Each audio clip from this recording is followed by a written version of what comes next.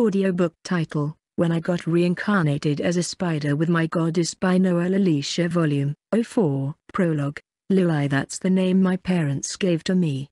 I the daughter of the true hero and the true demon lord and being a member of the royal demon family I also possess the title of a true demon lord candidate. I love my parents so much because they always get me what I want and always play with me. There was never a moment I felt alone or sad with them. Until then I had been living in a mansion with only my parents. I did not meet anyone nor anyone came to meet me. One could even say I was left to believe that we are the only living beings in this whole world. But when I turned 10, mother and father suddenly started talking to me about going to the surface. At first I was amazed to hear that there was a much wider world on the outside and lots of people just like me lived there. All these years I had been learning magic from father and wielding weapons and also practicing martial arts with mother, though I had always hated learning spell casting, languages of different races and other long literature which I find to be utterly useless. Mother is always right if you want something just use your raw strength, who needs to study tactics, etiquettes, politics, laws and administering nations. That's why I used to spend most of the time training with mother than with father who would always insist or try to teach me whenever possible. But I still loved both of them equally, because when it came to matters related to food I could only count on him for help. When I had completed my swordsmanship training and chose my main weapon as a death scythe, I then learned to manifest a soul weapon. My soul weapon manifested into binding chains which I can coincidentally attach to my scythe's handle and use it in combo attacks. It was a perfect fit for me to tackle mages and for my weapon to reach far distances. 6. But when we started talking about Demon Academy, I learned the truth that my parents won't be accompanying me to the surface. TH at all. This time, we had been living inside a dangerous labyrinth where not even light can reach from the surface. If I uttered a word about my correct address then people would consider it akin to hell, but that did not bother me. I was frustrated by the thought that I would be traveling alone. There will be no one beside me whom I would know, and when I was told the reason for them not accompanying me, my heart was broken. How dare those people on the outside could do this to mother and father when they were only trying to protect them. They took their help for granted. Even a child like me could understand that. I began hating each one of them. It was not my parents' fault that they can't go with me. It was the fault of those people who are enjoying their peaceful lives after the war ended. For maintaining peace, my parents had conceded their own freedom. They had to pay the price so that those of the future generation did not have to worry and could together work to reach new heights. But I too being their only child had to understand their situation and since they wanted me to not be bound by those foolish ideals, I had to venture in the outside world on my own. Cooperation. On the outside it sounded a joke to me. When I reached the surface and enrolled in the Demon Academy under an alias and my identity hidden with the help of a father's acquaintance who was aware of their existence, I realized that all their sacrifice was for naught. Even though on the outside it might have looked peaceful but everyone was trying to get ahead of one another. While some of the races worked in isolation, Humans tried their best to lessen the power of demons while pretending to look the other side. Same went for the demon lords and generals who secretly plotted against humans and other species pretending to be neutral. 7. Simply put it was a cold war with everyone holding back each other. Everyone yearned for power and the best solution they could come up was to push others down than to focus on self-growth and become prosperous by their own hard work and intellect. Race protection rights held no meaning when slave trade flourished flourished at the same time. Producing surplus food had no meaning if they store them to hoard money instead of sharing them with deficit areas. Races that boasted of their supremacy had no credibility if they remained isolated and cut off from the rest of the world and reject everything that did not fit with their own obsolete views. I hated each one of them because they separated me from my parents. They made me feel lonely and sad. My parents too must have felt the same. Here I was as happy returning to home after such a long time and I find another being in my house, nonetheless a low-level human. This was supposed to be my home and only we three belonged here. So I did a fourth one showed up. Out of pure anger and jealousy I launched a frontal physical attack with my death scythe. That would do it. It's all over for her. That's what I thought when I was hung in midair, the blade of my scythe softly held in the intruder's hand. A beautiful human girl maybe three or four years older than me. But this attack would have killed even a high-class general of a human kingdom. What's going on? Did she fake her status? That's not possible her level is lower than mine. Does that mean her stats and skills are far above mine that I cannot see them? And when I ask for her identity after I honorably declared mine she calls herself my sister. I did not let anger consume me, but I rechecked her status from top to bottom. How can she share the same family name? 8. And even have the same title of true demon lord candidate, though some titles still appear hazy to me. How ridiculous. I will never accept this. Never. She too must be from the outside. This house is only meant for me and my parents. They have no right to be here and interfere in our happy lives. There is no place for negotiation. She is dangerous if she can pretend things up to this level. Stopping a direct hit, maybe she is physically strong. So how about magic? Even though I might not have yet mastered it like father, I would still be considered one of the strongest magic user in the outside world. O halos of fire, scorch the wind and purge my enemy. A large blast of firestorm rained on her from every direction. The earth shook and the nearby trees got burnt with the exceeding temperature. But after a few moments when the red flames got cleared, she was still standing unscathed and smiling. How could she still smile? She is my enemy so why is she not even fighting back? Does she think I am too weak to be bothered with? I used another spell and large boulder floated mid-air, while this time I added fire attribute to them and launched several of these projectiles at her. I needed to figure out how she is blocking my attack. Just as one of my giant flaming boulder was about to hit, a blue transparent cubicle plate blocked it and instead of the rock shattering into pieces or the shield being damaged, the whole thing simply vanished. It was different from anti-magic, as if my magic had just suddenly disappeared or clearly put became non-existent. It was similar to Father's unique skill, but this time there were no traces left behind. As if she herself had consumed my magic. That's the feeling I got. No matter. I just need to use a much stronger spell break through her defense and attack at the same time.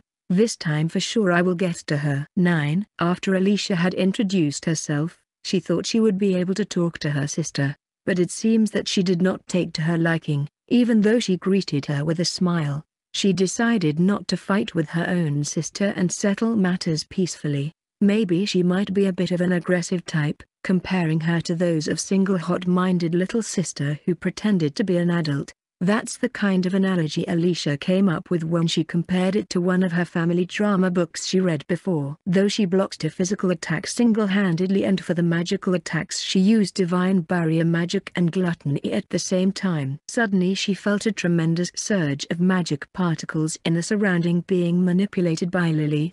A black sun appeared mid-sky, still growing in size and black fluid dripped from its surface which even melted the ground. She felt that she had already seen such kind of dark magic before. Not just only that but it seemed to have been combining with the things around because of its huge revolving mass. The black sun came flying at her, but Alicia did not flinch for a second. Black thin threads out of the blue manifested out of thin air and stopped the growing black sun, slowly consuming it before it could do any more damage to the beautiful forest where she came to read books. At the same time the barrage of multiple strikes Lilai launched with her scythe on her body. She without putting much of effort matched up with Lilai's quick speed and her hands covered in some sort of blue flashy light blocked all the attacks. Lilai had no choice but to retreat and come up with another strategy. She was now shocked to see her strongest magic vaporizing in front of her, just because it got stuck in a weird net. With all her strength tested, she had no choice but to use her final trump card, 10 Soul Weapon Manifest Signet Chains. As Lilai spoke these words her vicinity got surrounded by thick black chains. Alicia was shocked. She had never seen something like this before. She felt that those chains were not made of any matter nor they had any physical form but had a totally different composition entirely which made her even more curious. But she could not let it get the best of her. She wanted to prove her sister that she was strong. That's what Alicia thought of it to be one of the tests where you prove your worth to form kinship with someone. Till now she had just blocked and was not on the offensive. But this time she started taking the fight seriously. Absolute Zero. A thin crystal sword made of ice formed in her left hand. She thought that this would be enough if she was going to use a weapon. On the other hand, Lilai failed to recognize the sword made of absolute ice and the huge absurd amounts of magic spent to form it. In her eyes, she thought that she was being mocked as not worthy of using a real weapon against your opponent, even though she was giving her all. She launched her chains trying to bind her in a single throw, while at the same time trying to strike with her scythe at the right moment. But things did not go as she had thought. It was not about only the strength of her ice sword but the way she moved her sword was in such harmony that the chains were drifted in messing up or rather following the wielder's instruction were dancing on the tune of the enemy and colliding in themselves. Then with the hilt of the sword she blocked Lilai's attack at the same time bringing it to a stalemate. 11. Lilai could not help but feel that it was one of her mother's single sword techniques. She was not only defeated badly but all her claims were slowly being crushed by her fearsome foe. And yet instead of laughing at her or mocking her, she was still giving me that warm smile. She was unable to come up with another strategy and felt so helpless in her own house. But why? At that moment Caroline and Xylon teleported to the part of the forest which was turned into a disaster-prone zone by a small exchange of punches between their daughters. Caroline gracefully nullified the soul weapon on Lilai while at the same time drifted the scythe and sword away in diametrically opposite sides. Lilai and Alicia stop fighting and destroying this forest. We should be having a family meeting now so let's go into the house. Lilai had nothing to speak anymore she thought that her mother had finally come to help her.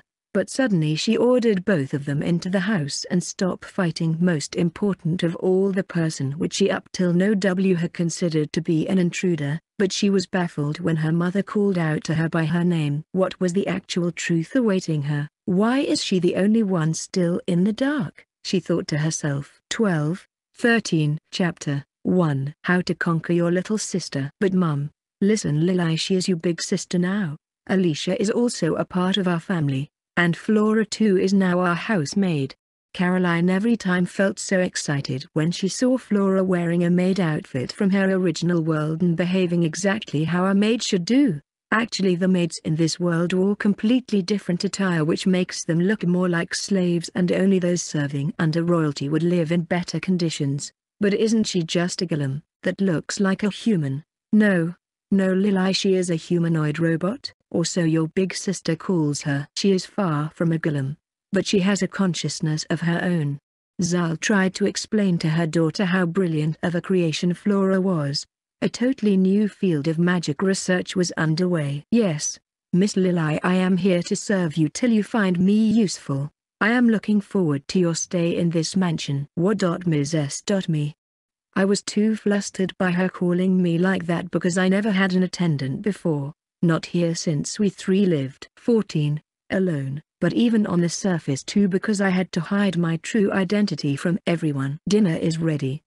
The one personating my sister who calls herself Alicia, no rather my parents gave her that name walked in with a huge clay pot and placed it on fire in the middle of the table. I bent a little and inside it fresh vegetables and tofu were simmering in hot soup.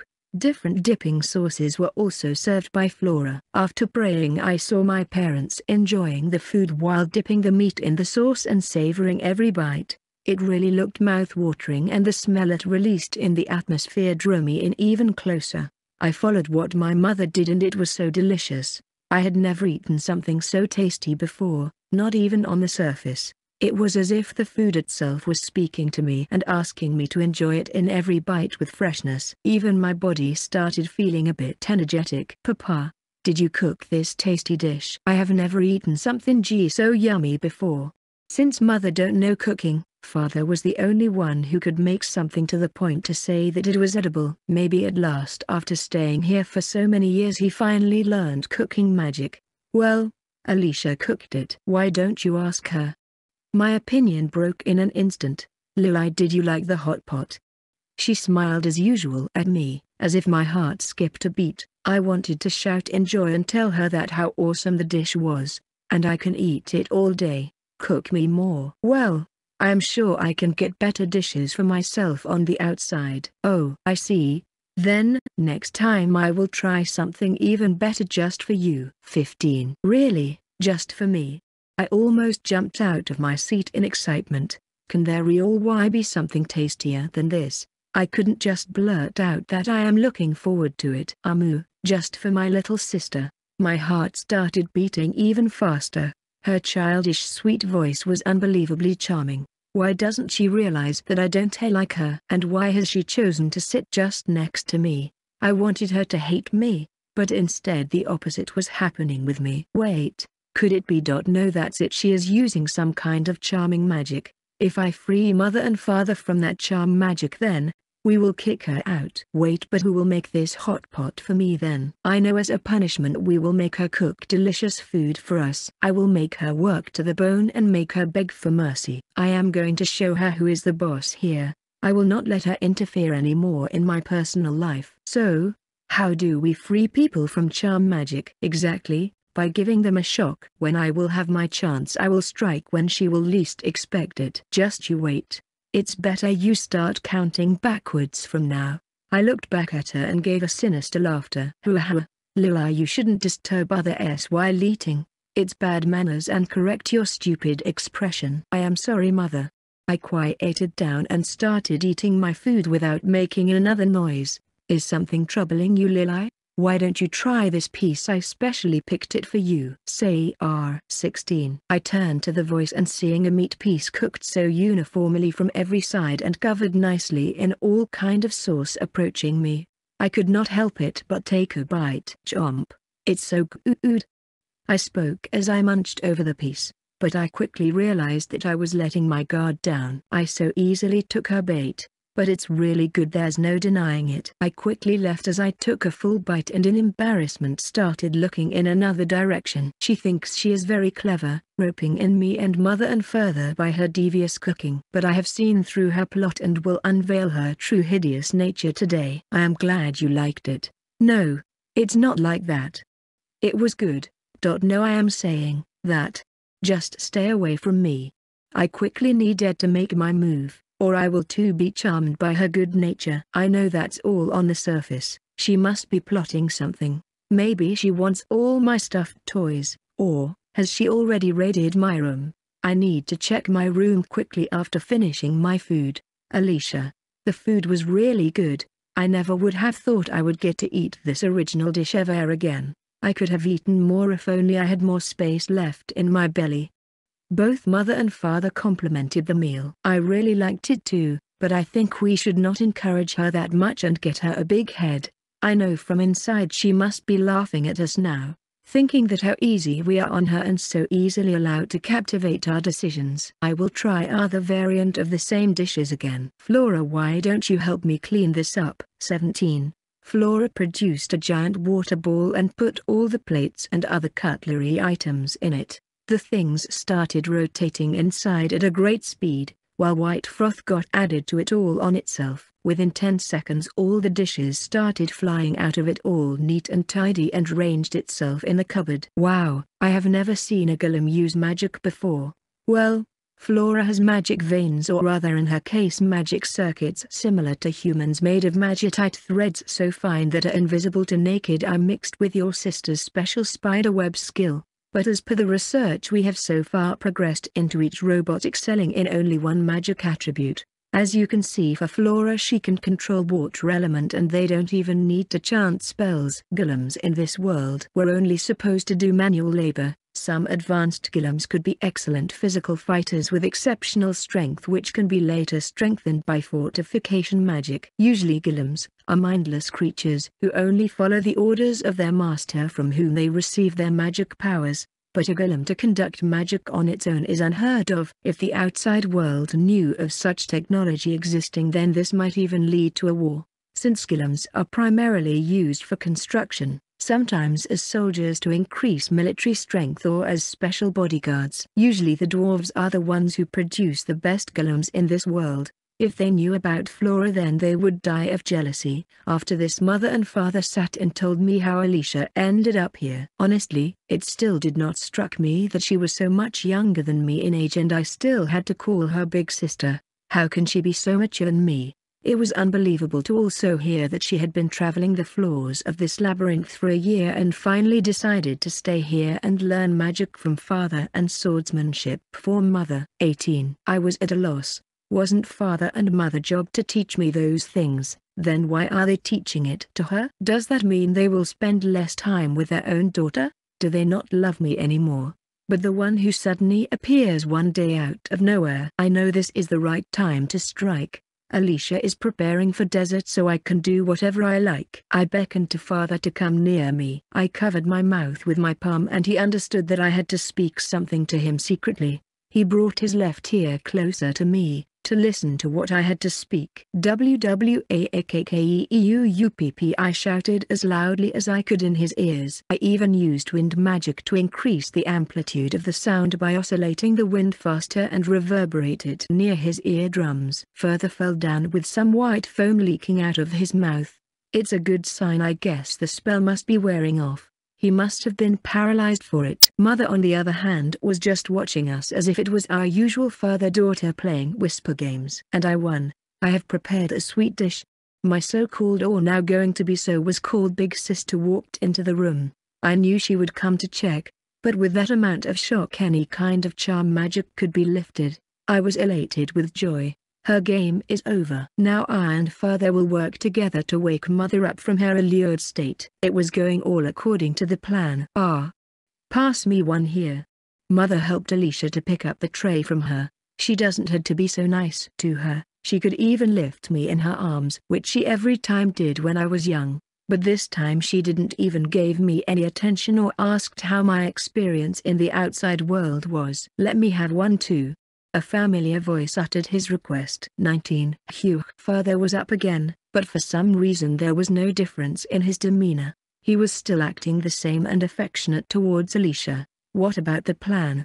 What about me? What about having fun with only us three? When I was leaving the academy, every one of my classmates told me how they are looking forward to meeting their family and I was in the same boat. No I was much more enthusiastic about it. What? How could this be? What about lifting the charm spell? What are you talking about Lily? Is it something related to shouting in my ears? No. I mean, Lily, you are acting a bit weird. Did something happen? Why can't they see what's happening here? This was not how it was supposed to be, I did not have this in my mind. It was going against all my imaginative experiences in which I was going to enjoy with my family and tally all the love they were supposed to give me when I was away. I started running. And as I passed her, I gave a scornful look. Lily had left the living room, leaving all the others in confusion. But Caroline smiled and assured everyone that things will turn out fine. Alicia don't worry, she will eventually come to like you. We just need to give her some time to adjust. 20. I know mum. Saying that she took her seat, near Caroline and passed the sweet dish to them. While she later had it in mind to give one to Lily too. Mom, I wanted to ask, what kind of weapon Lily was using? You mean the soul weapon? Yeah, I think that's what she calls it. It did not have any physical presence but gave a totally new kind of feeling. Since, you can tell the difference now, I think it's time for you to get your own soul weapon too. Get mine. Yes there is a way to activate it. Sometimes forcibly, through training or it manifests on itself when in dire need. Well there is no exact way for anyone. Wait isn't it too early for Alicia? Why don't we reconsider it? She is already so powerful, I don't think having or not having a soul weapon would make a difference to her. Xylon the Demon Lord sounded a bit in distress with the decision her wife was making in behest. You are too of a worrywart Xyle. Always worrying about your daughters more than required. You had the same problem during Lily too, but isn't she doing well with it? It's time that Alicia learns it too. One week from now so get ready. Well, I wonder what her soul weapon will be like with almost limitless and immeasurable life force and magic power. Well soul weapons are based on the form your life force takes place and even its special ability. I would like to know what that will be for Alicia. 21. I am too excited for it mum. So let's do it. I want to learn every kind of fighting technique from you and get stronger. 22. Lilius Calon Ashbourne. I kept on running until I reached my room on the second floor. It was intact, in the same pristine condition I had left it but it was still clean as new with no amount of dust loitering on ground or the furniture. The bed cover and other fabric material smelled so nice and fresh. Maybe Flora that humanoid golem might have been looking after my room in my absence. All my toys are safe, so she was not after them then. I sat on the bed and tried to think harder. How could I have forgotten that mental attacks don't work on father and mother, after all they are the strongest in this world? So, they do really see her as their own daughter and she is a part of family now. But why do I feel so left out? I want to talk with her, but it's as if there is a virtual wall preventing me to do so. I had been hostile to her from the beginning, while she kept on being nice to me. What does she really think about me? What am I her to her? Or what I want her to be for myself? I always wanted a friend here to play. Someone of my age, similar to me. But she is so bright in whatever she does, I can't even come closer. Oh, I can't even think properly now. So I will all let it out at once. I tease all her fault. Asking me what was happening. Can't they see I am feeling lonely? Telling me about how great she is both in magic and swordsmanship. How she can use all six attributes. I too can use four basic attributes. You should know that.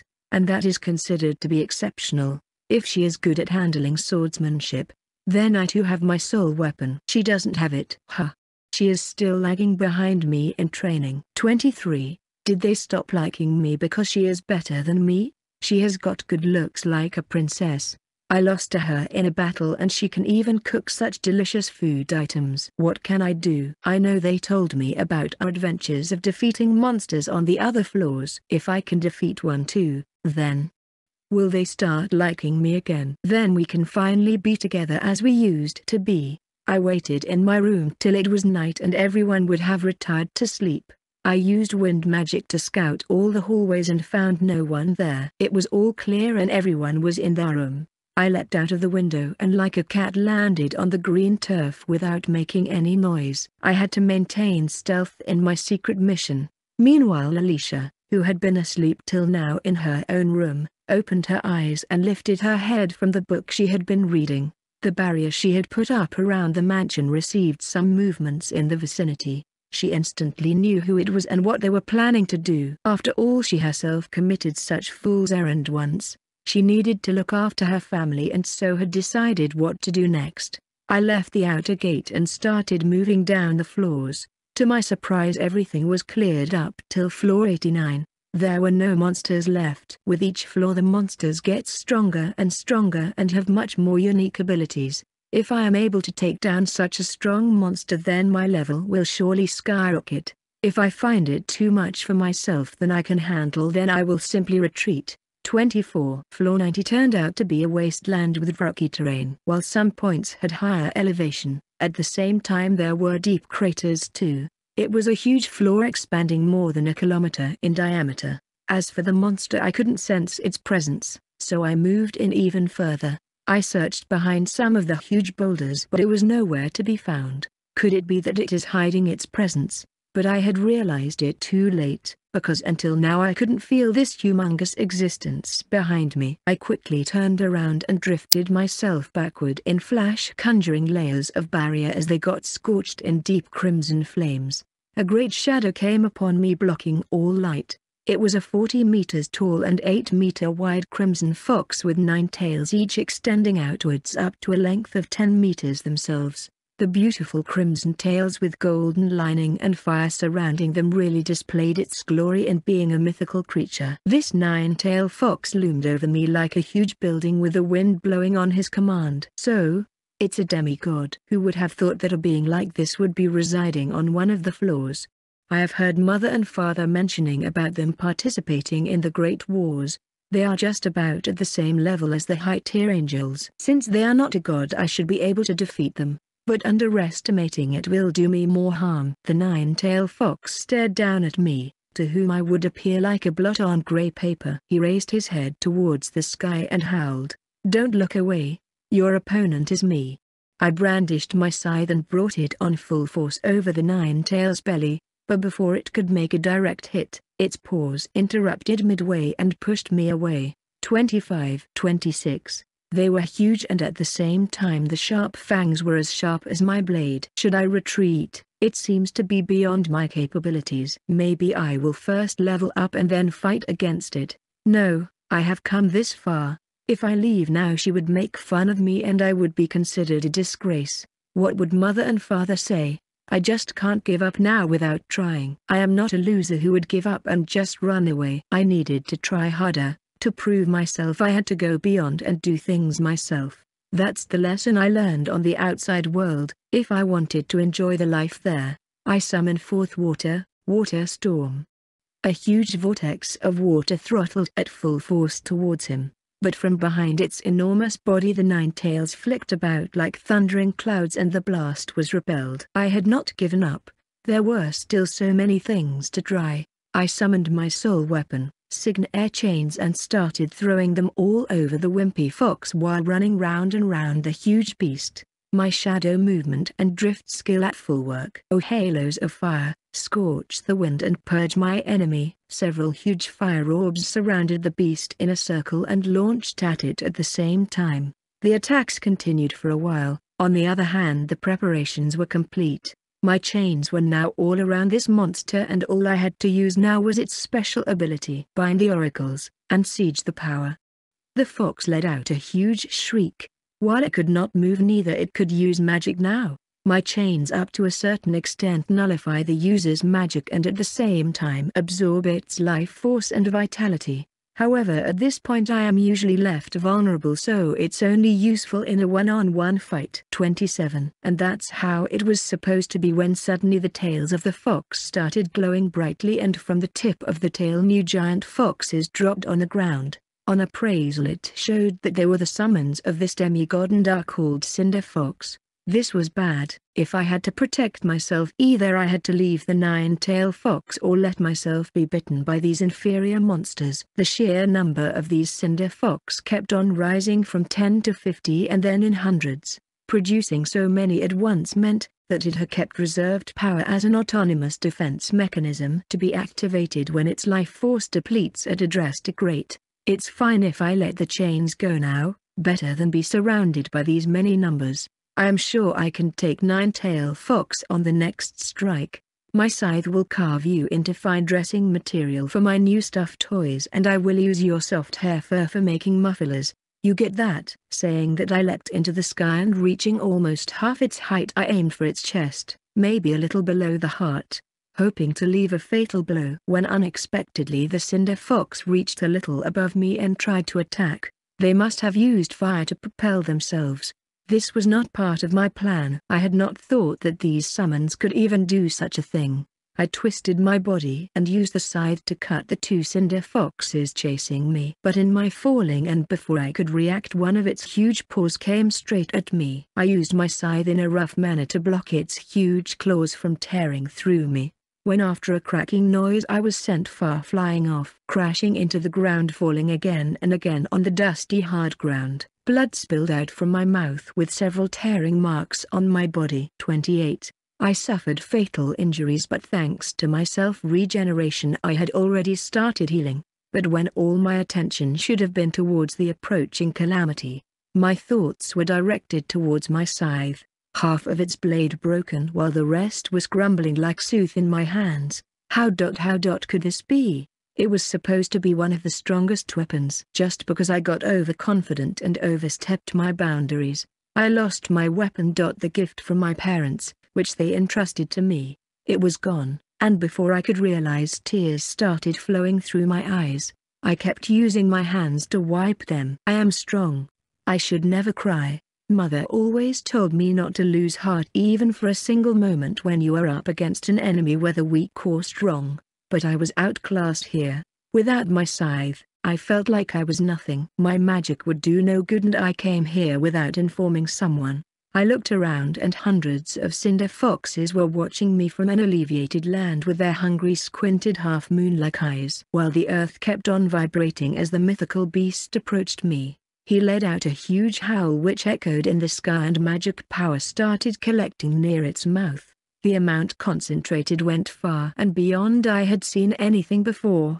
It could be comparable to one of the strongest spells of my father which he once showed it to me. The fire turned from yellow to red then to orange and finally a mixture of blue and red. For the first time I was experiencing fear in my life. Being outside the protection of my family and this regret to go overboard just because of my pride and greed to keep my parents all to myself. Maybe I will regret not talking to her, to tell her how good the food was and 29. Wait but why I am thinking of HR uh, when I am about to vanish. I see it must be because I too have started liking her. Her long white hairs wafted in the air as if I could feel their cool shade even in this burning place. Her bright skin brilliant than the crimson flames and that calmness around her vanquished the fear in my heart. Everything is going to be fine. You did great Lily.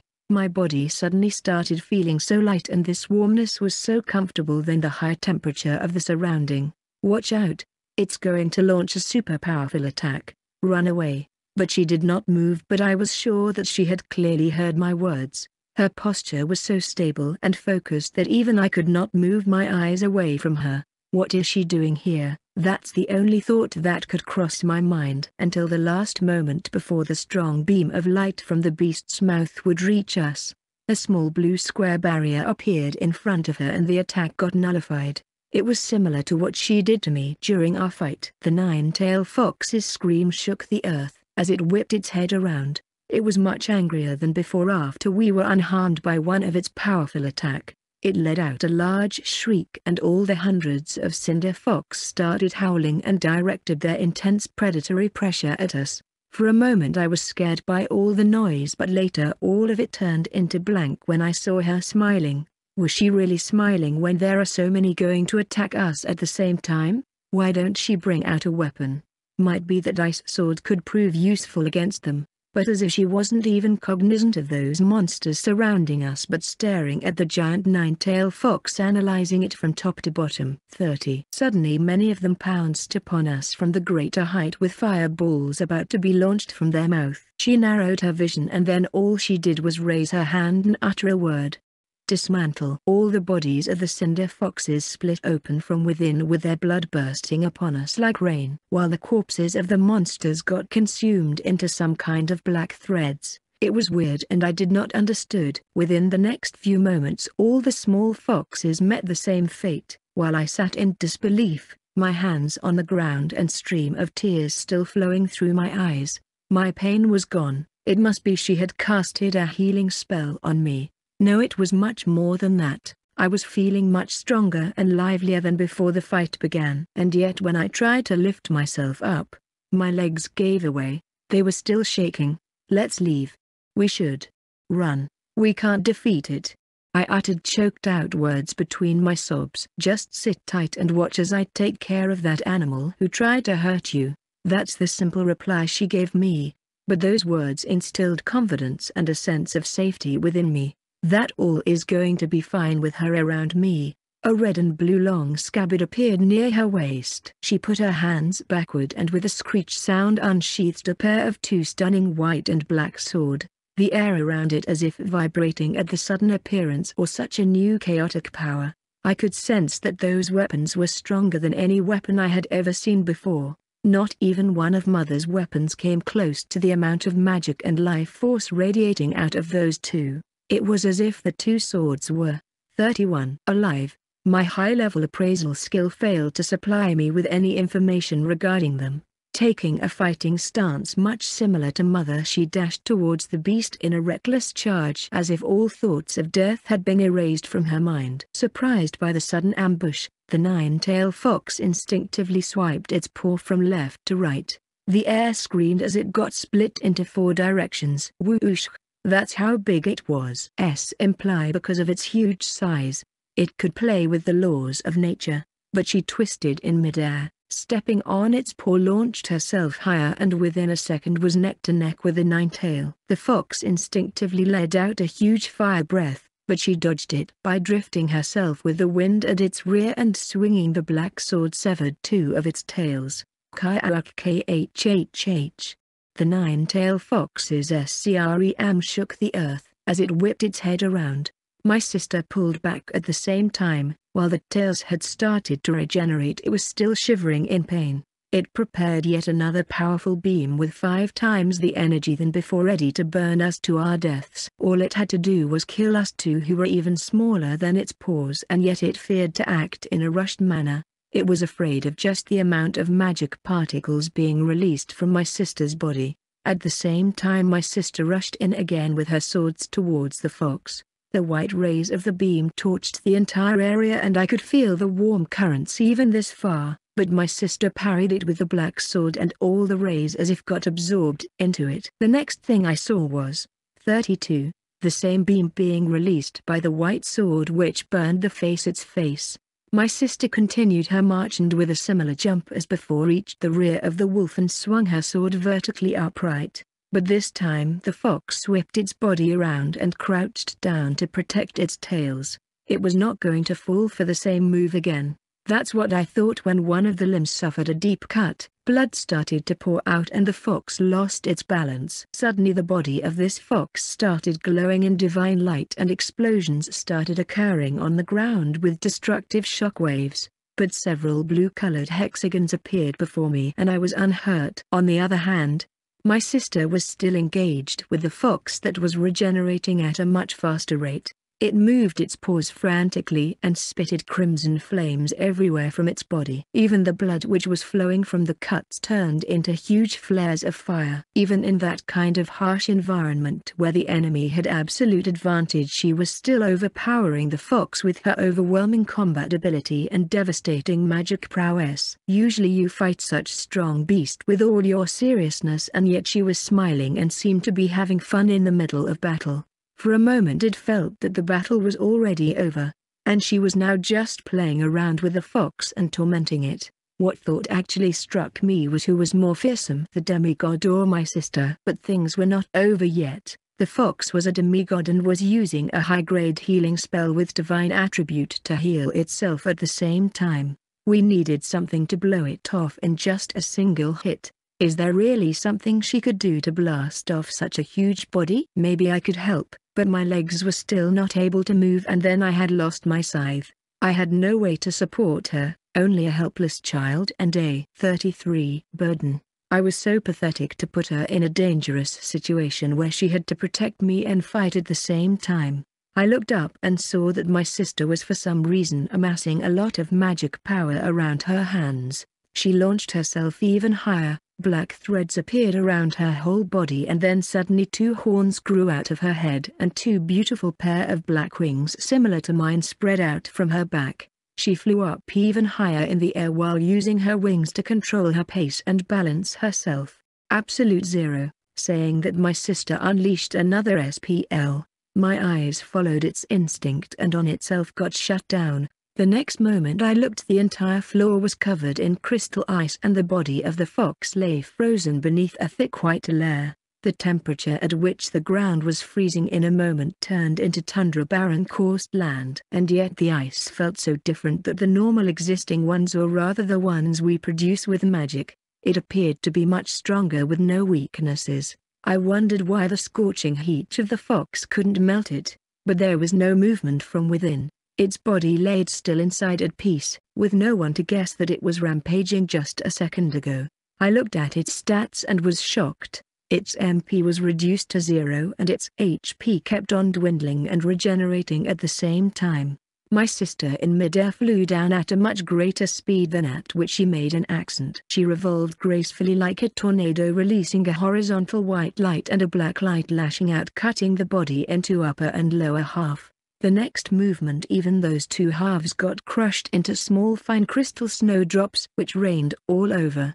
The scene was breathtaking. as if the entire thing got imprint on my soul where my sister landed on the ground where a moment ago a demigod was standing. As far as I remember she only used one spell to defeat it. A demigod. No one, 34, would believe me if I told anyone about this and compare their actual levels. She did not even have a scratch on her entire body. Just what in the world was she? She quietly walked towards me as her wings and horns disappeared.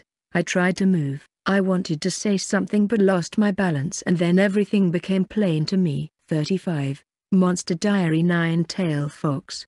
World Disaster Class. Name, Igniskaran and Age, Dash Race, Demigod Level, 7500 HP, 185,000 MP, 190,000 SP, 200,000. Skills, Advanced Fire Magic LV10, Earth Magic LV9, Divine Light Magic LV5, Cinder Fox Summoning, Burning Dunes, Magic Resistance, Fear Howl, Ultra Self-Regeneration, Titles, Fire Calamity, Mountain Crusher, Mythical Infernus 36, Alicia Scalon Ashbourne. Who would have thought that I would have to fight a demigod? To be honest these monsters are not much of a challenge anymore. Of course, I was more interested in that soul weapon but she is all right now and I was able to make it in time.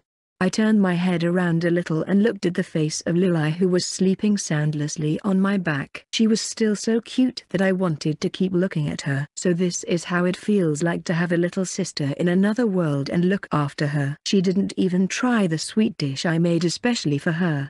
We were almost halfway to our home, when she suddenly woke up after losing consciousness from fatigue and shock. I felt like I was drifting in the air but when I was surprised to see being carried on her back. I wanted to complain at first but I did not have the strength. Later it felt so nice that I did not mind, though it was still embarrassing for me. Lili thought to herself as she had just woken up from her unconscious state. She remembered her sister defeating the demigod Nine-Tail Fox so easily. She still found her to be unbelievably strong, big sister. That's the only word I could hear from her mouth and she fell asleep again. This was the first time she called me that and it felt so good. I was so happy because no one had called me like that in my previous world. So she too considers me now a part of the family. Well let's celebrate it after going back home. The day since I came here, I had always felt that change in me, that I was able to interact with them much easily than those in my previous world. Both mother and father have been always nice to me and teaching me everything they know. Unlike my previous world where I could not even, 37, meet eyes with my guardians or have food in the same place. Usually I would cook for myself separately or early in the morning before everyone would wake and leave the kitchen neat and tidy. But here I not only cook for everyone but together with Flora and later enjoy the food with my whole family. I wonder will the same happen in the outside world, or, Will I again lose my ability to be this open to people when I need to win their trust or will I revert back to my previous self and restrict myself in the corners? It was all up to me and the time when I would leave this home and finally leave this labyrinth after conquering the last floor. Mother and father always told me that I can use the teleportation circle to go to the outside but I want to complete this labyrinth so badly that I can't wait though they keep on telling that even they don't know what thing lies in the last floor. Even they are afraid that it could be something abominable that they together can't defeat it. But all I can think of is what kind of magic and unique skill they could possess and how can I obtain them for myself. 38. Lilius Calon Ashbourne. My eyes squinted as the light flooded in my eyes. In that haziness I could see the ceiling of my room. So I was finally back. At that time I remembered my big sister defeating the nine-tail fox and then carrying me on the back. How embarrassing. What is embarrassing? Lili. Who? Nothing it's not, big sister Alicia. She let out a small laugh on my sudden outburst of dumped-up words. I was taken by surprise when I saw her sitting next to me. For how long has she been there? Did I speak something funny while I was asleep? As far as I remember I don't have the habit to speak in sleep, so it's fine. But who knows what actually went down. Now that I think about it then I am safe today because of her. I should thank her for that. But is that all I need to do? No. I have been so cold to her while she always thought of me as family. So I should ask for forgiveness for making her to go through all that trouble. But on the other hand she seemed to have enjoyed the fight. No I can't make up excuses. I will be honest and this time fix everything and try to know her better. Big sister dot dot I, I wanted to say dot so dot saw or Vumph. I gulped down what was suddenly fed in my mouth. Before I could complete what I had to say she had gently pushed a spoon laden with something soft and spongy into my mouth. The moment it went in my mouth it melted and it was so sweet and tight with richness of fruits. I had never eaten such tasty fruit jelly before. 39. So tell me how does it taste? It's super tasty. Then there is more from where it came. After all I specially made it for you from your favorite fruit. Big sister, I wanted to say. I wanted to say that all I did, that I am. She suddenly held my chin lightly and brought her face closer to mine. I could feel her light breath leaving her pale pink lips. She looked so matured up close and yet somehow her status showed about two years old. I don't know much about humans. Even mother is actually half human and half elf. Though for most part she would be considered human. Her long life is thanks to because grandmother belonged to the royal family of the elves. My eyes started moving round and round as every second passed by I was being drawn to her closer and closer. The more I tried to look in her red eyes, the more I wanted to keep looking at them. Those eyes they were so violent and calm at the same time. Lila your body temperature is increasing, it's nothing. I pulled myself backward into sheets as fast as I could. That was a close call. Indeed, now that I think about it, for a moment she had black wings and horns similar to mine. I asked about it to her and was surprised to know that she can supposedly turn into any other species. I had never heard of this kind of ability before and she might be the only one able to do it. My big sister is really special. And now we have same wings and horns. Now even people would identify as sisters and I don't have to be alone on the surface anymore. My family has finally grown with one more member. 40. But suddenly my facial expressions changed and I remembered that I had lost my scythe forever. Could I ever get a new weapon that would fit with me as nicely as that? Lily. About your scythe if you want I can fix it. Was I too obvious with my sadness that she caught up with my worries? Big sister. But it's a legendary weapon so they cannot be reforged. No, I am telling that I will actually make a new one exactly similar to that. It is actually possible with my skills since I have already analyzed and stored its data with Elle during our fight. Really? Can you really do it? For some reason she was talking about something that has never been done in the past. Any other person would have blurted out and called her insane. But I believed every word of her. If there is something that others think cannot be done, then my sister can do it without any problem. Not only that I can even make it better. Your ultra super powerful dark scythe. Wait didn't I just added some similar sounding words with her weapon? Alicia thought to herself. It sounds so amazing. I want to help big sister too. Well as long as she thinks it's fun. Alicia came in terms with her mislead thoughts. Then why not next time we go hunting monsters together on much lower floors when you get even stronger? That whole night instead of sleeping I kept on talking to Big Sister. She too was unaware and total amateur about the outside world. So I did tell her some of my exciting hunts on the outside. Though it might be possible that I added some spices and extra thoughts of my own here and there, but I think she will figure it out.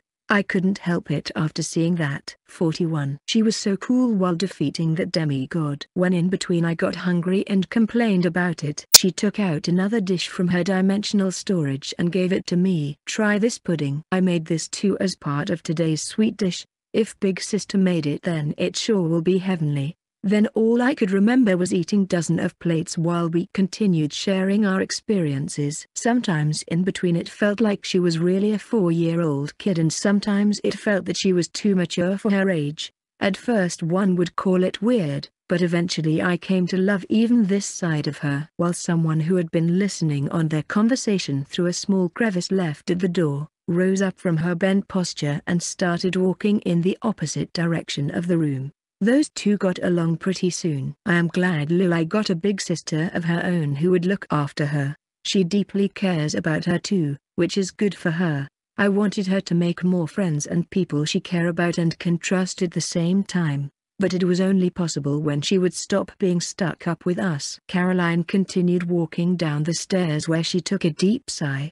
She too wanted to eat those puddings but at the same time she did not wanted to intrude in their merry talks.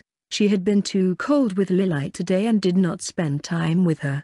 From tomorrow she decided to be giving a great deal of care to her and properly listen to what she did at school and in the outside world. Isn't it every parent's wish to hear it in their own children's words?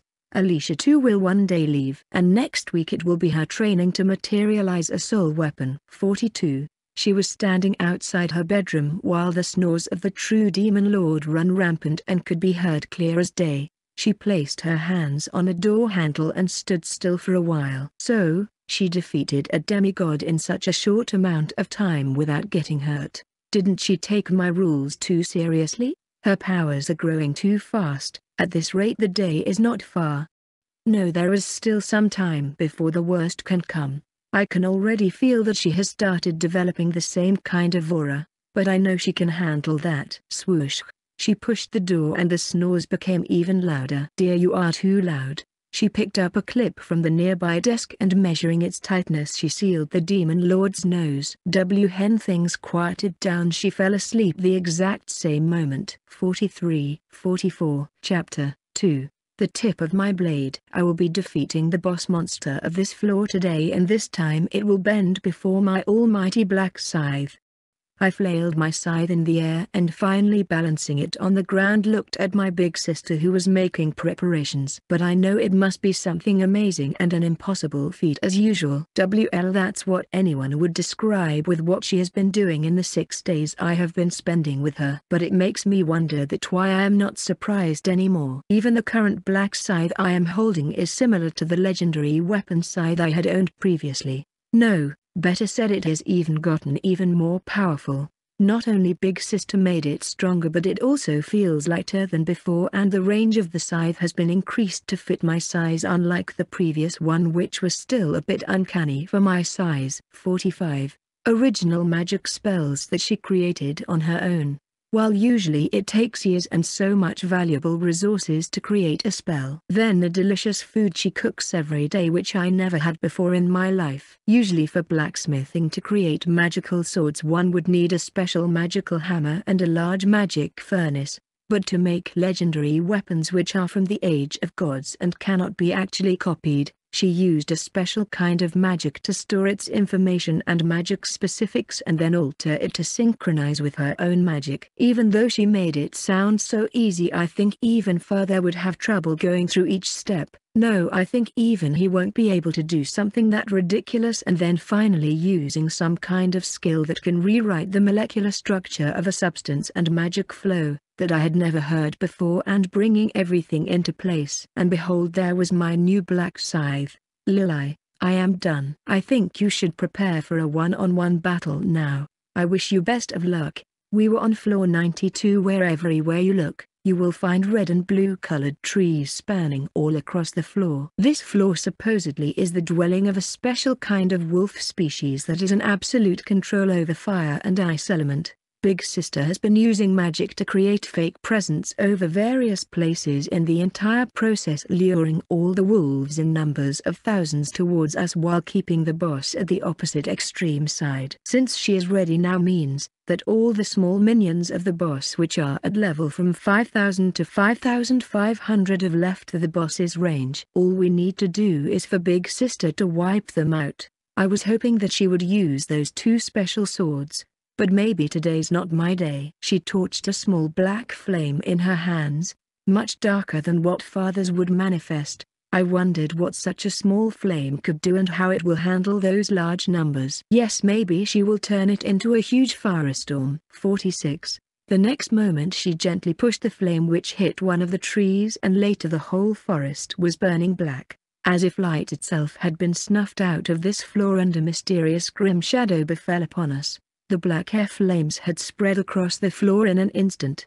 I couldn't understand what it was. How could such a small flame become this huge to burn down an entire forest? Kai dot dot woof. I hear dot dot dot kaiwa. Several cries could be heard in the midst of that forest fire. According to Sister it's her original spell Black Flare which actually burns on consuming magic energy in the surrounding or the target's body. It is a culmination fusion magic of fire magic, dark magic and gravitational magic. All three of the attributes mixed at advanced. How is she even handling that? In simpler terms if something is alive then there is no escaping this fire. Five minutes passed and the entire forest had been burned to grounds. On the scorched ground except for black soot, there did not lay a single corpse. M used to have been consumed by one of Big Sister's skill.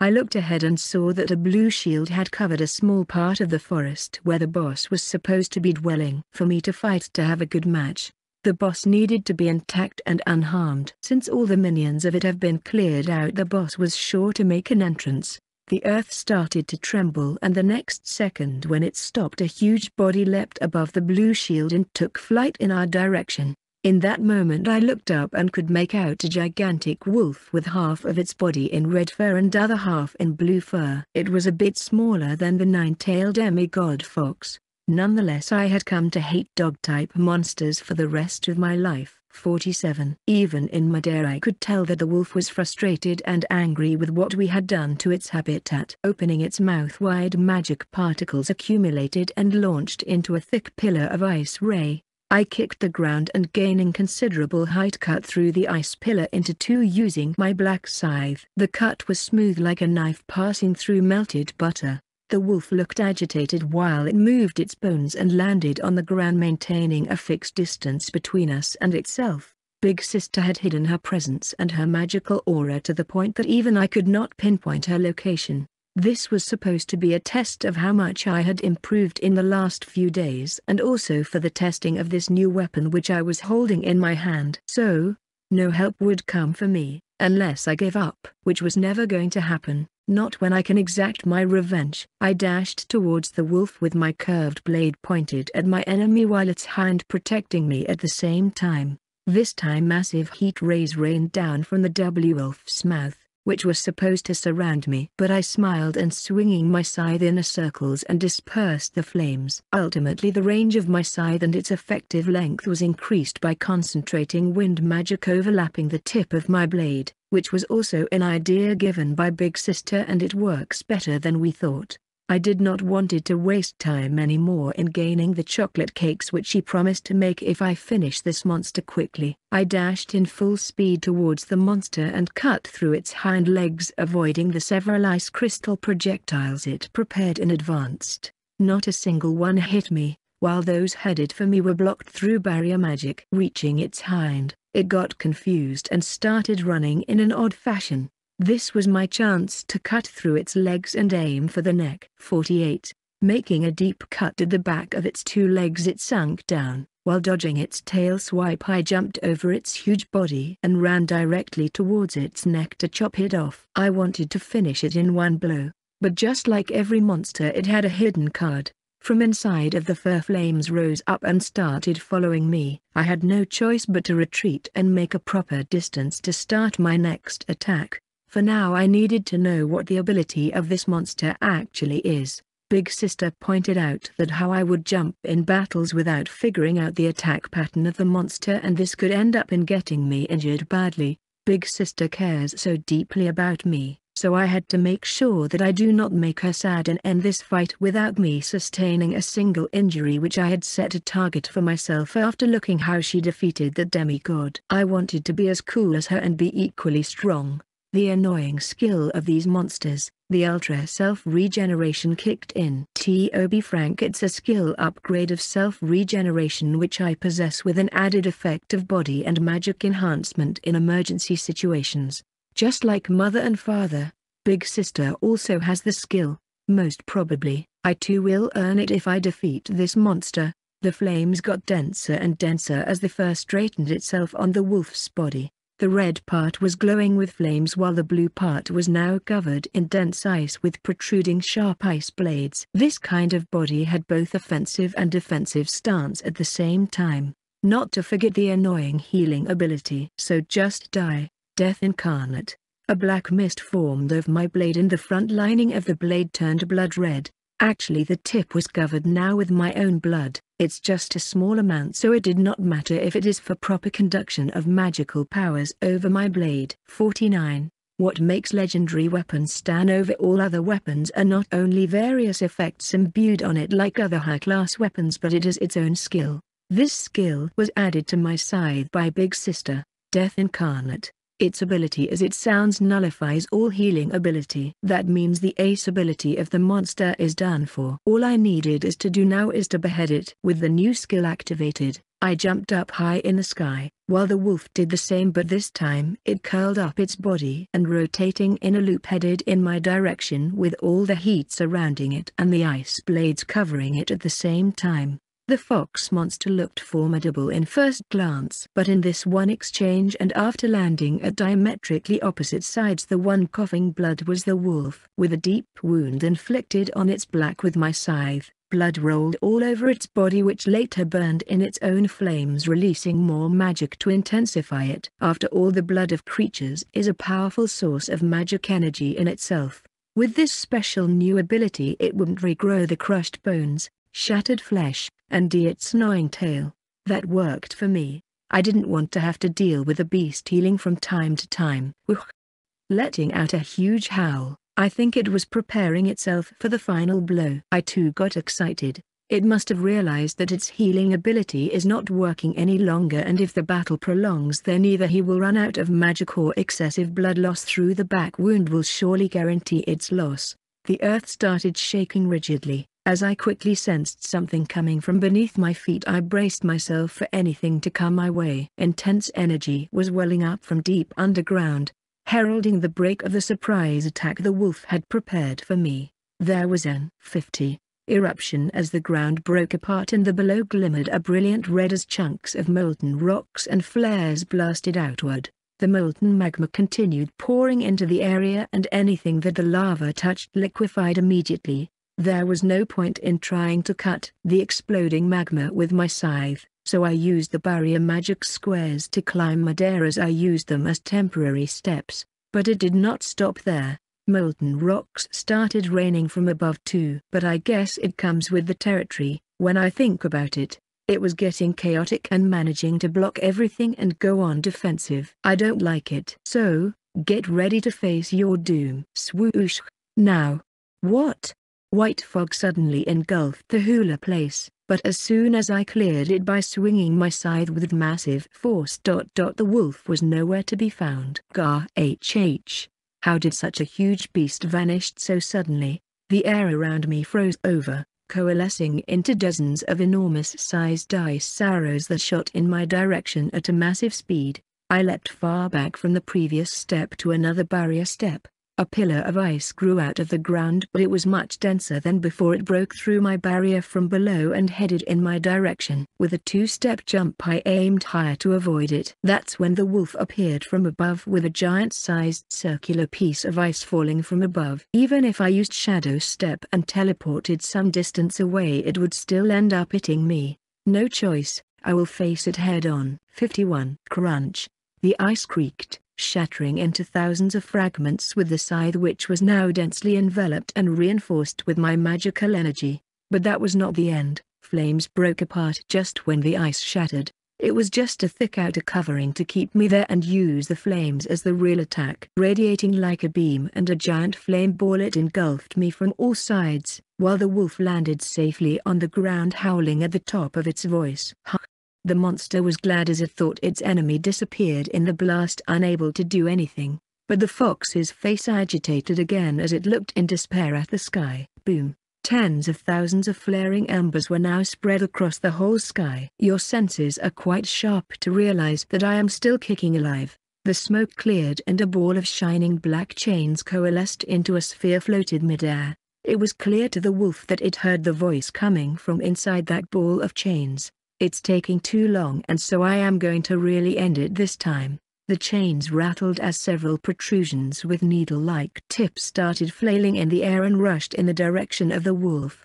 It jumped trying its best to dodge the heavy chains, But everyone was a close call as each piece landed it pierced the ground reaching till its end. There's no escaping it.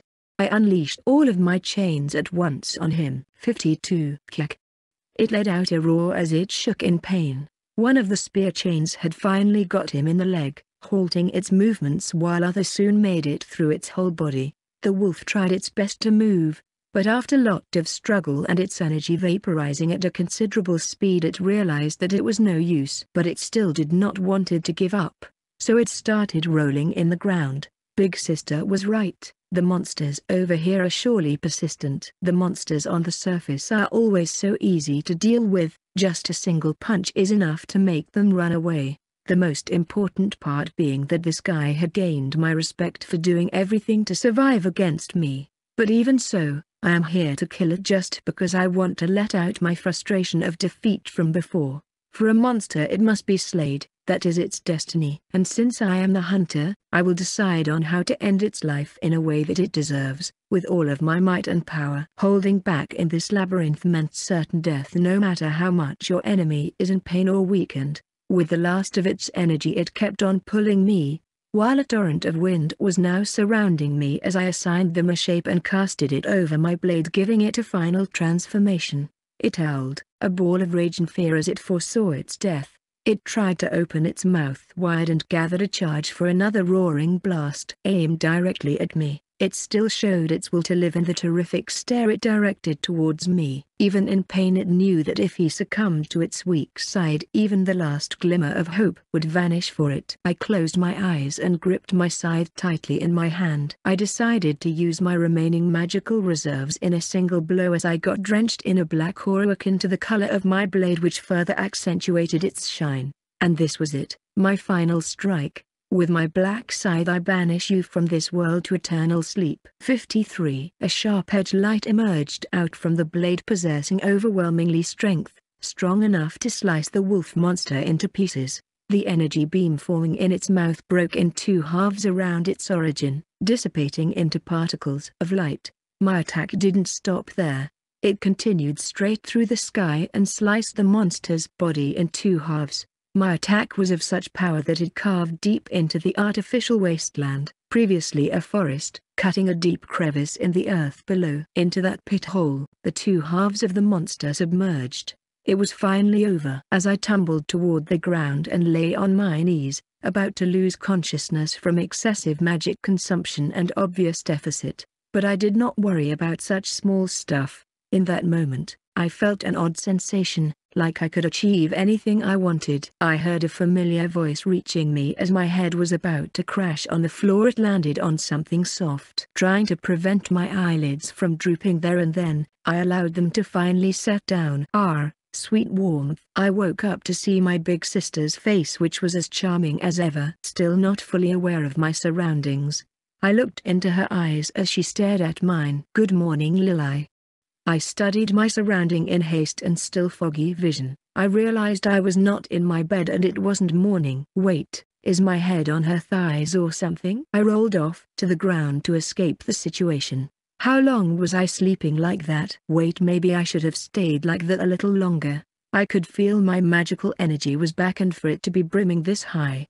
My sister must have transferred it to me. Usually people would use magic recovery, 54 potions or take magic from others but it is always done in small amounts because for the transferer it takes more than twice just to transfer a fixed amount. For my sister to fill my deep magic reserves her own magic capacity is unfathomable. She rose up from her sitting position and facing the corpse her eyes glowed with a deep blood red color. The corpse of the huge monster suddenly started vanishing as vortex of black threads appeared to consume it. This was also one of my sister's skills, to turn the body of a corpse into a source of magical energy of her own. I soon forgot about my embarrassing situation, and ran to her as I remembered the promise. Big sister how did I do? It was quite amazing seeing you go all out with the scythe proved that it was a successful creation. She said breaking into a smile. After all you made it for me, the giant wolf monster stood no chance against my special skills and the new magic spells I have learned from you. Fine then let's go back home and prepare a chocolate truffle cake together but first you need to take a bath. I tilted my head confused. Was I stinking? Does not seem to be the case.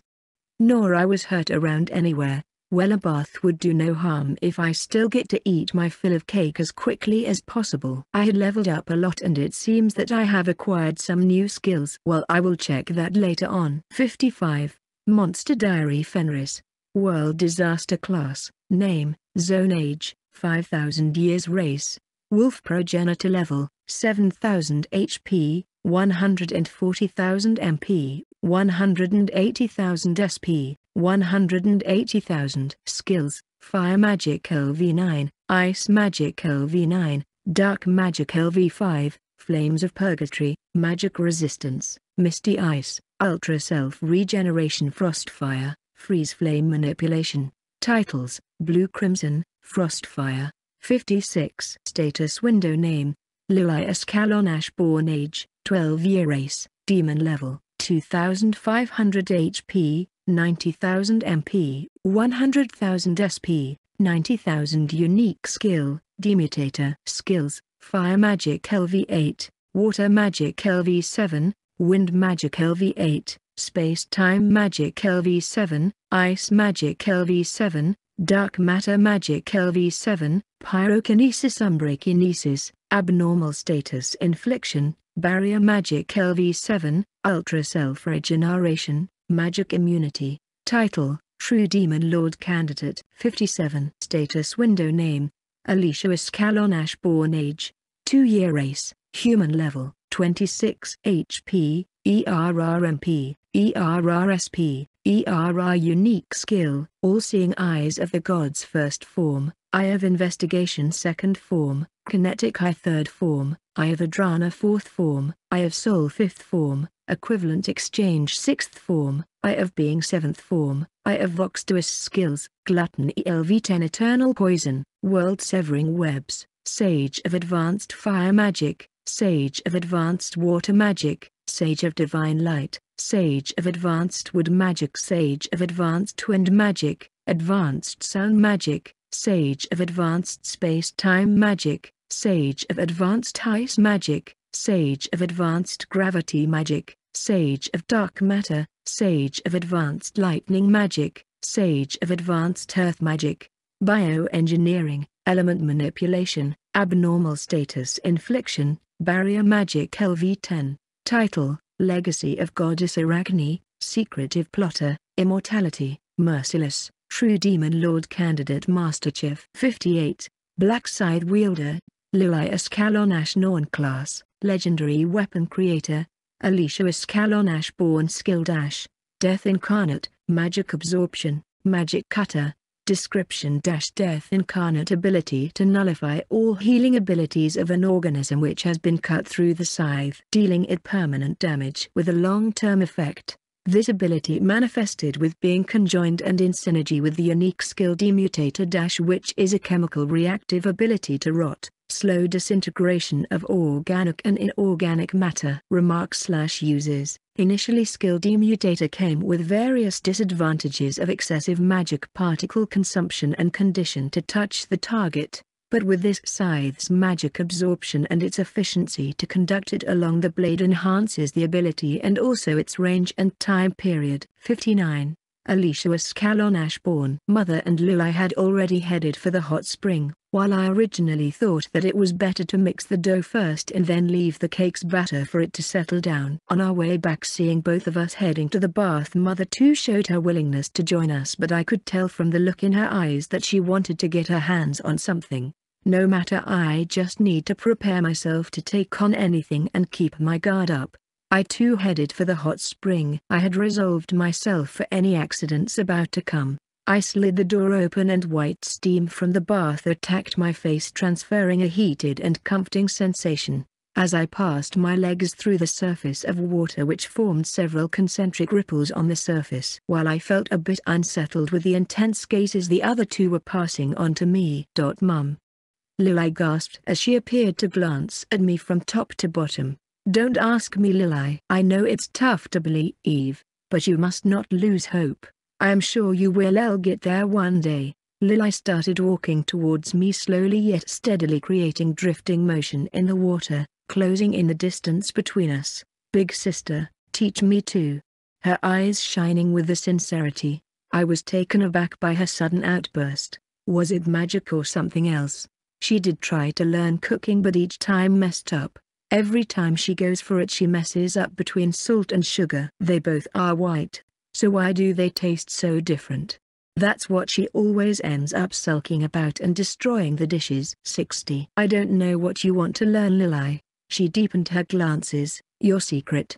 I want to know. I took a look at mother while she wore a fervent smile and trying to look the other way when I gestured for some help. Just what talk did she feed her with while I was away? Suddenly there were forced movements inside water, and before Lily could herself realize it, her grip on the floor had slipped away. As we careened downwards in a free fall, I gripped her tightly so she wouldn't get hurt. I fell on my hip, but it did not hurt much because of the water. Click. If I was not wrong mother stole one of our photo in that embarrassing posture during our bath for her special collection, saying that it's a research on how we grow up, or that's what she has been telling us. She held a black box with a long tunnel fitted with a glass lens at the end, or rather a camera which I made. People in this world for pictures would use a skill called magic pen, which is quite rare and so they are too costly and only falls in the hands of few nobles but with my knowledge and creation magic making a camera is not big of a deal. I stared up at the sky and at that moment realized that how many months have passed since I started living here. I needed to hurry up and get stronger. Tomorrow was the day for me get my hands on a soul weapon. I was quite happy about it. My dual blades do not allow me to wield other weapons which I have not made myself. Usually they would send a stingy sensation in my body. So sometimes to hold back I use ice magic to make my own weapons or rather create from scratch with magititors. 61. Looking back from the day my swordsmanship training started with mother it was a remarkable and such a wonderful experience. I can still vividly remember how things went down that day. A month ago my training with a single sword started. I had already mastered all wielding techniques that existed in this world for other weapons. I and mother were standing on the training ground, which appeared to be a vast grey brick stage placed in the middle of forest surrounded by mountains and huge boulders that can withstand the impacts of our attacks from our training. Listen well Alicia you have been till yet diligent with the training but from here on I will be strict than before because when it comes to swords it's a matter of H-ert. So without wasting any moment we will start with our training and I am going to make sure that wielding a sword becomes a second nature to you. Yes mother. So, playing a part of yes and no was the right thing to do so that no time would be further wasted. Right so take out your sword trainee. I manifested a nice sword which was fit to be for my arm length and height. Now keep swinging the sword until you are exhausted. Wait. This was not how we trained for other weapons. Don't look around. Keep swinging as if your life depends on it. Eh I panicked there but soon gained my composure. 62. 15 minutes passed. An hour passed. Keep swinging the sword as slowly as you can that it makes me yawn and if the tip of the sword wavers start again. Wait but isn't that too much? It's not. So don't question. Don't think. Keep on swinging. Wait. How is she even reading my thoughts? Another hour passed. Two hours later. Three hours later. I was getting a bit worried about mother. She had kept me cheering on and explaining different positions while I swing the sword repeatedly in the exact same mannerism. Make your muscles remember how you move and keep on moving. She was getting sloppy with her words and a damaged vocabulary. Maybe she forgot that if I want I can switch off my fatigue or heal myself to keep on with the training. Should I suggest a break here for a minute or two? It seems that mother was at her limit and was earnestly seeking for water. Mother, should we take a break and then maybe restart again? I tried to sound as apathetic as I could. Yes. We definitely should. I mean it's your first class so taking some rest in between should help you relax your muscle while they get accustomed to the changes. We sat under the shade of a giant oak tree as the artificial sunlight rained over the training ground. We had been at it from morning. Tell me Alicia, why do you work so hard? Shouldn't you spend some time playing around? 63. I felt as if the question came out of nowhere, but mother wanted to just know more about me and what I have in my mind. It is only proper if I respond honestly. Back on Earth, my health conditions were not that good. If I ran too much I would end up with fever, then I could not even stay under the sun for too long since it would end up with a whole day headache. So, I usually did not attend any sports activities or group events and was then isolated even from the class. Even if I wanted I could not travel very far off. Then there were no others with whom I could play even if I wanted to. Don't tell me you still feel down because of that.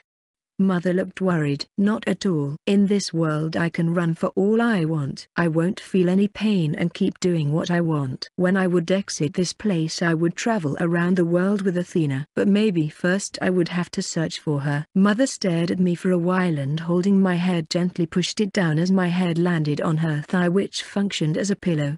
It felt so wonderful because no one had done it for me before. Not that I can remember up till now. Stay like this for a while and rest. I may be too old for you to play with, but when you leave this place I know you will make lots of friends and connect with people with whom you can enjoy and live a happy and fun life. How about today I share with you the secret of how to survive in this world. Never forget these two things I am about to tell you. Mother had never sounded so passionate before. Usually she would be enthusiastic while showing me other weaponry and their various techniques and stances, but when it comes to sword she gets hella serious. Why wouldn't Tihei when it comes to other world, you have to do and live with sword and sorcery. 64. Mother continued with her explanation as she made a victory pose at me. There are two things you must always remember. Number 1. The strong in this world is always the right, with strength of yours recognized. People consider it absolute justice, no questions asked. The sharpness of your blade can cut through any obstacle and can take you anywhere in this world. Might reigns over the all, truth, good and also when it comes to lies and evil. I could even compare it to our world and things that happened at my school, at home, everyday lives of people and in entirety. People loves to listen and believe for what the strong has for the masses to hear. Whether that's really T pristine truth or a tainted one, but isn't that unfair for the people who will be weaker compared to those who are overwhelmingly strong? Mother's face stiffened and now she wore a much grave expression. The air around us seemed to be changing. That's why you must always use your strength to defend the weak and not misuse your authority. Always remember this Alicia.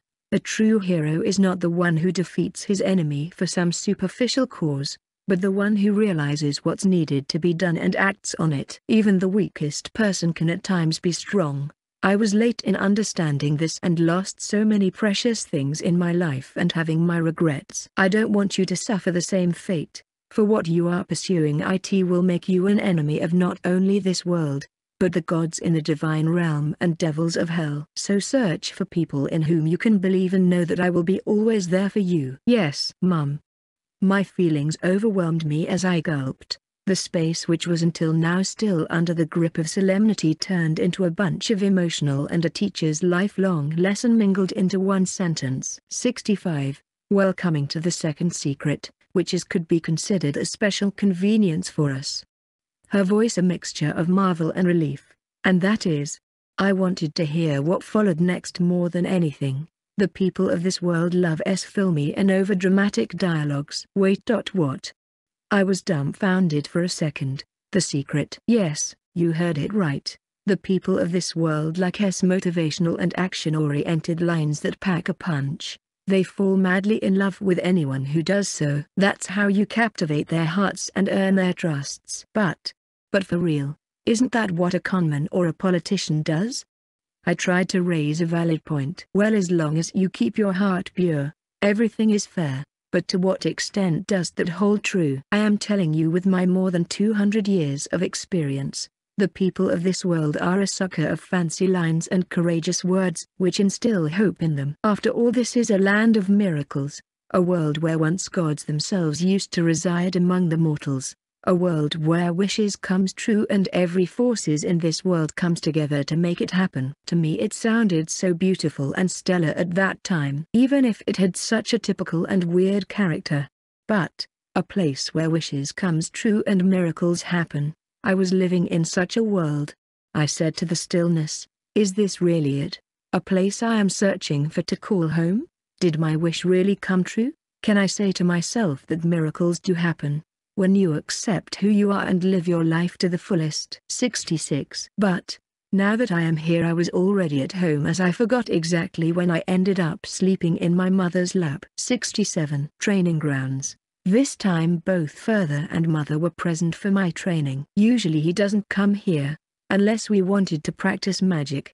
This comes to show that how special this soul weapon could be. I couldn't wait any longer, and in excitement I could feel my heart beating faster. It was like a lottery gecko where you will always end up winning something good and so you will be always looking forward to it. Are you ready Alicia? We will be starting the ritual. So let's begin with the explanation. Wait. There was a ritual. I can't wait any longer to find how my soul weapon looks like. Amu. I nodded in a yes. Soul weapons are supposed to be the reflection or materialization of the shape of your soul. It will consist of that attribute to which it is the most affinity with. Father paused there for a moment. To be able to realize your soul weapon you first need to learn to see others' soul realm and identify their soul core. Where you can even say all the life force and magical power of that individual is stored. Everything in the living has a soul core. The monsters, plants, humans, demons, demi-humans and elves. So, how will I enter this soul realm? I am hearing. A broad smile appeared on mother's face. As if she wanted to say I would have never told if you wouldn't have asked or I thought you would never ask for it, or something along those lines. By forced means. Unlike Lulai who learned it naturally by training from childhood. Since you have less time, we will force it out. Though with 68, your high affinity with all kinds of magic and life force in nature there shouldn't be a problem. Otherwise, this method could make your brain and heart go puff. Wait doesn't that mean I will ultimately die, but I was ready to do anything. If something was about to happen then I would use thought acceleration and then heal myself. And there was nothing to worry since I have the immortality title but I shouldn't depend on it in this case since it does not imply and take into consideration about the spiritual damage. I am ready for anything. That's the spirit so embrace yourself. Dear I think you should do this. It would be much safer this way. Leave it to me. You are in the care of good hands. Further for a moment Theri sounded high on proud. Well that's just show how confident he is and the lesser the chances of accident. Though it might also be signs of a flag appearing. Now that I wonder, can there be a skill to spot doom flags too? It might be good to know about the predictions of your future. Maybe I will search about it later in the library. He closed his eyes and meditated for a minute. I was waiting for something to happen when I suddenly realized that the things around me have changed. So, you did notice Alicia. Even without practice you have such sharp senses and good eyes. Yes. Is it really? This world is not real. I looked in confusion everywhere and I could tell that even though the place looked same, and it appears that my body is here, but everything is just without any material or structure. 69. Isn't it like a soul without a body? Aren't that what you are feeling in the present moment? Further suddenly appeared out of thin air and his analogy sounded quite reasonable to me. Alicia this here is only your consciousness and this world is what we call a soul realm. Engrave this feeling and when we would exit this world you will be able to see others' soul core. I see. For those who excel in spiritual arts and spirit magic can create such small dimensional worlds where you can transfer your and others' consciousness with ease. Isn't it like a dream world Alicia where you can create anything you like? The person who makes this realm holds authority over it, but if your soul core and mental fortitude is stronger than the one who created it then you can alter it at your own will. To me it sounded more of a challenge thrown at me by mother. Is it something like this? I pointed to the snow falling in the sky. Wait, she is already doing it. Isn't it just too fast? I can understand Zyle but we need to move forward with the lesson. Didn't I tell you everything will be fine? Yes, they're correct. I am the one who imagined a snowfall and it occurred with ease. B but dot but. Father was still under shock. Seeing the true demon lord and the magic emperor losing confidence in himself sounded a bit pathetic, but mother kept on tightly slapping on his back until he cheered up. 70. It's fine. It's all in the name of training after all. Shouldn't you be glad that your daughter is learning so fast? Let's move on to the next step. So, We will be returning back to our original location, saying that it did really happen when I felt the surrounding change and the snow I brought vanished abruptly. Now I could take it on from here by using Analyze I needed to look through my memory and access all the information related to the soul realm. I could feel my eyes glowing and the sensation of burning though it does not hurt anymore. Why don't you try looking around us near the heart and tell us what you see, when you think about a soul of a person? Mother pointed at her left chest. I did the same as mother told me to. At first things appeared to be moving fast to me apparently then finally the view settled down. Next when I focused my eyes near the heart of mother I could feel my senses being drawn inside. A totally new black world with a huge shining sphere was in between. The golden yellow light radiating from the orb was like a small sun in a dark room. When I looked at father's it was a fiery red sphere in a similar dark room. So this is what they called a soul core and then I reported my findings to my teacher. Both of their soul cores were so huge and covered most of that dark room, though I did not know where it stood since I didn't have anyone else to compare it with. Moving to the next step is the manifestation of a soul weapon. Want to guess whose what it is? Yes. Dot yes. For Lili's it's the Signet Chains. 71. Exactly, Lili has a higher affinity for dark magic than all other attributes and it manifested as those black chains of her. Do you want to know what our soul weapon is? Hum. Dot hum. Yes I really want to know. I got eager. A childish excitement was visible on my face. Since mother is a hero and father is a demon lord, it's obvious that their soul weapon is going to be something super special. There's no doubt in my mind, but what it could be and what would be their abilities, I can take a guess based on their liking, preferences and personality, but to reach an exact conclusion, don't stress your mind I will give you a hint. Mine is a glamorous sword. Mother stops for a moment and then taking a laugh at father she continued, but unfortunately your father ended up just with a stick. Father's face puffed up with anger. For the last time it's not a walking stick of an old man. It's a magical scepter. So don't forget it and stop with your rumors. My mother smirked. Further soon realized what mistake he had committed. Don't go on putting words in my mouth. Now I have gone and said it without any reason. My life is over. Father was back in his depressed state with hollow eyes gazing at the plain ground. I would too love to have a magical stick made of wood and curved at the top in a loop just like a sage carries around with him. Father's eyes beamed with eagerness. You see I won the bet. Didn't I tell you it would be something along those lines? 72 TCH. But I thought she would choose a powerful sword for herself or some other weapon. No. No a sword sounds amazing but I already have my dual blades, and a decorated stick of a magical girl won't look good on me, but an ancient staff sounds awesome. A magical girl staff. Didn't I just tell everyone it's a magical scepter? Why doesn't anyone listen to me? Stomping his feet hard on ground father was back to his depressed state where he would keep on gazing at the growing grass without getting bored. So, mom I wanted to ask how can I look at my own soul core? Or can you tell me how mine looks? Which color it is? Mother and further for a second they became wary of this question. It was as if they did not want to answer. So I stopped pursuing it further since I may be later able to find it out if I use a soul weapon myself. Usually some people use chants to summon their soul weapon, but it's fine if you can just use it without chanting too. Soul weapon manifestation. Lumen sword. Between the empty grips of mother's hand a bright light with increasing intensity, a thin golden blade appeared which seemed to be translucent at the same time. According to Mother this sword has the ability to tamper with the properties of light which would be equivalent to her having affinity to light attribute. As for further he did not want it to be left behind in the race and still eager to prove the mantle of his so-called scepter, he hurried with his summoning soul weapon manifestation. Ignis Caesar, a long red color staff decorated with golden lining with a red crystal ball on the top appeared in his hand, but more importantly with his fire-type attribute most dominant the scepter too had just say excellent firepower. 73. Now everything was clear to me. No matter what I had to know my favorite attribute and get an awesome weapon for myself. So, how do I summon my own? I was exhilarated. Didn't I tell you we are going to take it out by force? That means. I tilted my head in confusion. What now? Mother sounded a bit weird and thrilled about it. I am going to stab you with my soul weapon and force it out. Don't worry I will use a phantom mode so it won't hurt.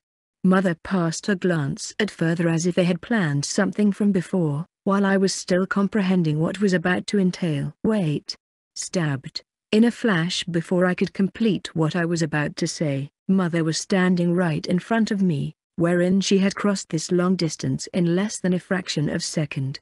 I looked near my heart and a translucent golden sword was passed right through it. It really did not hurt. But I still looked at my mother passing on a surprised look. You should take a deep breath here. She completed the sentence faster than her lips could move. She moved both of her arms in a fashion of opening a lock and in turn the sword moved from its vertical state to a horizontal state inside my heart. The next thing I remember was hearing Elle's mechanical voice when everything blackened out in front of me. Soul Weapon Manifestation. Deliosphere 74. You have leveled up. You have reached LV27. 75. Xylon Escalonash Born. As we have planned she quickly learned through all the steps to see others' soul core.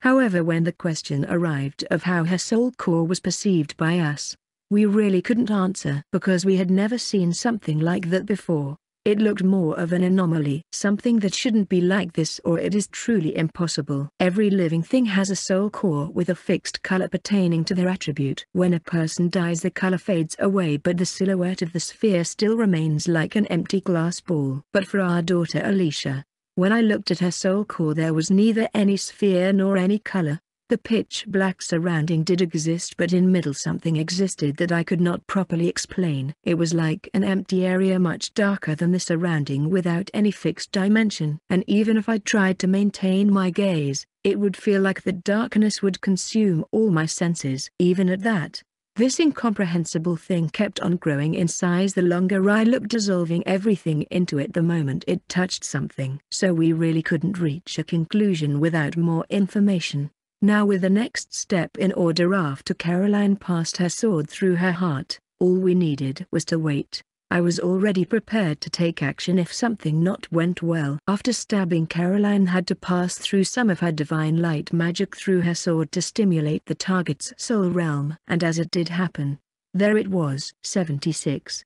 Alicia's eyes started glowing in our red, just like when she uses magic in response to the stimuli magic. In the next moment I watched Caroline jump far back twice the initial distance between us, realizing something was about to go wrong.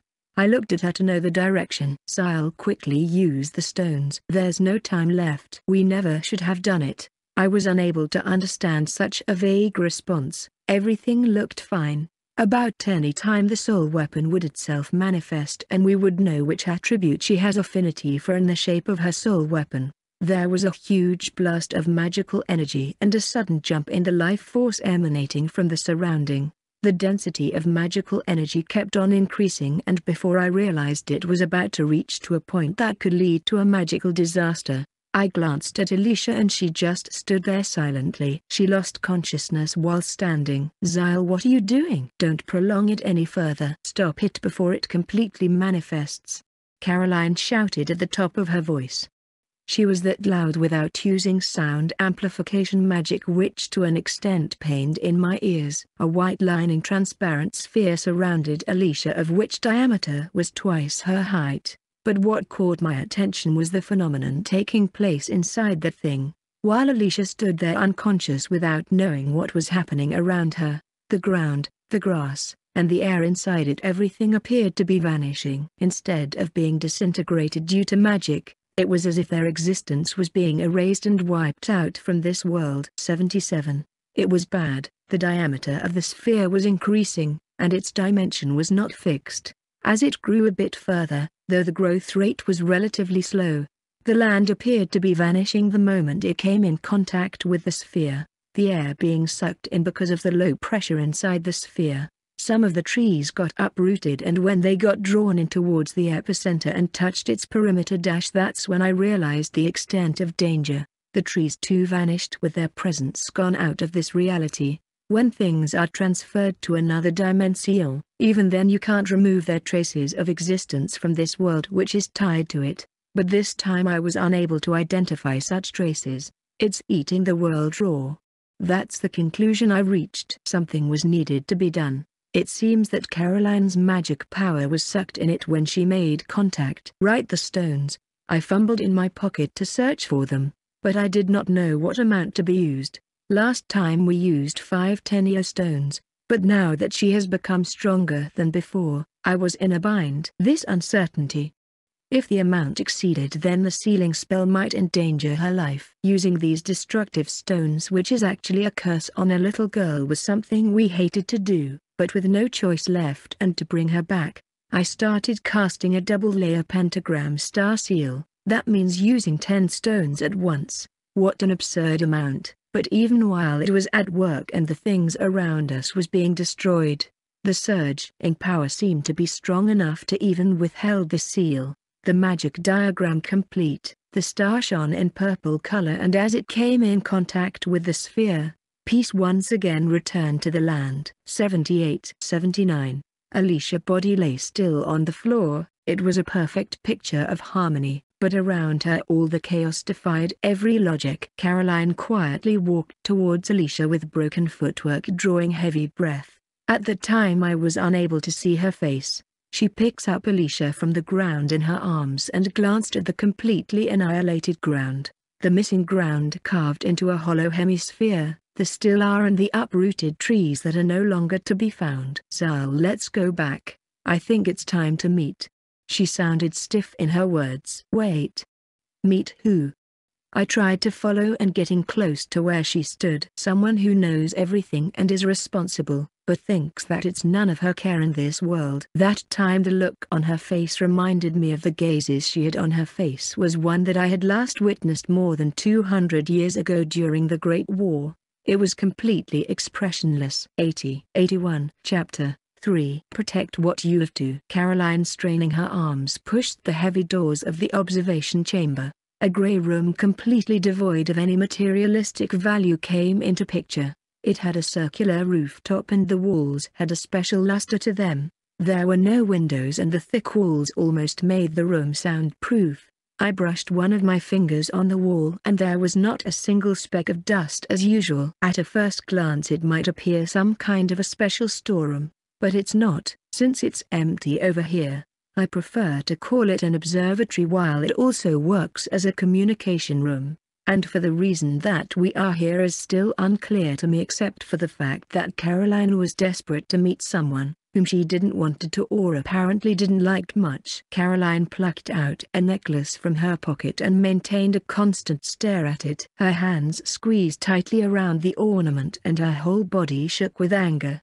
Getting impatient I tried to make 82 things clear, attempting to uplift the seriousness and exorcise the heavy tension the room was drenched in then. Are you okay? Crap. I did it again. That was a dumb question.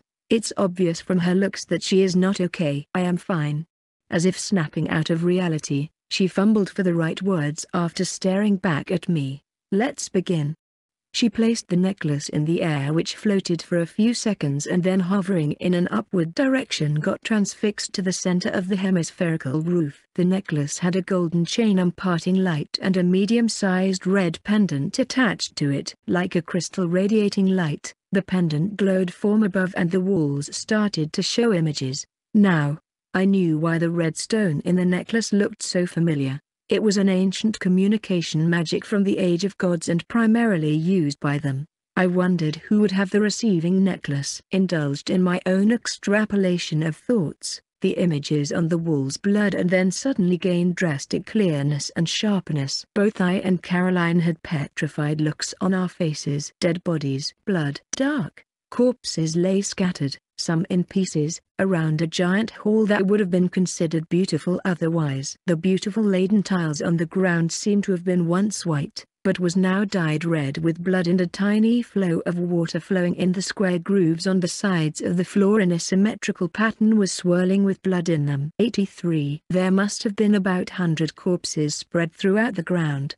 their weapons lying next to them mostly broken. The bodies revealed signs of torture, some had had their limbs torn apart, faces crushed beyond recognition and other beheaded bodies showed signs of pure genocide. Just what kind of entity brought down such a catastrophe? But I just couldn't seem to peel my eyes away from it. Searching for clues, I concluded that this hall was a part of a huge royal castle and quite extravagant for there to be such beautiful gems embedded everywhere in the wall and emanating radiant magical energy. Thud, thud, thud. Following the sound our eyes befell on a figure wearing a black cape and punching at something enthusiastically. Even the resonating sound of the throws had a rhythmic tone.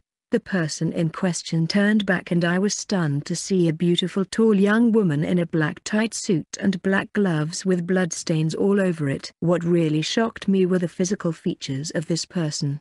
It was like looking at the adult version of Alicia, with only difference her height and azure blue eyes which shone like lightning. She had the same long white hairs and a very similar face to her to the extent to be called identical. Most important of all she appeared to be the cause of what was happening around and that ecstatic smile on her face was slowly damaging my nervous system. The next shocker was another dead body which she seemed to have been using as a punching bag, its face deformed and his blood-stained body resting on the arm stand of a huge throne. So this really was a castle's hall room. So, who is that man dead again? 84, 85.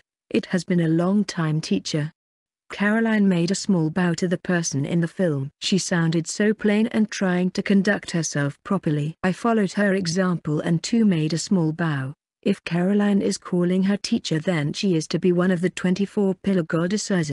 Alicia's lineage and the previous wielder of that principium weapon. Long time no see, Caroline. How long has it been maybe around 200 years since we fought together during the war? Her careless response, smiling disposition and that still grin on her face. Has she forgotten the kind of place and situation she is in? Teacher what are you doing and where are you? Caroline was still trying to act calm, as if she was expecting such kind of brutality. I found women every time scary when they try to act so normal. She vigorously shook her hands which got rid of the sticking blood to her hands. She looked around in amazement as if for the first time realizing where she could be. Well I wonder about that. You see in this world the demon lord succeed in murdering all the heroes and was now playing around with the populace. Since most of the gods had abandoned this world, Thinking that no one would mind I decided to join in the fun. And then it sadly became a one-time game. Wait and you just went and did whatever you liked? Caroline tried to counter. It had been so long since I wanted to have fun but the world has become quite peaceful now.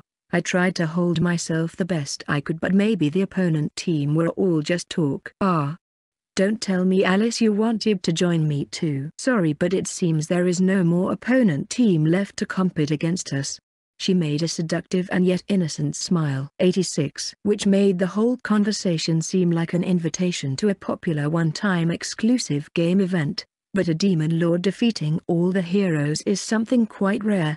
Those two titles are authorities made to counter-interact with each other to maintain balance and prosperity but for one to overpower other showed just how strong the title holder could be. Wouldn't the fight would have been too deadly but by the looks of it, was a one-sided massacre, and she did it with bare hands nonetheless when she is a dual wielder herself. Now I understand what Caroline meant to not joke around when asking for a sparring match with her. Because I would get obliterated even with their holding back. So that's Teehee power of one of the top clans of the main Apostolic Council of Gods. Caroline for a while stayed silent and so did she. Caroline, she sounded a bit normal there, which showed that she might be getting to the point of the discussion now. Yes, teacher. Caroline seemed to be still maintaining some sort of rules that she would be speaking less in front of her. Totally adverse of her true nature. Kind of scares me, to think that a person like her has such command over a quick-witted and prankster Caroline. Do you have a band-aid? It seems that I have scraped my knee falling for you. I am going to call the cops. It must be illegal to be as fine as you are. This is not the time for such frivolous talks and flirting. If you are this free then US wouldn't be acting so ignorant. Is it about Saki? Her name is Alicia now. Right Saki 87 ALICIA. Both of them seem to be adamant with their choice of names. At this point of time I started wondering why I was even attending this meeting between a student and a teacher. But isn't it too late to back out now? Then let me reintroduce the kind of relationship between us. Saki. Then, And now Alicia is be my biological granddaughter from the world she came from. But since she possesses immense magical powers just like me but not a divine body, so that would make me her mother, she is my daughter now.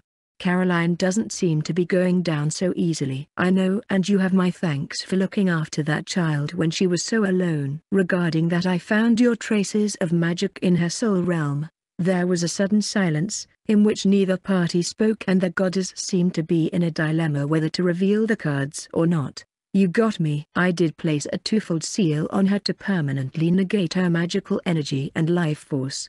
How could you do that to such a small child, knowing that it would hinder her personal life and growth?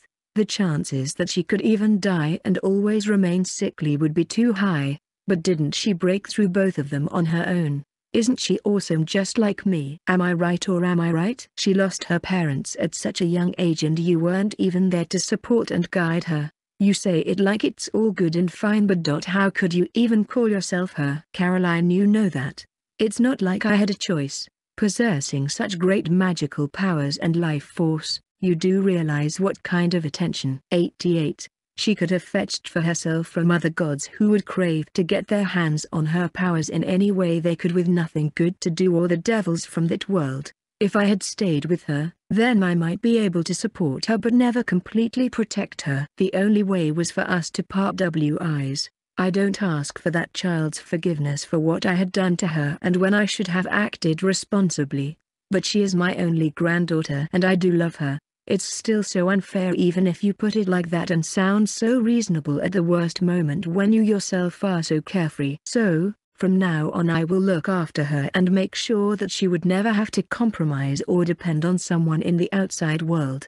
Alicia is growing into a beautiful maiden just like me and is able to do so many things she could not do in her previous life. So thank you for looking after her and I am glad that you were the first people whom she met to take care of her.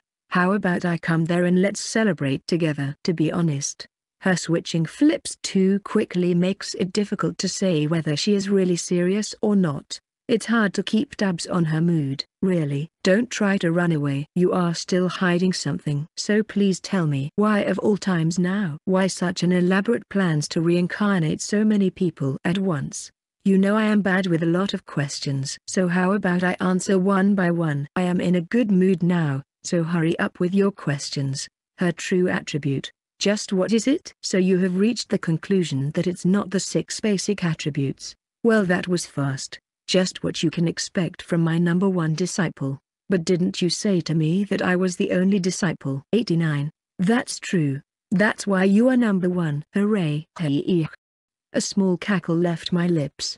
For the first time I saw someone making fun and pulling leg of Caroline. But then a murderous eye made contact with me and I stood in attention position immediately. Hurry up and just answer the question. Ah, you don't like me giving you special attention Caroline. Fine then I am putting the transmitter off. Since this conversation is getting nowhere it's better to postpone it. Wait. Wait. It's just that you look even cuter when you are angry. So bear with me. Buttering me up won't do you any good. Caroline was straightforward with her thoughts. Geez, but your red face tells me something else. I bent a little and pulled my eyes to the right to take a glance at my wife's supposed to be flustered face, but before I could get a peek, she was about to pull the string of necklace and switch off the transmission. It's nothingness. Dot what? Caroline, stopped in her movements, most probably pretending to cut off the chat. You heard me, it's none of the six attributes. Her soul core does not exist because it's empty. You can also call it void. What do you mean by that? Even I don't know how exactly it works, but you know what? Almighty World God created life using this very attribute by mixing his will in it, the attribute which is the origin of everything. 90. So, you want to tell me that all the six attributes are resulting breakdown products of that void or nothingness that you call and that's why her spirit realm is like a void. But why allow something a singular existence like that? Beats me. It's not like I am in charge. Except for almighty world God no one knows what's up with the divine world system to create an irregularity like this. But it seems that even the tree of life has the same goal but a different mindset to achieve it. That's why it offered its fruit to her and she was able to survive the backlash and outburst of energy from time to time when the seal was being broken. So, you are telling me that the Tree of Life is in a way trying to protect her, while the divine system is trying to use her for a specific purpose. How bothersome. And on top of that learning about that fruit makes it even more realistic. So there really is something going on that the world god decided to take such drastic measures and reincarnate so many. Well, that was a quick conclusion. But things have taken a turn again when the Principium Dual Blades chose her as the next wielder. That would have been an unexpected event for both the Divine System and Tree of Life. You know exactly what those blades symbolize and that she is of my lineage. What are you thinking of won't happen? Caroline passed it out straight to her. Even if you deny it how much you want, those are the swords of calamity and having a wielder means another war is inevitable and this time it may be on a wider scale than the Great Wars. Wait, if that happens then wouldn't the world itself get obliterated this time? Didn't you yourself said it? Remember you told me that whenever a world is about to suffer from a big disaster that can threaten the systems, 91, existence it always transfers a sacred weapon to the world to be used by someone worthy and prevent such events. Then what of it? This time the divine system though chose a human with a power that would have allowed it to make her under its absolute control by putting restrictions on her, but the tree of life decided to give her a meaning as the best course of action and set her free from that ugly path. And now that she has a will of her own, I see I won't let that happen. Whatever the divine system has in accord for her, as her mother I will not just stand by and see her dance according to its plans, but she will be strong enough to choose her own path and make her own decision. Even if you say that, why the trust in her so much? Wouldn't it only bring back uncertainties, pain and the misfortune for you? Because she is the daughter of a true hero and a true demon lord the strongest out there in this world. In the times she has stayed here I have come to love her as her mother and I still want to look after her, and the same time realize that there is nothing to worry, because unlike us, who were at that time weak and had to sometimes run away, compromise and lose things dear to us. She would crush those who would oppose her. Even though seeing her leave on the same path, as to save the world, I trust her that she would come at the top and rise above every Oni's expectations. Doesn't that sound so much like me to destroy everything I dislike? So, you wish it for or not you are going to send her on a bloody path to hell. But are you ready to even able to lift the heavy burden for that? She will kill humans, other races, lose close ones and make more enemies, and even then you can say still keep on making the same claims. No, you are wrong.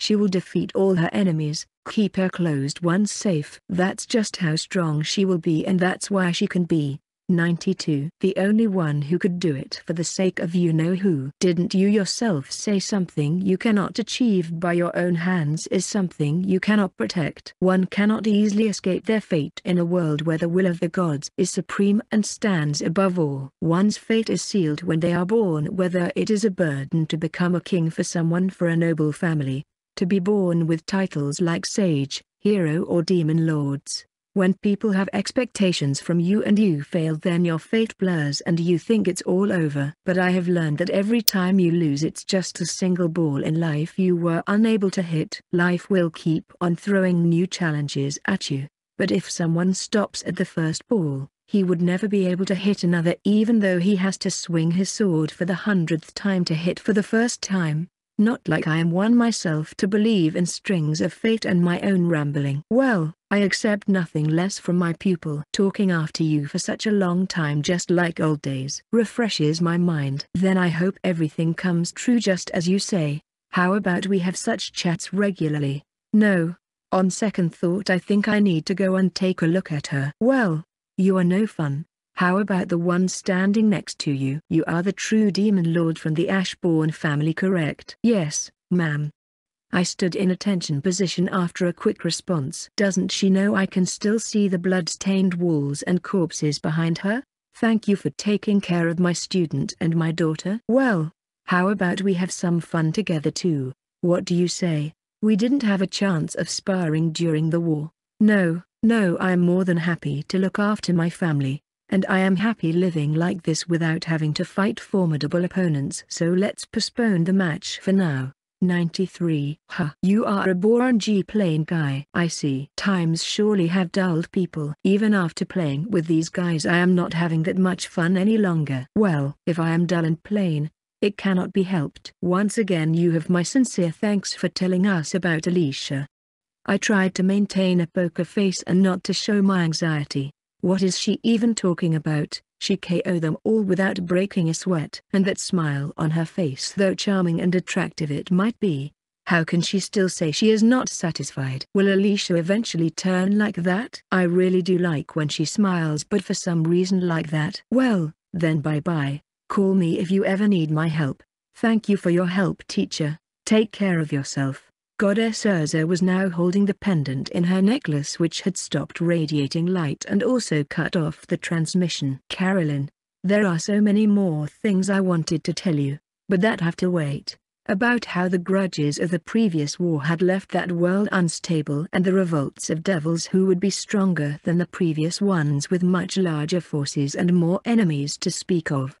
But I don't want to make you worry. I am happy to see that you are living a happy peaceful life just like you wanted to. So stay where you are. Let us entrust our hopes to the next generation to those two.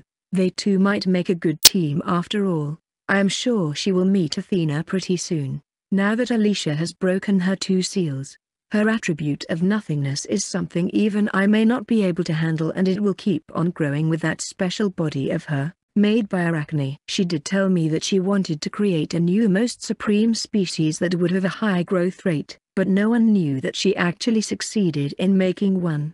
94 and hid it. Maybe she realized what a frightening creation she had made that could eventually threaten her own existence and the position of gods. Not like I care, but her desire to live far surpasses than any problem that could be thrown at her. Maybe everything was to be fated like this. Now then, that's over. Which one of you was the demon lord again? She glances at the pile of corpse without any glint of hate or hesitation in her eyes. Sorry. My bad. Maybe I killed everyone here before they could even speak, but wasn't it their fault? Though I might have walked into the demon lord's castle without an invitation but they were to attack me first. What if a fragile woman like me would have got hurt? Maybe I would stay in this world for a while and keep e watch but I wonder what she would do when she awakens the second ability of the white and black swords, the kind of power which even a god would desire, but can never be achieved. 95 Caroline Escalonash Born Just when the transmission was cut off I took a deep sigh of relief and caught the falling pendant and put it back on my neck. It had been so long since I talked to her and it felt so satisfying and wonderful that we could talk like old times. So, Zyle you kept on talking about how you wanted to compete against her, but then why did you reject her offer? What are you talking about? I did. Dot, Don't mind me my brain might not have been in the right place. I must be talking crazy that time. Zyle looked here and there without making eye contact with me. He always seems so funny when teased. Let's go. We need to make lot of preparations. One month from now Lili will be leaving and someday. Alicia too. Things might be getting too quiet again. I hurriedly started walking towards the exit gate. Hey, now. Don't leave me behind here. You. Don't I get to say in this? It's me who you're gonna force into preparing everything beforehand and coming up with presents, right? Right? Boom. Zyle caught up to me in no time. That me GHT have been Lily practicing one of Alicia's magic. She never showed such enthusiasm with me. Zyle tried to voice his thoughts. These days I am just glad that we don't have any neighbors to complain with the noise. Otherwise we might have been reported and called to the police station several times.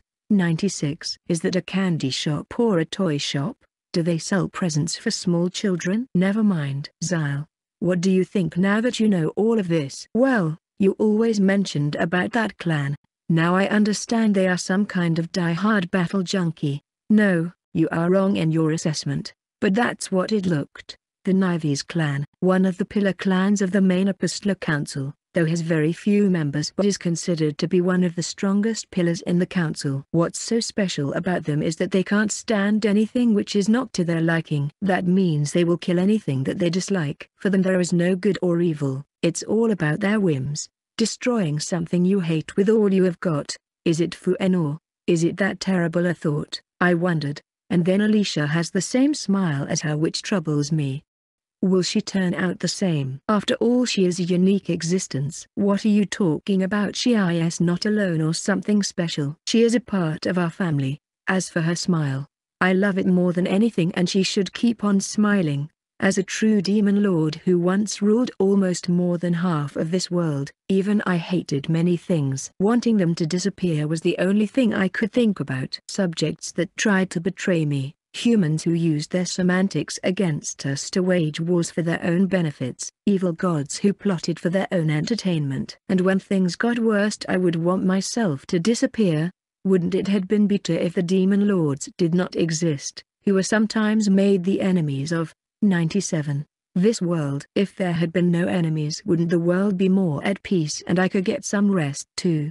But that's when I realized after meeting Caroline who made me realize how sad that thought was. It was just the adverse of living a peaceful life. Being alone and invisible to others would not only make my life colorless and boring, but those who care about me will be sad too. Leaving them behind, giving up on your dreams is what cowards and losers do. To live I had to decide for myself and not be led by those around me. Their expectations, thoughts ideas if cannot follow with me then I can just ignore them. No one has the right to blame for the way I want to live. If I chose not to fight, then I won't. In some eyes I might have looked like a coward, but I know people who are more happy with this ongoing peace at present moment between races. And if this is about to crumble, then Caroline is right that we should entrust it to those who are going to live on this world now while we are receding to the background. Providing support is the only thing. No, it is the best thing to do for them to make their own dreams come true in their own way. Just a little bit more of time and care will surely give rise to a great tree laden with fruits of happiness and harmony. Yeah you are right. 98. Alicia Escalonash Born. I launched another black fair arrow from my bow that was made of flames too at the monster standing on the tree which pierced through his heart and turned it into dust in an instant before it could even make a scream for its vanishing life. It was an ice elf. Though they might be called an elf just because they have long ears but according to this world's standard they are monsters. Their body almost frozen blue color with well-built thick muscles it seems they specialize in ice magic. This was floor 94. Both Luli and I were amazed to see this floor covered all in ice and with trees that had growing ice needle-like leaves. Under the light the reflected seven colors formed amazing patterns on the wall. We decided we would preserve this floor later for fun and sightseeing or picnic. With our status infliction and some magic we can easily detest this cold even in summer's clothes. What I would like to do is cultivate those ice trees and make money by selling ice creams in winter. No, wait that won't work people already can use magic with water attribute. Yes, the trees might sell for good as decorative purposes on Christmas. Wait do they even celebrate Christmas over here? Maybe there are still too many things left to know for me in this world. With magic there might be a possibility Santa does exist, but if it really turned out to be a myth of a thief who tried to escape from police by pretending to give gifts to people who caught him, no maybe I have read too many story paths regarding the same character and jumbled them up. So, the best way without causing much damage was to kill every monster stealthily. With analysis magic I found that there were about 100 ice elves with one of them producing immense magical aura.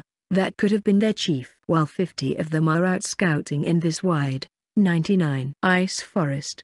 The other 50 lives in a dense settlement close by to the next gate. Sounds like a secret ops mission to me. Even Lili was excited to go covet. She decided that she would take things from left while I will set off from right and head to the settlement. As things stand now and that the monsters are still quiet it seems that the plan is working well. We just need to keep the forest safe and the rest can just disappear. They are not needed here. I launched another arrow while running between the bushes and using wind magic to remove traces from the snow trail. Though it's quite a hassle and much difficult than burning down the forest at once and killing them all along with it, but it's all worth it. After five minutes I met up with Lili at the rendezvous point which was a tall tree just outside the settlement, the best place to keep an eye on their movement. Big sister after it's all done, Then let's make it our secret hideout. Yeah this territory belongs to us two sisters now. We will claim it by all means. Then we can come and do ice skating here. Ice is skating. What's that? You don't know. It's fun maybe I will teach you later. Wait. What have I promised to her? It's not like I know how to do ice skating myself. I didn't even own an ice skate before. I just watched some videos and thought that's amazing. It would be nice to do it someday. Maybe mother would know and I could make some ice skates with creation magic. Big sister. Look what's this. Lili was holding a round object which almost looked similar to fruit. Is it edible? I applied analyze and found it to be safe for consumption. Just to be on the safe side I took the first bite. 100. Amu. Who would have thought I could get to eat that tastes exactly like blueberry pie? And that too nonetheless in a fruit of a frozen forest. My next successful business idea. I am going to be an entrepreneur and make big with this rare fruit. But is it really rare? I took a look back at that fruit. Not that I care. If it's tasty I can eat it and it will surely sell well. Just need to grow these trees properly. After all when I go outside I need to earn a stable income and have a proper source of income to fund our travels and living expense. Seeing me Lili took a bite too from the fruit hanging near her from the branches. Sweet dot so sweet. Big sister let's take some home too. Lili, resolve yourself. We are taking everything and not just some. Yes, thinks big. Do crazy. Wait who is teaching Lili these kinds of sentences? Could it be me in my sleep, talking in dreams? I made a quick note of this to fix this problem and find the source of it. This time Lili wanted to train herself while fighting enemies in numbers and not just a single opponent. She is a diligent worker after all, though she only does things that interests her, even if it means neglecting her important day-to-day -day work. That's a bad habit, for which mother and I are working hard to improve it. We came up with the idea of giving rewards on completion of daily work and exemption from household activities like cleaning your own room. Usually Flora did it during her absence but now she is back home she must learn to properly take care of her own from now on. 101. Lili jumped from the tree raising some noise and attracted every ice elf's attention. Then as usual she flailed her scythe in the air and dashed towards the horde of almost 50 ice elves. These monsters can manipulate ice and usually use ice projectiles to fight, but they specialize in physical combat and grappling techniques, so it's easy to win against them if we maintain a fair distance and attack. Within minutes Lili had already cleared half of their population and was hacking through them without any trouble. They were no match for her in close physical combat. It doesn't matter whether their bodies are hard and they have home advantage, in front of Lili's scythe everything crumbled. I had just now leveled up and gained my soul weapon, but my father and mother forbid me to use it, since it went berserk and I need to do more training and learn more about the soul of a person. It also seems T-Hat now I don't need to use those white strings to level up and form a cocoon and whatever purpose that thing served for can now be directly done with my own body. I can always feel the connection between the magic molecules of the surrounding directed and absorbed by my body. Though I was still asleep for five days. That's the only drawback. I need to ask Al to come up with a countermeasure to keep myself safe when I level up, like making a guardian or either when I am sleeping. Al can take control over my body for some time during emergency. That doesn't seem to be a bad idea at all. Speaking of which it's for the first time Al has no memory regarding when my soul weapon went berserk. It's quite odd. Well I will have my chance to try it again very soon. For now I don't need to lose sight of the chief and when he comes out I will take him down in one shot by my new magic which I came up with recently. 102. From behind the temporary shelters, Though I thought they would be igloos but simple huts made of clay were standing tall, loud footsteps could be heard. I thought here it was. But at the same time about 10 ice elves 25 feet tall showed up.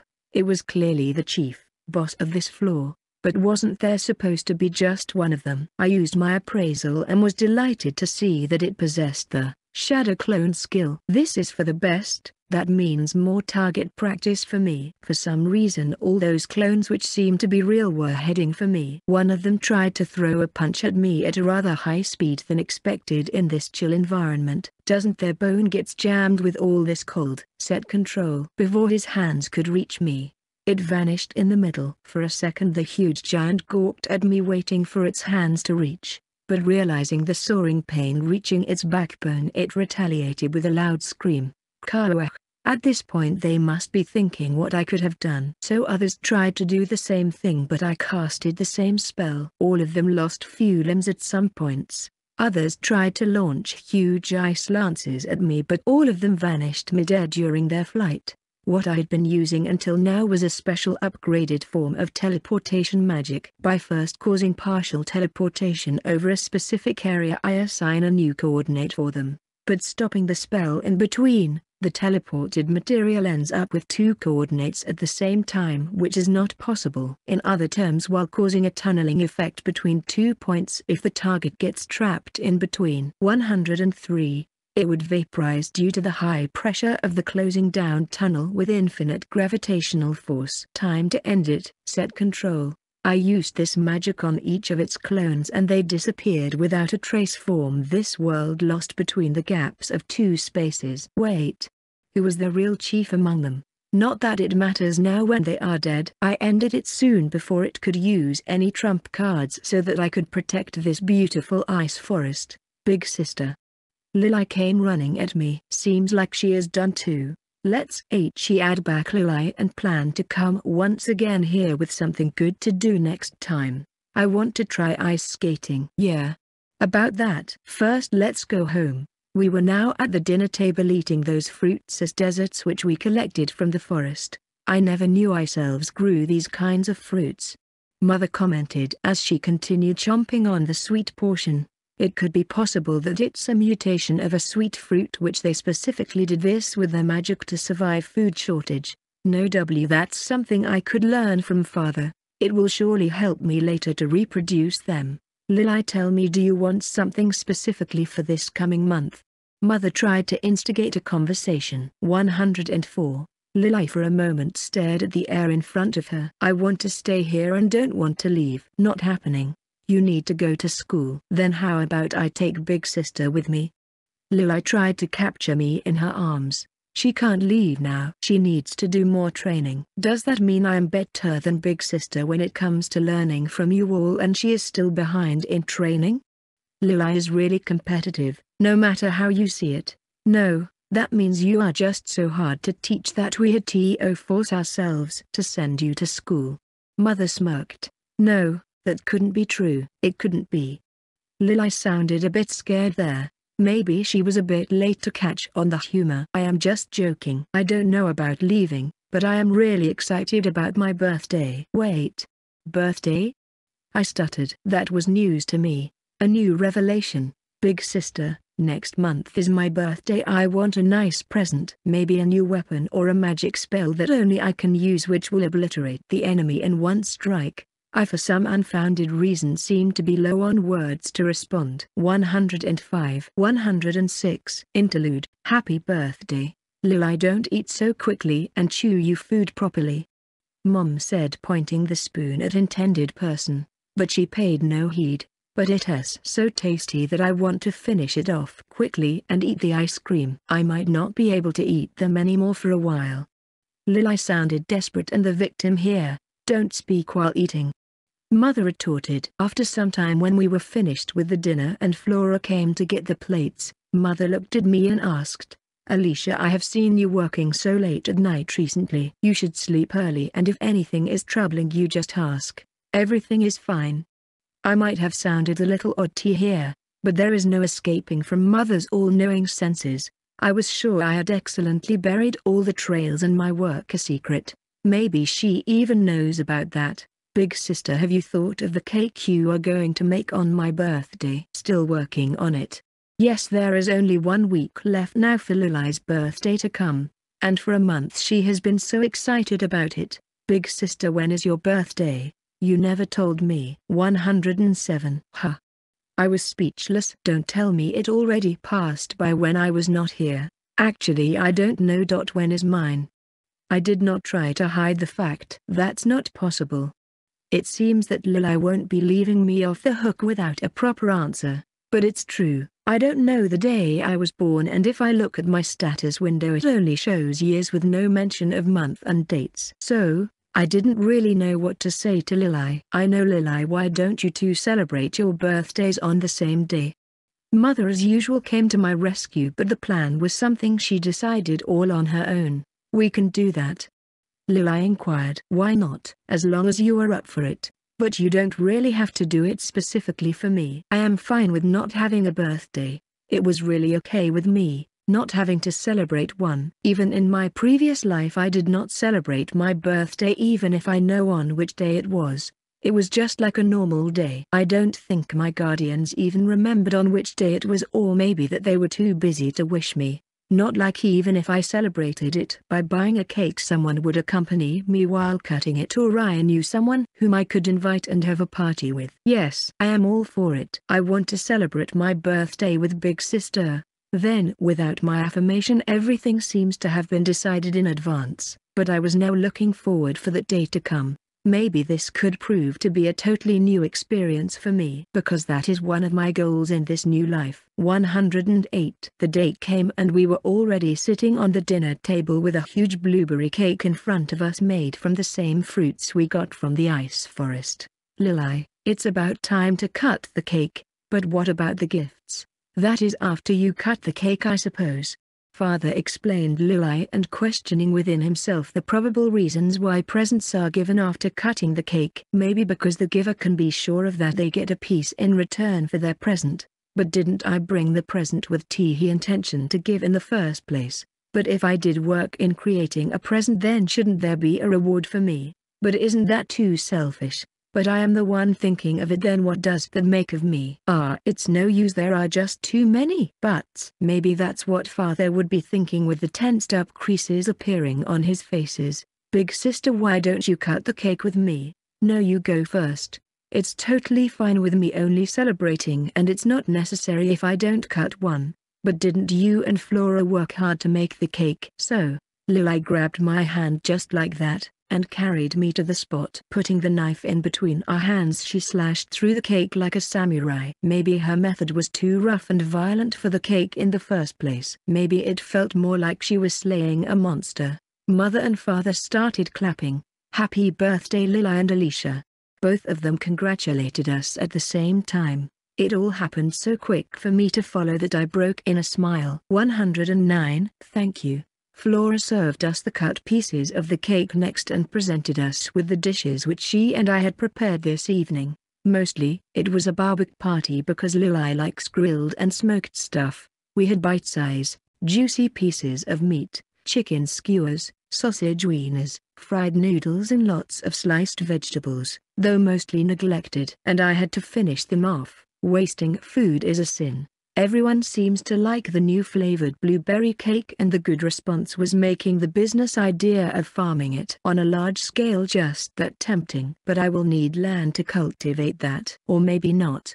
I can just simply transport myself to the forest. But if I rely on a single place others might discover my business secret. There's just too much on the plate to think of. But getting worried about these silly ideas might be not worth it in a birthday party where everyone is having fun. Even if I tease only us four and Def Laura again. It totally feels like a new atmosphere. Because the next part consisted of Lily's birthday present. It was first mother and father's turn. They came forward with a small pink-wrapped box and gave it to Lily, who without any reservation and in haste nibbled through the nicely packed wrapper and unsealed the cover. From inside came out a bracelet with a red ellipsoid crystal attached in between of a golden bracelet. Lily without further ado put it on her right hand and it rather looked cute on her outfit. Suddenly mother passed me a similar gift box. It's your birthday to Alicia. I did not question but with a thank you humbly accepted the gift. From inside came out a white bracelet and on top of which a blue pearl with a similar shape and size to that of Lily's was fixed. While I put it on 110, my left hand, the bracelet got camouflaged with my white outfit and the blue pearl like a small gemstone embedded on my wrist. Big sister and I have similar looking bracelets. Well, W with these two magic crystals you should be able to contact each other whenever you want without restrictions. No matter how far apart you are you can even roughly pinpoint each other's location. I thought there was some meaning behind it, so it is something like a communication magic similar to phones of my previous world. Well the location system helps to know where Lily is anytime if I wanted to meet her in the outside world. But next was my turn. The part I was most excited about was giving a present to Lily, the thing on which I had been working so hard until late nights. I pushed a large green box in front of them which apparently looked heavy and the shaking made it look even more suspicious. Big sister, is that my gift? What can it be? T.O. be so huge. Just wait and see. I smirked. Maybe I was too excited to surprise her. From Lily I had heard that school is a thing only for the nobility and those who can afford it. So, in this world where they have only few schools, people have to travel to other countries to get the best education from the best institute. So, just that the noble students can study properly without being affected with changes in their daily life. The staying are well equipped with all kinds of recreation equipments and facilities, and also allows students to bring with them attendants to serve under and take care of them. Since Lily needs to hide her identity, she cannot have an attendant from the outside world, otherwise she might not be able to live normally in the Demon Academy. So, Tada 111, the giant cardboard lid flipped open and I was waiting to see the excited faces of everyone and their cheers for my exceptional work, especially I was looking forward to that of Lily's since the gift was meant for her. What's that? Is that an alien? No, I think it's a joker, you see in parties. Wait what's with mother's and everyone's comment? I turned back at the gift and a figure in black hot suit was standing in front of me with two long daggers in her hands. What that person wore was a half-covered black mask from chin to nose leaving only pink eyes to be seen. The black jumpsuit which looked a modern combination of a tracksuit and a ninja uniform fit tightly on the wearer's body. But, why are you in your combat uniform? Because my job is to protect everyone from the shadows and keep Lady Alicia safe. Not for now. Just go in. But why? I want to be in this dress. I like it this way. Don't force me to. I started pushing her head back inside the huggy box which could have easily fit two people like her while she was doing her best to resist. No!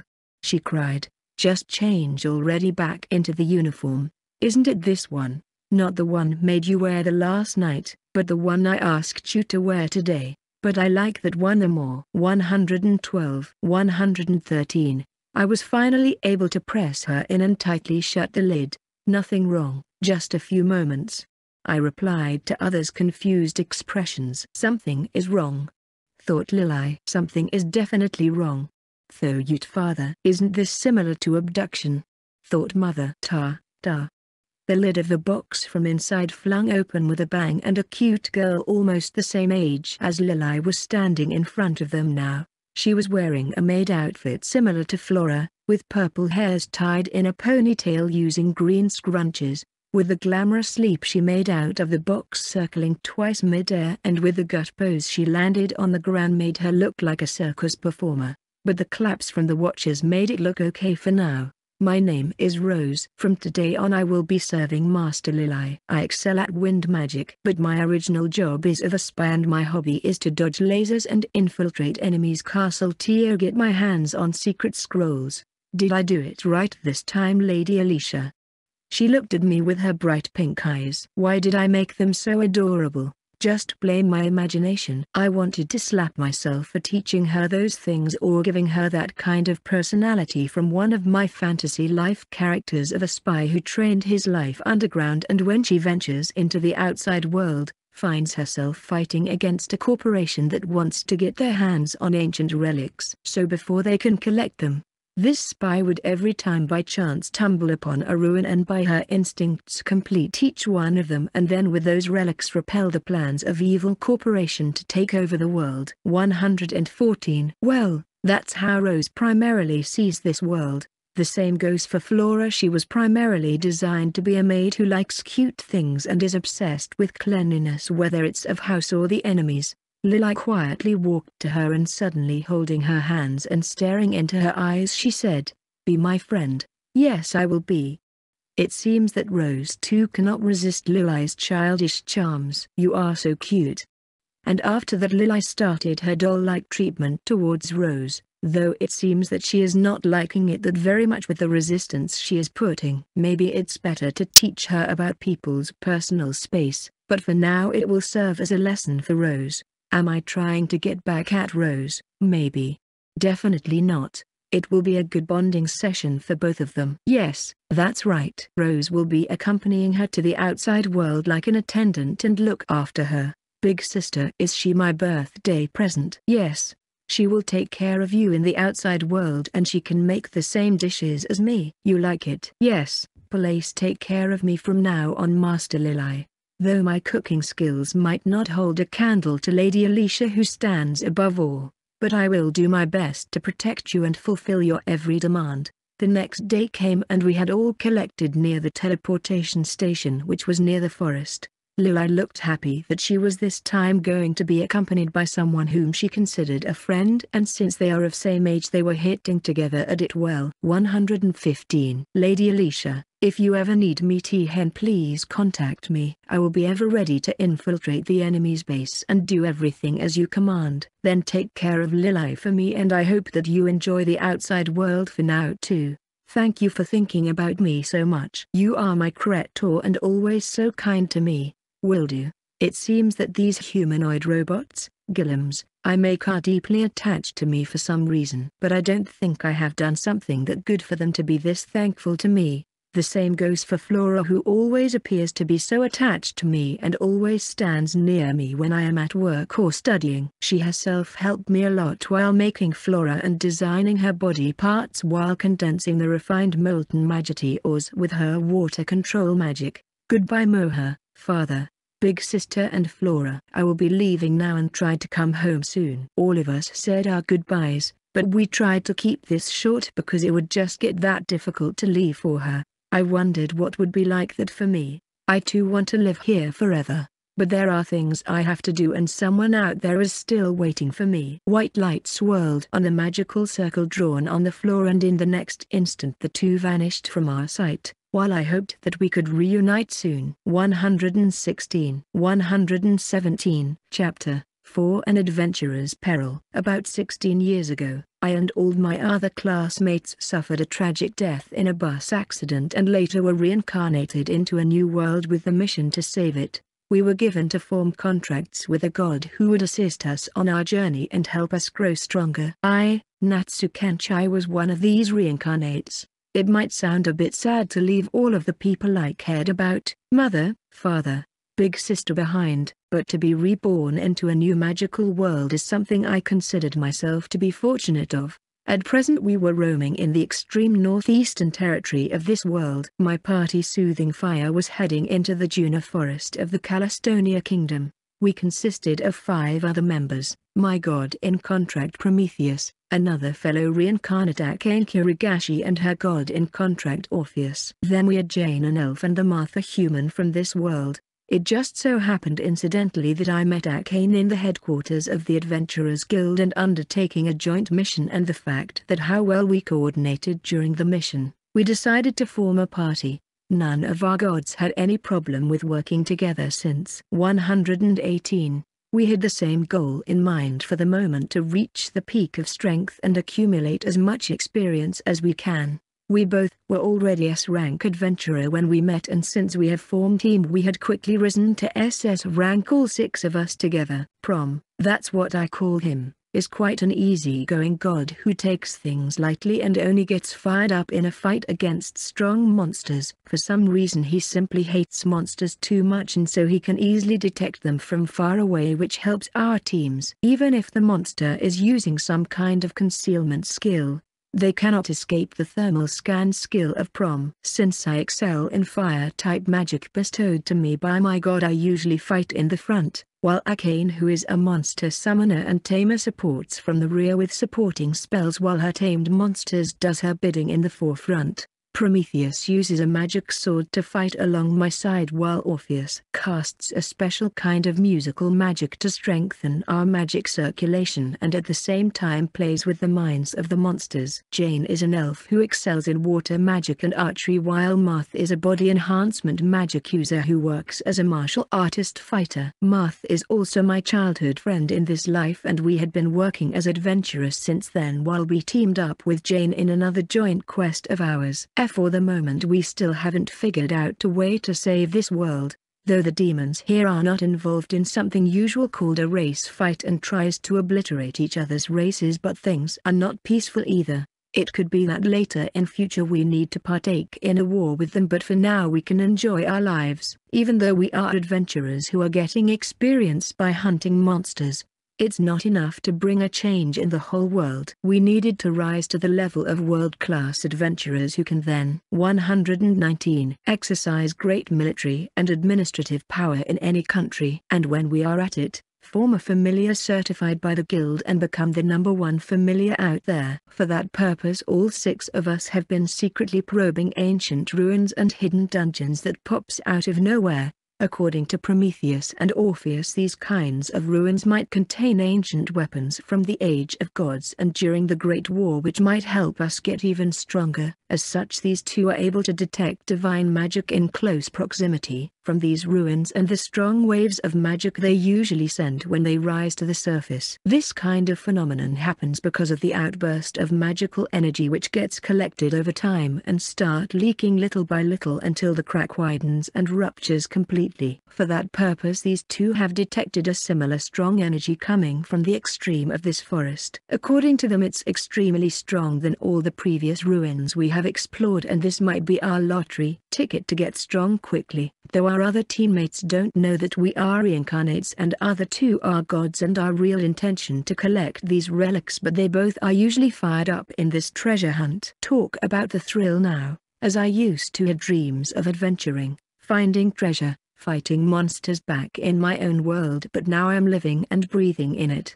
I would say reincarnating myself was more of a miracle and bliss than to be sad about something like dying.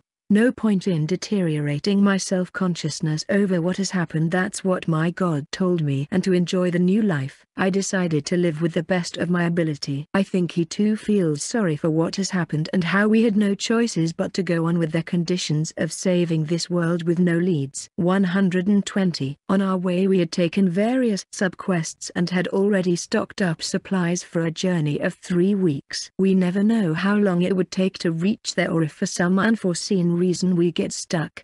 At present we have been engaged with a goblin hunt, as a request from a small village which was to wipe out about 50 goblins, but since in the week's time we got here, it has turned into a goblin settlement of 300 goblins. The rate at which they breed is extraordinary and may be something to be curious of. But after we saw how terrified the villagers were and even though we were getting less paid we accepted the request of the village chief. Since the settlement is new there are less chances of finding a goblin wizard or a goblin king which would have drastically increased the difficulty of the quest.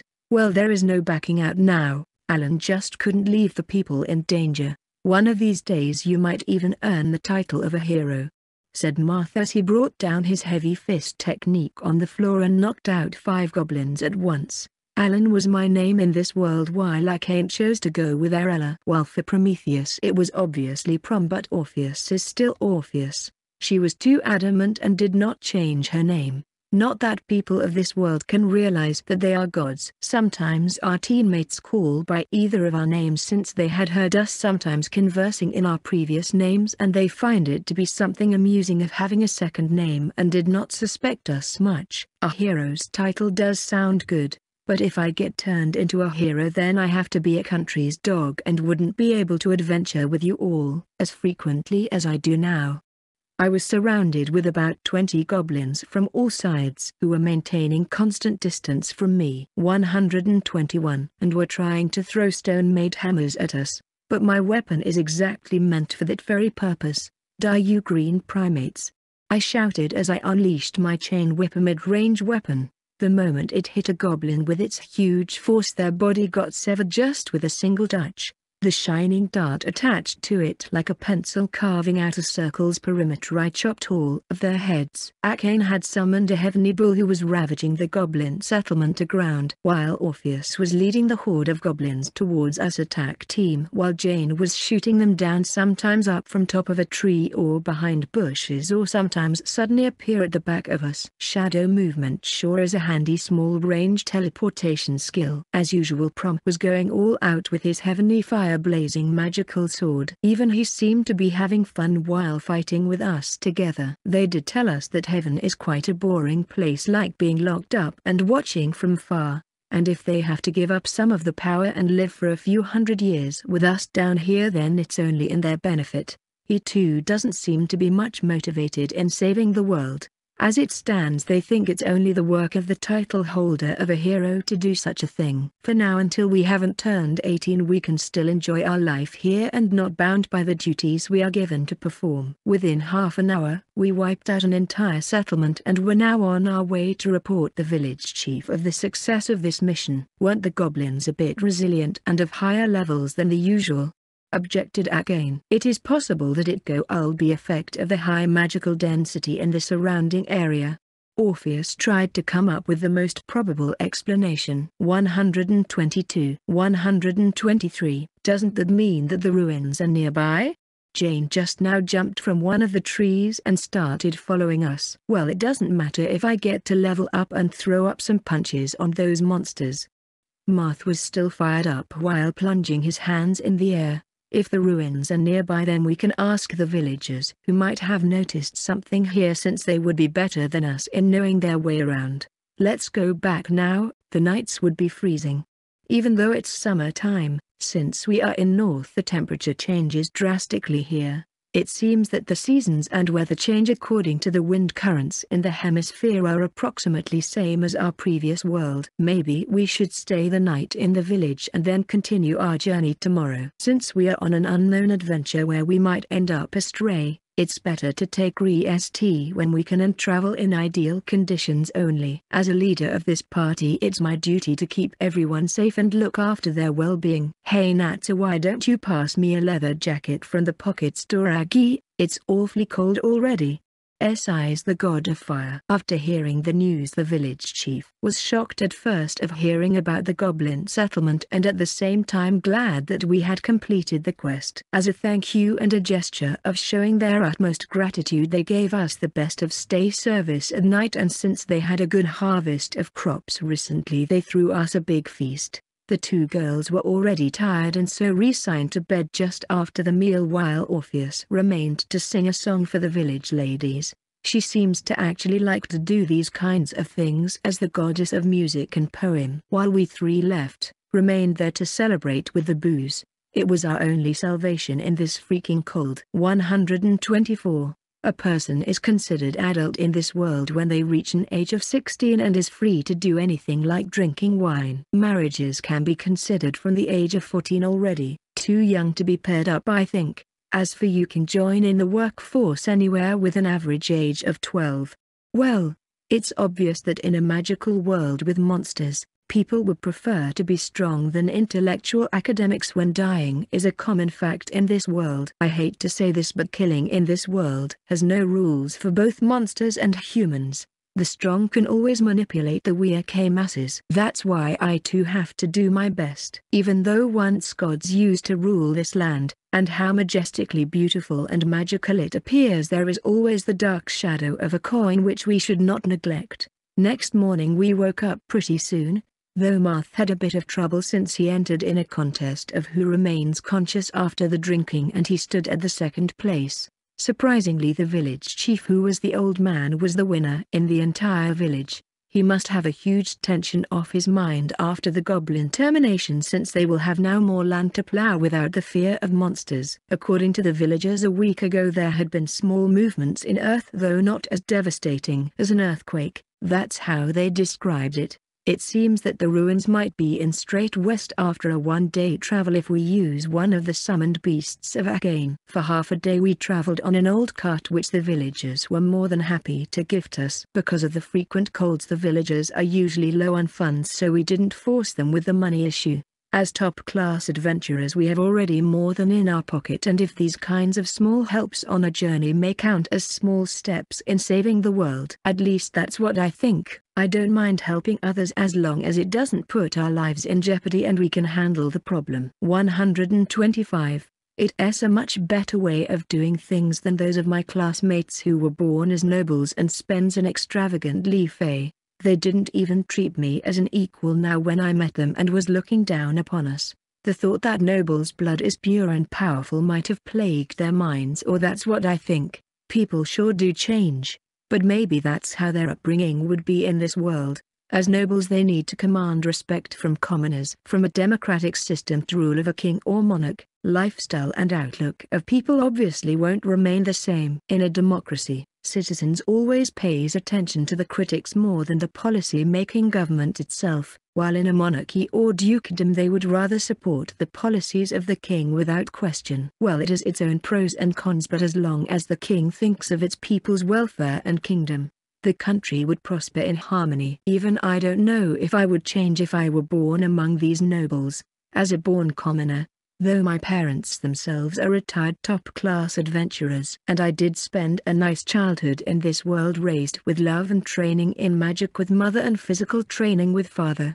Nothing of regret to speak of and every wonderful thing an Isekai life has to offer. While Prom helped me with controlling divine fire magic and he was the son of our neighbor from an esteemed merchant family. Who would have known that the weather would take such a turn? There was suddenly snowfall and within moments snow had already covered the entire clayey road. Marth was still driving the cart, as he is the only one in our party to be able to do this. At one corner, Jane was wiping her arrows and tightening the string of her bow with a level of concentration which I could never exert in my whole life. 126 I and Akane and the two gods were discussing the plan of action and what we could actually find at our destination. What if we find a legendary violin that can match the magnificence of my singing?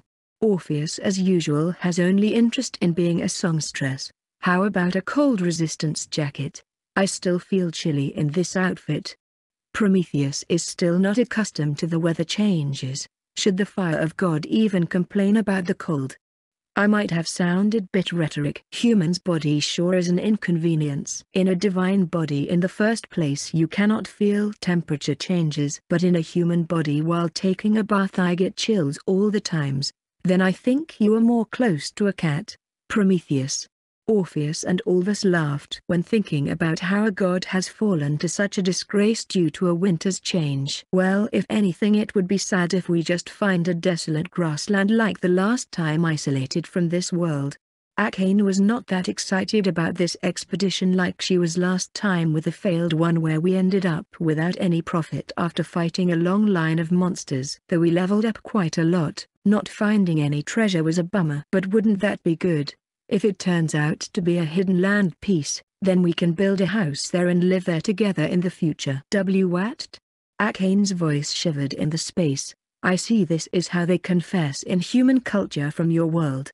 Wait what Prom is even saying. Kenchai sure has gotten so close to Akane recently it makes me feel jealous.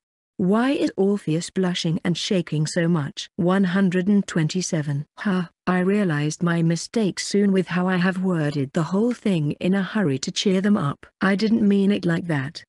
It means, I was just saying that if we could find a hidden land where no one can reach except us then we could use it as a secret base for ourselves. Well lol I already know that. So just stop turning it into something big. Saying this Akane turned her face away. Now I have gone and made her angry, instead of making it fun. But the idea was not bad indeed. Oh of course it's not bad. No Prom it's not like that. How can you? What are you saying? It's quite entertaining seeing a young fiery love to blossom with passion and the heat of embarrassment. You have got a lot of fire in you, so just hand over the jacket. Akane rose up from her place, snatched off the jacket from Prometheus and went off to Jane to help with her work. Ah, R. Akane seeing you leave like that in future will make me sad, but you should try with coming more strong on him. It has not like that. I have more important things to do at present. Akane shouted from inside the cart which might have even scared the nearby monsters. She didn't even try to refuse, That means in the future I will have to see her off as a bride pretty soon. Orpheus started rubbing her cheeks with her hands maybe to rub off the cold or the fact that she was getting excited just by the thoughts of a fallout future. Phew, are you two really gods? Acting like that when we have such heavy responsibility on our shoulder. 128. Relax. We came to the earth for the purpose of pure entertainment and traveling. So an adventurer's life is the best choice. The world itself gets peaceful the less you meddle with it. Don't you agree Orpheus? Tell him. It's not like we don't want to save this world but unless we don't know of the worst, we can only try getting stronger in the meantime. The demons won't make a move unless a new true demon lord appears. Both Prometheus and Orpheus sounded less convincing as each day passes by, which only makes me doubtful that all they wanted was to live a freeloader's life and let loose the stiffness that they had built up in their bodies. As for the true demon lord's resurrection, it still is a mystery. After the true demon lord died during the Great War a new one should be granted the title pretty soon. But it has been more than 200 years with not even a candidate appearing. Same goes for the true hero. As for us reincarnates none of us were born with the title of it. Though in this world there are people with title of heroes who usually work under the shackles of royalty and are aiming to become the true hero, but no one knows the exact path that leads to it. One could even say that at present there is nothing that is endangering the world. Do we even get to save the world or will we have to live a so-called slow life in another world? Though it's not bad if it is even that. I am still happy adventuring with my party and more than content I am with my present life than the previous ones. Hey Arella, it seems that your beast won't be moving any further. Marth shouted from the outside as the cart abruptly halted. I wondered what the problem was since we just now crossed the small passageway between the two undersized mountains without any issue. Monster detection did not report any sighting neither from up the mountains where the most danger came from and nor the front. 129 Both I and Akane rose up from our seat and headed to where Marth was sitting outside. As I drew open the curtain a chilled wind threw itself inside and kicked out the warm air currents. Natsu, Close the curtains or give me another jacket. I paid no heed to the complaints of a nauseating god not because he was my partner now but because of the eye-catching view that presented to us on the outside of the rift. Huge pile of snow was racked up in front of us and then the vast deciduous forest which should have been green at this time of year now was covered in a white blanket. Under the scanty heat rays of sun which was not enough to melt the ice surface but reflect its cold light in our eyes, it's so beautiful and unwanted at the same time. Akane sounded to me a bit happy and dejected at the same time. But I think she wanted to appreciate the view but at the same time criticize it for being an obstacle in our journey and messing up with our schedule. Everyone come out, because of the snow we have to walk the mile now. I called out to everyone one, can't you wait a bit? Jane was still sitting and checking the balance of her bow. You should be almost done with your maintenance by now so what's the wait for? I was getting tired as if to pull out prom from the cart was more than troubling enough like trying to pick up a slime between two sticks, because every time he would slip out from my grip. At last Jane stepped out of the cart while Prom still seems to be complaining about the sudden change of weather to Orpheus who is probably listening with one ear and flushing it out with another. Now it almost feels like carrying a broken recorder with us with a needle playing on the same circle, round and round. 130. If I would have known about a snowstorm which might have hit the area last night then I would have made more preparations with cold clothes and other traveling accessories and warm food. From here on we will be walking to the ruin. I will use fire magic to warm ourselves up while you should all put some blankets over yourself. We have to head straight towards north, Following the path between the trees should do their job. Akane had already put the cart in the magic bag which was of high capacity value and worth quite a fortune.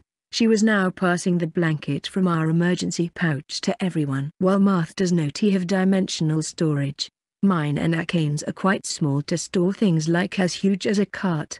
As for Jane she would only use it to store her arrows of which the number still remains unaccounted for till date and there is no room for negotiation about other items. Hey, Natsu let me get close. Prom was sticking to me to get the warmth of the air which I was releasing at regular short intervals while warming up the air around me and regulating and releasing it in spherical waves outwardly. And so others are trying to stick close to me and walking at their own pace. Why don't you use your own fire? I tried to push him away saying this. I don't want to. He did not even flinch a bit and was adamant on not using his own store of magic. What a pain. Yusu allied during fights he would recklessly use magic to surround his entire body with fire and enter a fist fight with monster with no regard of his magical sword. But in cases like this he is not passionate at all and at the same time too lazy. These days I think I should just leave him at an old age home. Maybe they will accept him if I told them that he is actually older than the age of 10 old people added together that are living there. 131. Natsu. Wait don't tell me he read my thoughts. Listen we are not alone. Just as I thought he can't read my mind but complains and compla. Everyone get ready we have company. As I issued out a warrant everyone took position. Orpheus, Akane drifted to the middle, while I, Prom and Marth formed the perimeter around them. Jane vanished and must have taken cover over trees already. Elves are awesome. I think I sensed 10, no maybe 15 and still growing. As we all wondered what kind of monster it is. Two white hound wolves leapt from one of the thickets but before they could reach us I struck them down with my whip. But it seems that one blow is not enough to kill them as I had to bring down another slash on them while they were writhing in pain. It felt more like torture and it did hurt me a bit to see them in pain, so I try my best to finish them in one go. But here the possibility seems to be dim and grotesque, as the bugle of war had been announced one-sidedly by their howling and wolves numbered in group of fives attacked from every wide possible direction. All of our hands were full in keeping them at bay. Orpheus was using body enhancement magic on us since confusing dog-type monsters takes time. Akane had summoned small fire bats which seems to be the weakness of these monsters. Marth and Prom's hands seemed to be full with handling things on their own. While I was staring at the larger wolf which gave the impression of being the leader of this pack. It felt like I was a circus master with a whip trying to discipline and train the ungrateful animal that I just gave some meat to it in its prison, so act as I tell you to. Though I am myself glad that there are no animal protection rights in this world though the tamer. 132. Jill do exercise and promote kind treatment of tamed beasts and summons. I launched several blows at once as they produced fine cuts over its ligaments to slow down its movements and yet I was having trouble to follow its movements. Even these cuts were not deep enough to deal any real damage. While the other small wolf which were trying to stop me and defend the leader of the pack at the same time were being taken down by Jane's arrows. At first I had my reservations when she would shoot wind arrows round me without any pause and might have appeared haphazard but I know now that there is nothing to worry as her true aim is peerless. As the leader of the monsters saw its brethren die in front of him one by one, it unleashed one of its skill attack. A huge snowstorm headed in my direction. Flame S that purify evil and burn thy enemy. Fire shield. A wall of orange flames stood in between my team and the attack of the wolf. Just as the storm was about to vanish, a huge shadow leapt over the firewall, and its face appeared to be agitated when he saw no one around. It was the wolf who thought would be able to ambush me after it saw that its attack failed and thought of using it as a blind cover now to take me by surprise when I would indefinitely wait for the firewall to disperse on its own. But I think I am able to outwit him. As I appeared in midair near its body and taking out a small dagger from my back scabbard I slit its throat and fell near its corpse. Others too seems to be done and after a while when Jane came down from the tree, it was confirmed that there were no monster nearby. That was unexpected, but now I feel warm. I don't need this jacket anymore. Prom th threw the jacket on the ground mercilessly to which by 133, now he was bidding his life on and clinging on tightly. Akane picked it up and put it back into the storage realizing that he would ask for it again pretty soon. She doesn't have to be so nice to him. Just because he is a god, it would have been a different thing if he acted like one or showed signs of wisdom. But I don't care about his swinging mood now but more about the matter at the hand. Hey, Alan. Why have we stopped moving? We have already kicked all of their butts haven't we? Don't tell me your feet are frozen by this early winter type.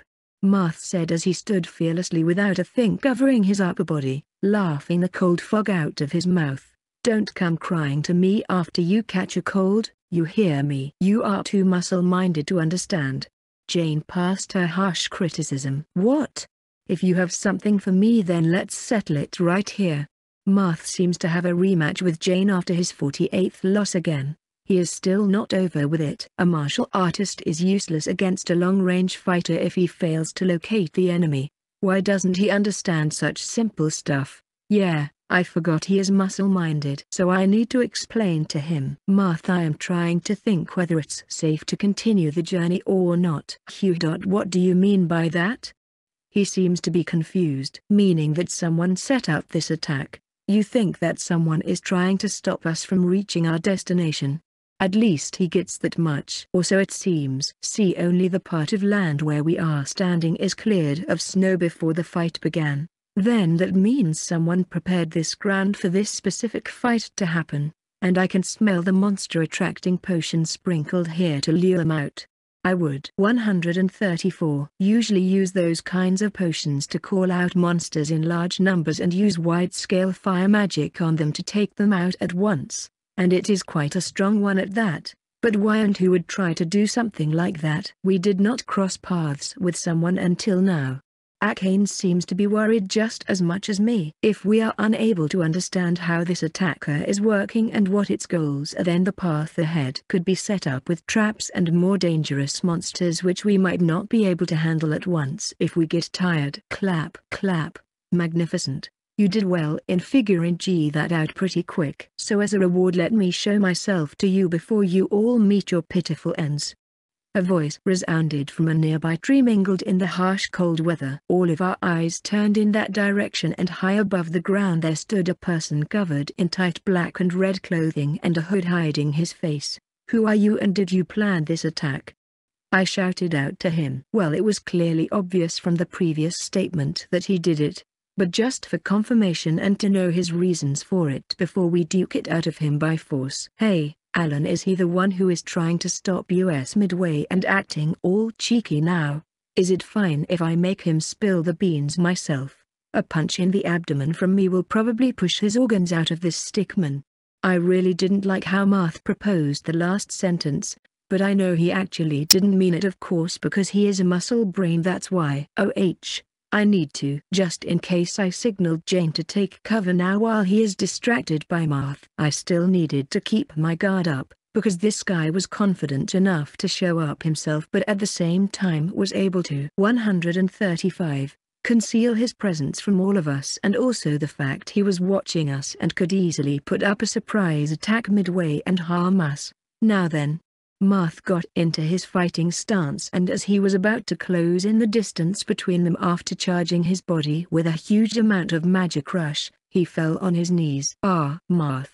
Why you? I called out to Marth but he was already unconscious and fell on the ground after taking a punch from the stranger in his guts. It was strange for a magically augmented tough body of Marth to give out in one blow. I should have warned him too. Jane now. I can't move. My shadow skill is not working Gah. Damn it this has never happened. Jane was trying to pull herself away from something when I saw at her shadow and a card stuck in it. As the shape of the shadow formed irregular shapes my doubts heightened. Was the card the cause? Don't tell me.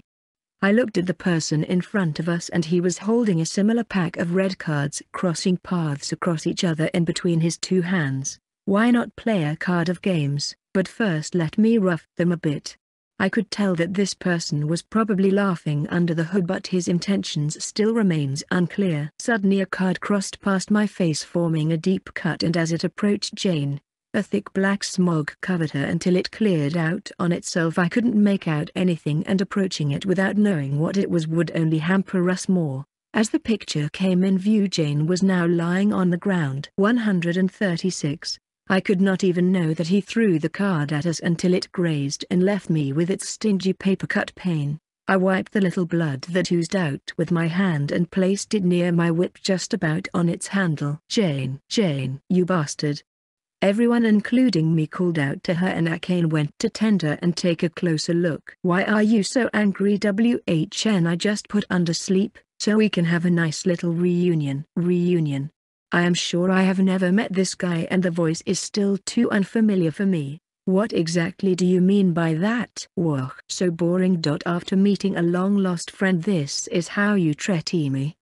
He started rubbing his hairs which were still covered by his hood. If you want the good treatment then act respectfully instead of hiding and ambushing us on our journey. A friend would never attack us like that. It's clear you are our enemy. I couldn't have even put it better myself, Natsu. So now we have declared where we stand let me introduce myself. I am Zanderlift and nice to meet you Kiragashi and my respects to the two gods Prometheus and Orpheus. The attacker bowed in front of us, just the neck but I knew it was not out of respect but he was looking down on us. How do you know that? No if you are a reincarnate like us. Then why attack your classmates? Didn't you yourself say now that we are enemies? So that's what we are. Sounds about right. Enough chit-chat you two. If you know our status then you should be more respectful and instead of hiding your identity face us properly. Prometheus by now I could tell was furious enough with the passionate blaze of fire that his body was covered in. He was angry with two of his 137 companions put out of commission by this guy and pitying us. He was going all out with the strength he was putting behind with each strike of his sword and quick speed but each time his sword was about to pierce its enemy it was met with a red color long dagger. The hooded guy did not even flinch or appeared to put up much effort to resist Prom's attack which made him more the furious. Ho ho. You should try a bit harder if you want to even come close to me. Stop fooling around and fight seriously.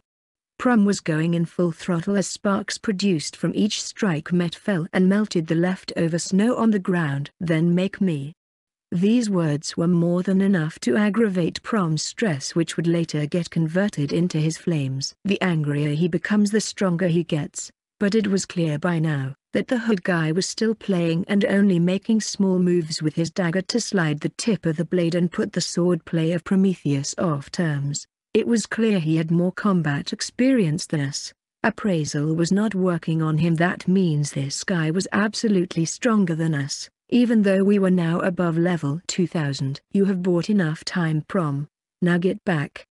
It was clear Prom was trying to buy us some time to recover our magic reserves from the previous battle and prepare spells, while Akane succeeded in making a huge summoning circle with help of Orpheus. It's not done yet, I am going to teach this brat a lesson to not mess around with us. Prom neglected my offer and was still on the offensive. Maybe I had wrong thoughts of him again. You idiot get back. 138. UHHHHHH.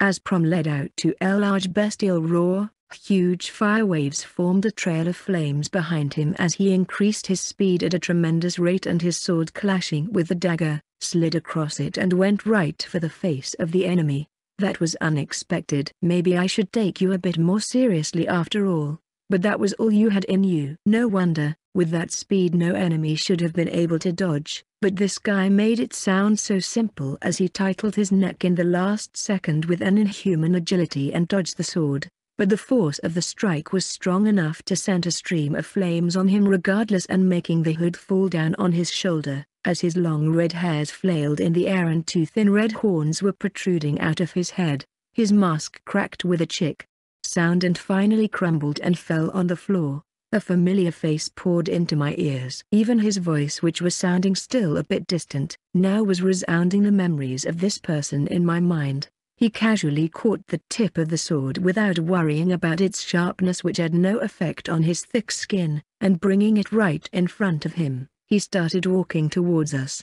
while Prom was being pushed back. It seems that he has burned out and reached his limit. If only he had listened to me rather working on impulse. You two are getting in between our reunion.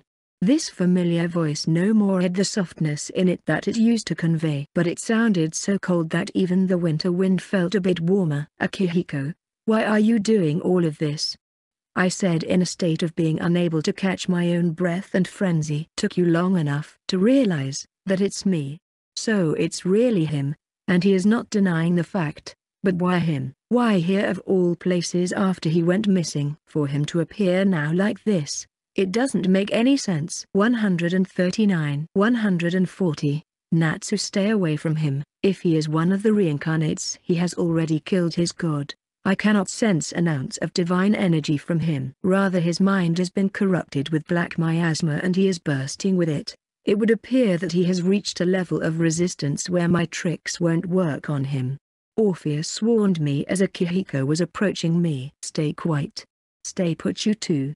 Saying this a blast of magical aura I had never felt before was radiating out from Akihiko's body. Several card-shaped projectiles started flying around him as they swiftly moved towards its target and taking Prometheus and Orpheus hostage he tucked them up high on the trees as the cards, with unimaginable strength half pierced through the dry wood. Akihiko why are you doing all of this?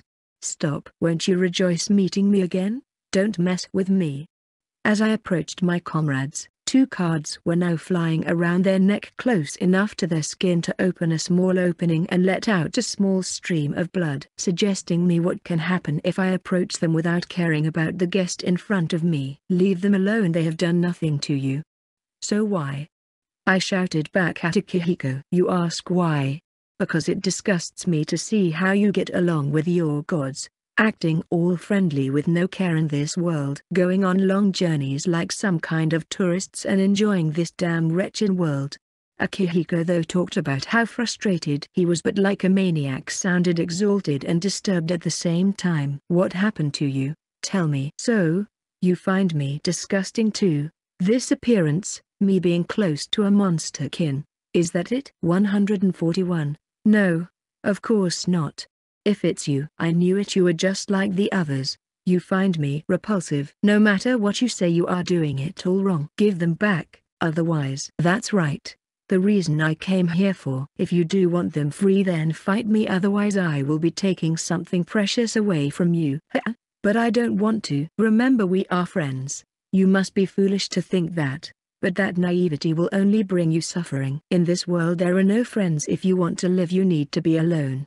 If you want to be strong you have to be independent of others. Of course not, without my companions I wouldn't have come out here alone, without them I would not have made it this far. So stop hurting them. You know W what, you are sounding more and more like those pathetic heroes who are about to meet their ends. This world really turned you into one of them.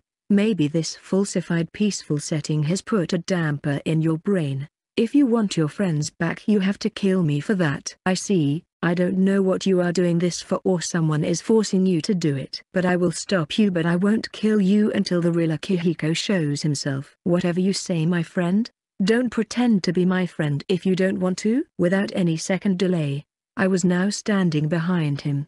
I used fire burst in my body to move in an instant. I launched the tip of my whip on 142 his back, but as it was about to crash on his body it landed on the ground instead leaving intricate cracks wherever it hit. You really were not holding back, that's the spirit. I heard a sound from behind me, and to my horror he was quicker than me to do the same thing to me. How did you? I felt my hands being touched by something icy but could not move myself. Snatching the whip from my hand, he instantly charred it and threw it on the ground. What are you, a kid, playing with soft weapons? You would need more than that to defeat me. Natsu use that. Prom you are okay. I turn to Prom's voice and it seems that he is still tired after his super fast attack. There's no time to talk. Use my divine energy and defeat that guy for us. Akane use my powers too, and use your unique skill to summon a magnificent beast. We are counting on you too. Orpheus called out to Akane and cheered us both. Had it really come to a fight? Even though we are classmates, but if I don't do something about it, then my comrades will have to suffer the most and they are the most important person to me right now. Before that happens I will stop him. No matter if I end up hurting him a bit. Unique skill, Furnace Keller. Activate. The next second I knew my whole body from inside out was engulfed in flames. My hairs, my eyes everything I could feel myself in was engulfed. 143 In fire and the energy exploding inside me was all aimed at defeating the person in front of me. That's more like it. Use your full force and then despair while I show you how pointless your efforts have been. Shut up. As I moved forward with a punch toward Des his right shoulder, it was blocked by the mere force of a card he was holding in his hand. But it was just the start. My true powers lied in my hand-to-hand -hand physical combat which my father trained me in. The whip was only a weapon, just a means to an end. I had decided to end it by going all out. I launched a kick at his abdomen but he blocked it with his hand. That strange feeling of an icy cold hand crept on my leg and I drifted a bit back. The flames over my body turned a bit more dense and hotter than before. I went in for another round and this time with more speed and power behind my blows he was pushed back a little. I see as time passes your offense and defense both increases. Isn't that fun? I think it's time to distribute the cards. That's right.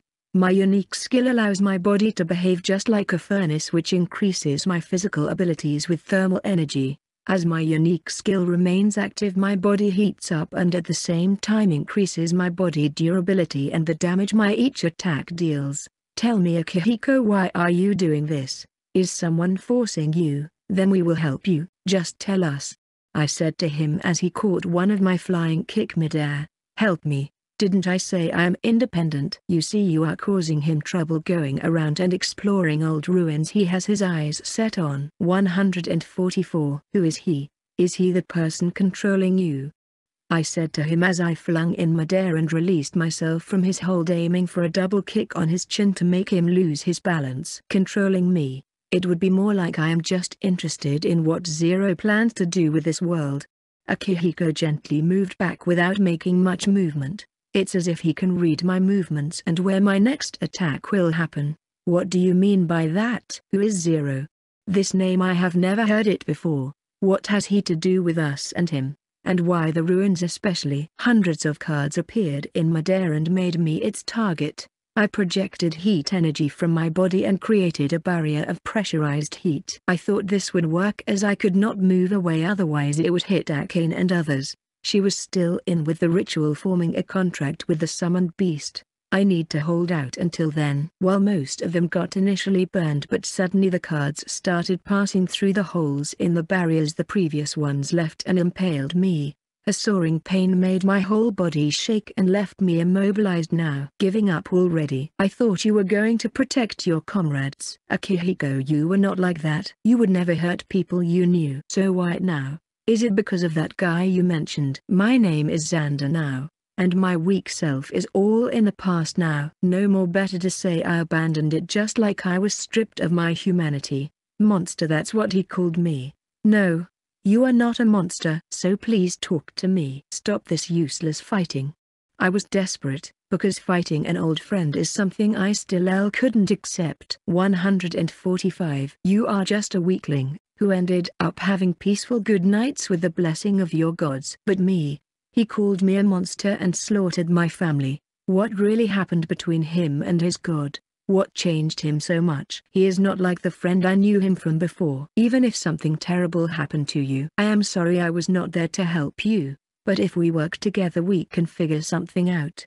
I was slowly condensing the fire barrier strengthening it as his guard attacks ceaselessly continued but I still was being roughed up badly with several cuts all over my body. I had lost a lot of blood. Tell me, is this how you are going to save your comrades? I haven't even started trying and it is already getting boring. Maybe I should end it Soina and then look at your face. Stop spouting nonsense. I know you can't kill anyone. Before you were even afraid to see blood. So how can you change so much in so little time? I put all of my remaining magic into the shield and increasing its radius I pushed back all the cards at once. But with that I was only left with the divine energy which was being supplied to me by Prometheus. For all I knew I could only launch one attack. That's right. At first the mere sight of blood would make me vomit but now, I can kill and that too with peace in my mind. Tell me have you ever killed any of your classmates? Akihiko tone totally changed to something ecstatic as if he was talking about eating food or indulging into something fun. Why are you talking like that? What's your point? This uneasiness inside me as I tried to gulp in the dried spit in my mouth. It's just as I said. Killing a classmate. Yumiko Furata was she. She is dead. We killed her while she begged for her life. 146. The air cleared out. The smoke receded and the heat condensed as water vapor on the icy surface of the woods. but both of my and Akane faces were frozen cold, as if something hard had hit us that we couldn't release our voice. What is he talking about? Killing your own classmate, people whom you once knew, from your own world. This isn't a joke, you can't joke about killing a human. You must be thinking that how can I kill a classmate, a human, but can't you see I am not a human myself? This world identifies me as a savage monster, wherever I go I will be hunted. So to make a place for myself, I have to wipe out those who cannot accept our survival. You are lying. She is not dead. Silver Dragon lay waste to that enemy. Slaughter him. Akane cried and shouted at the same time as tears fell down from her face. She and Yumiko were good friends back at school, but in this world when she met with her as a noble princess former country in southeast she acted awfully cold, but Akane did not mind, she thought it was okay as long as she could had a good life. She still considered her a good friend, but the news of her death must have hit her hard, no for me too it was something unacceptable. We were all handed down a mission together so why kill each other? Even so Yumiko, how could she be killed and when? She too had a unique skill just like us. Absolute magic field. It allowed her to negate magic and counterattack or reverse it and even block a physical attack by a shield which her goddess had put on her. Something impenetrable and a power as untouchable like that. How could she be killed? Unless they tried to ambush her in that case her unique skill won't register it as an attack if Yumiko can't perceive it or they did something to her goddess beforehand and then killed her. 147. You are a liar. Stop spouting nonsense. All of my friends are alive and you cannot harm them. I will stop you. Silver Dragon finish him. Yes that's right. For all we know at present we cannot trust Akihiko words. We don't even know that he is an impostor but it's most unlikely. Even so if anyone can do something about it in the present then it's going to be us. Akane hold him, I think it would be best for us to work together and stop us. Yes. She was holding in her tears pretty WL, she had not given up and so won't I. The silver dragon she summoned from her unique skill Beast Symphony allowed her to summon a heavenly beast, and it would be almost impossible to defeat it for Akihiko and after that we just need to restrain him. A heavenly dragon huh? That's pretty rare. I wonder how its meat tastes. The elder dragons where I used to live had a tough meat but they were considered a delicacy there. Rag?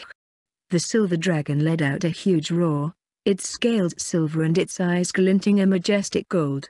It was as if it understood the taunt of the man and did not need to be described what to do with him. Every time the dragon flapped its wings, an unbelievably powerful gust of wind blew past the surrounding area, the trees shaking as if they could get uprooted any time. I was glad we were not on some snow mountain to be swept away by a snowslide. The surprising thing was that, Akihiko did not look a bit concerned but excited to face the dragon. Even the strong wind attacks of the dragon did not move him an inch from his original position. No wonder it's a heavenly beast with its majestic and the overwhelming pressure it exuded was far greater than any monsters we had ever faced. I would never like to fight an opponent 148 like that without making preparations and would avoid it if I could make a choice. Maybe I should take this a bit seriously. Unique skill, card world. Activate. Just as Akihiko activated his unique skill a red aura engulfed him and then dispersed running amok in the surrounding. What bothered me was that I could feel its overwhelming strength and hatred for us at the same time. Several huge guards appeared in front of him as it formed into shape of steps reaching all the way to the dragon. The dragon sensing the approaching danger opened its mouth wide, revealing its saw-like teeth. A massive amount of magical powers started collecting near its mouth and it turned into a huge jet ray silver beam. Akihiko did not stop moving or try to change his trajectory to avoid the focused attack. But climbing higher on his step cards he brandished his hand and the ray of beam turned into cards which started raining on the ground and disperse into shining droplets, like water. I could sense him focusing his magical aura in his right leg. What was he going to do? Just before the thought crossed my mind I let out a squeal of astonishment. No way. Akane followed my astonishment. Akihiko just now kicked the dragon on its lower jaw causing an intense shockwave which rippled out from the point of contact. The beast cried in anguish and was sent several meters away from its original position. This time the dragon furious it moved its paws to launch wind attacks and let out streams of lava jets from its mouth. Akihiko dodged all of them using shadow movement skill. I could tell because Jane uses it too. 149. But it was on another level, the shadows were discontinuous and that too in midair. He was using the shadows that formed over his own cards as an original point and the card underneath it as the exit point. One could describe as the situation being explosive and as those heavy attacks landed for which would have usually left huge craters on Earth or the wind claws that would have bisected all the trees and grounds into half, all were turned into cards. What kind of unique skill is that? Is this some kind of illusionary world? I don't think so. It is too real to be an illusion. SHHHH. We can't even figure out his unique skill, if we don't do something sooner. But still we had hopes on our dragon and to some extent we were bidding our safety on it. Useless beast, trying to ruin my shadow coat. It's pretty much getting late. I am going to end this business now. Saying that, all the cards that were now lying on the surface started rotating in circular waves around him the numbers as if exponentially quintuple every time you looked at them. Flame hell of the jack. The cards suddenly started burning in a pink flame they started rotating around him gaining momentum with each rotation. The small procession within a matter of few seconds turned into a raging firestorm of cards and all we could do was look at it clashing with the huge sturdy body of the dragon as it got ripped into shreds. Thud. The dragon fell at a high speed on the ground like a meteor leaving a huge crater which gave an example of its inexplicable mass. And yet those paper cards annihilated it in a blink of an eye. 150. Akihiko stood laughing there as we were frustrated and tensed up at the same time. Because we were going to be his next target. What was he eventually going to do with us? Akane was almost flat on the ground with all her magic powers exhausted in that summoning she could not perform a new one. Even if Orpheus supplied her with more divine energy she needed to have her own amount of MP to support its existence in this world. At present only one was her limit. This time I was the one who needed to do something. Something that could save us all from this crisis. But what? Now then which one of you is first willing to suffer an insufferable death? Or should I start with your gods or put your so-called comrades out of misery first? Akihiko was pointing his dagger at us again. He was bold with his words with no hesitation whatsoever and firm in his stance. Was he really going to kill us? An old friend, from the time I had known him. Just an ordinary guy. How did it turn like this? I thought it would be a good redo life for everyone. So why does he look so hurt? Akihiko tell me is this what you really want? Would killing us really satisfy you? I questioned him. No matter how many times you ask me, my answer won't change. This world disgusts me and I am going to change it according to my wish. Does something like that go old really be done? Of course we would have enough power pretty soon. We will destroy this world, put it in turmoil. Conflicts and wars would be all around. And then we would finally seize all the power for ourselves. 151. Something absurd like that may have thought but never succeeded. Prometheus he was still conscious. And it seems that Orpheus has regained her strength too. You gods run your mouths a lot. Maybe your supremacy and commandments have gone into your head. So it's rightful for me to put you in your place. So how about this? Two colorless crystal stones materialize in Akihiko's hands as he put them on display to show us properly. Wait what's so special about them? They look so ordinary and I can sense no power inside them whatsoever. Why you have those? They were supposed to be all gone. Oh, so you do know what they are. Ha so you can realize what I am going to use them for. Akihiko gave a stern look at Prometheus whom I first time saw back down or looked afraid of something. Akane and Natsu get away from here. Tiho's Bectus Tenio stones are absolutely dangerous to even us gods and if used on humans it would kill them. Run away. Ah, so you do realize what they are, but these are now called origin stones and they have been greatly improved after the Great War, or so I have been told. Akihiko what are you planning to do with them? There's still time we can fix it all. Everything will return back to how it was just talk to me. Yes, Totsuka. Talk to us we are willing to help you. Akane supported my words and it seems that she really meant it. Help me. You cannot help someone being this weak yourself. Things can never return back to how they were. There is no point in talking. You should enjoy your last moments and say farewell to each other. It won't be long we would create a new world where those things will never 152 happen to us again. This is the path I chose and the only way to do it. Those gods, they betrayed our trusts and pushed us into something of a mess because they themselves can't figure it out. I know WH why don't you join us and I will let you two live. I would save you from their falsified so-called protection in name only when all they just do is sit and watch and only act with their mighty power when it suits them the best. I would never join your side where there is no place for all of my comrades. If that's so then I will snatch those comrades away from you. Akihiko threw those stones in midair and chanting a small code a bright light unleashed from inside blinded us. The moment we opened our eyes we saw a colorful aura being drained out of Prometheus and Orpheus into the crystals. After a minute when even if I tried I couldn't get closer to that dense magical aura and was always repelled dismally. It's useless. You are too weak to stop with what is happening in front of you. The then colorless and now shining stones fell into his hands. Prom, Prom, why aren't you answering? Orpheus, Orpheus say something. Both of them were unconscious and didn't answer no matter how long we called out to them. Something heavy struck my chest when I couldn't sense any power coming from them. It was almost as if they had no life inside. What did you do to them? Waving me the stones, he answered, you see these stones snatch every ounce of the divine energy these gods have and make them even fragile than humans. See how carefree they are sleeping and wouldn't even know when I would have killed them. 153 Akihiko you have gone too far with this. I will stop you right here and now, but if I kill you before, then that won't happen now would it? Kill, kill, kill. That's all you have been speaking of since we met. I always think of you as a friend and even now I want you to be my friend. I still want to hold on to the fact that you are the same person who was back then so kind that he would never hurt anyone. Because no one could better understand what real pain meant that time. So stop hurting me and my friend and wake up. I could feel a huge energy swelling inside me. Was it my frustration? My magic reserves are already null.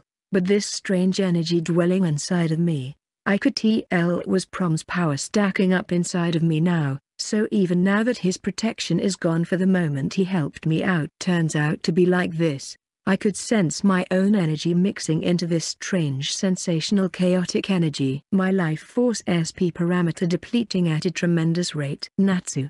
Akane called out to me as if she too realized my awakening, while when I saw Akihiko he was tearing apart his hairs. That stupid old friend of mine, I knew he was still the same crybaby like back then always confused about what to do. So I will stop you with my own hands and make you atone for your sins for hurting my friends. As I compressed all of my energy swelling inside into my fist I brought them into my right hand and concentrating it near my palm and supporting it with my left hand I pulled my arm in front from my back and a huge gigantic waves of blue flame rising as high as to touch the sky launched out from my palms. Why, why it suddenly hurts so much. What a joke. I can't hurt someone what does he know?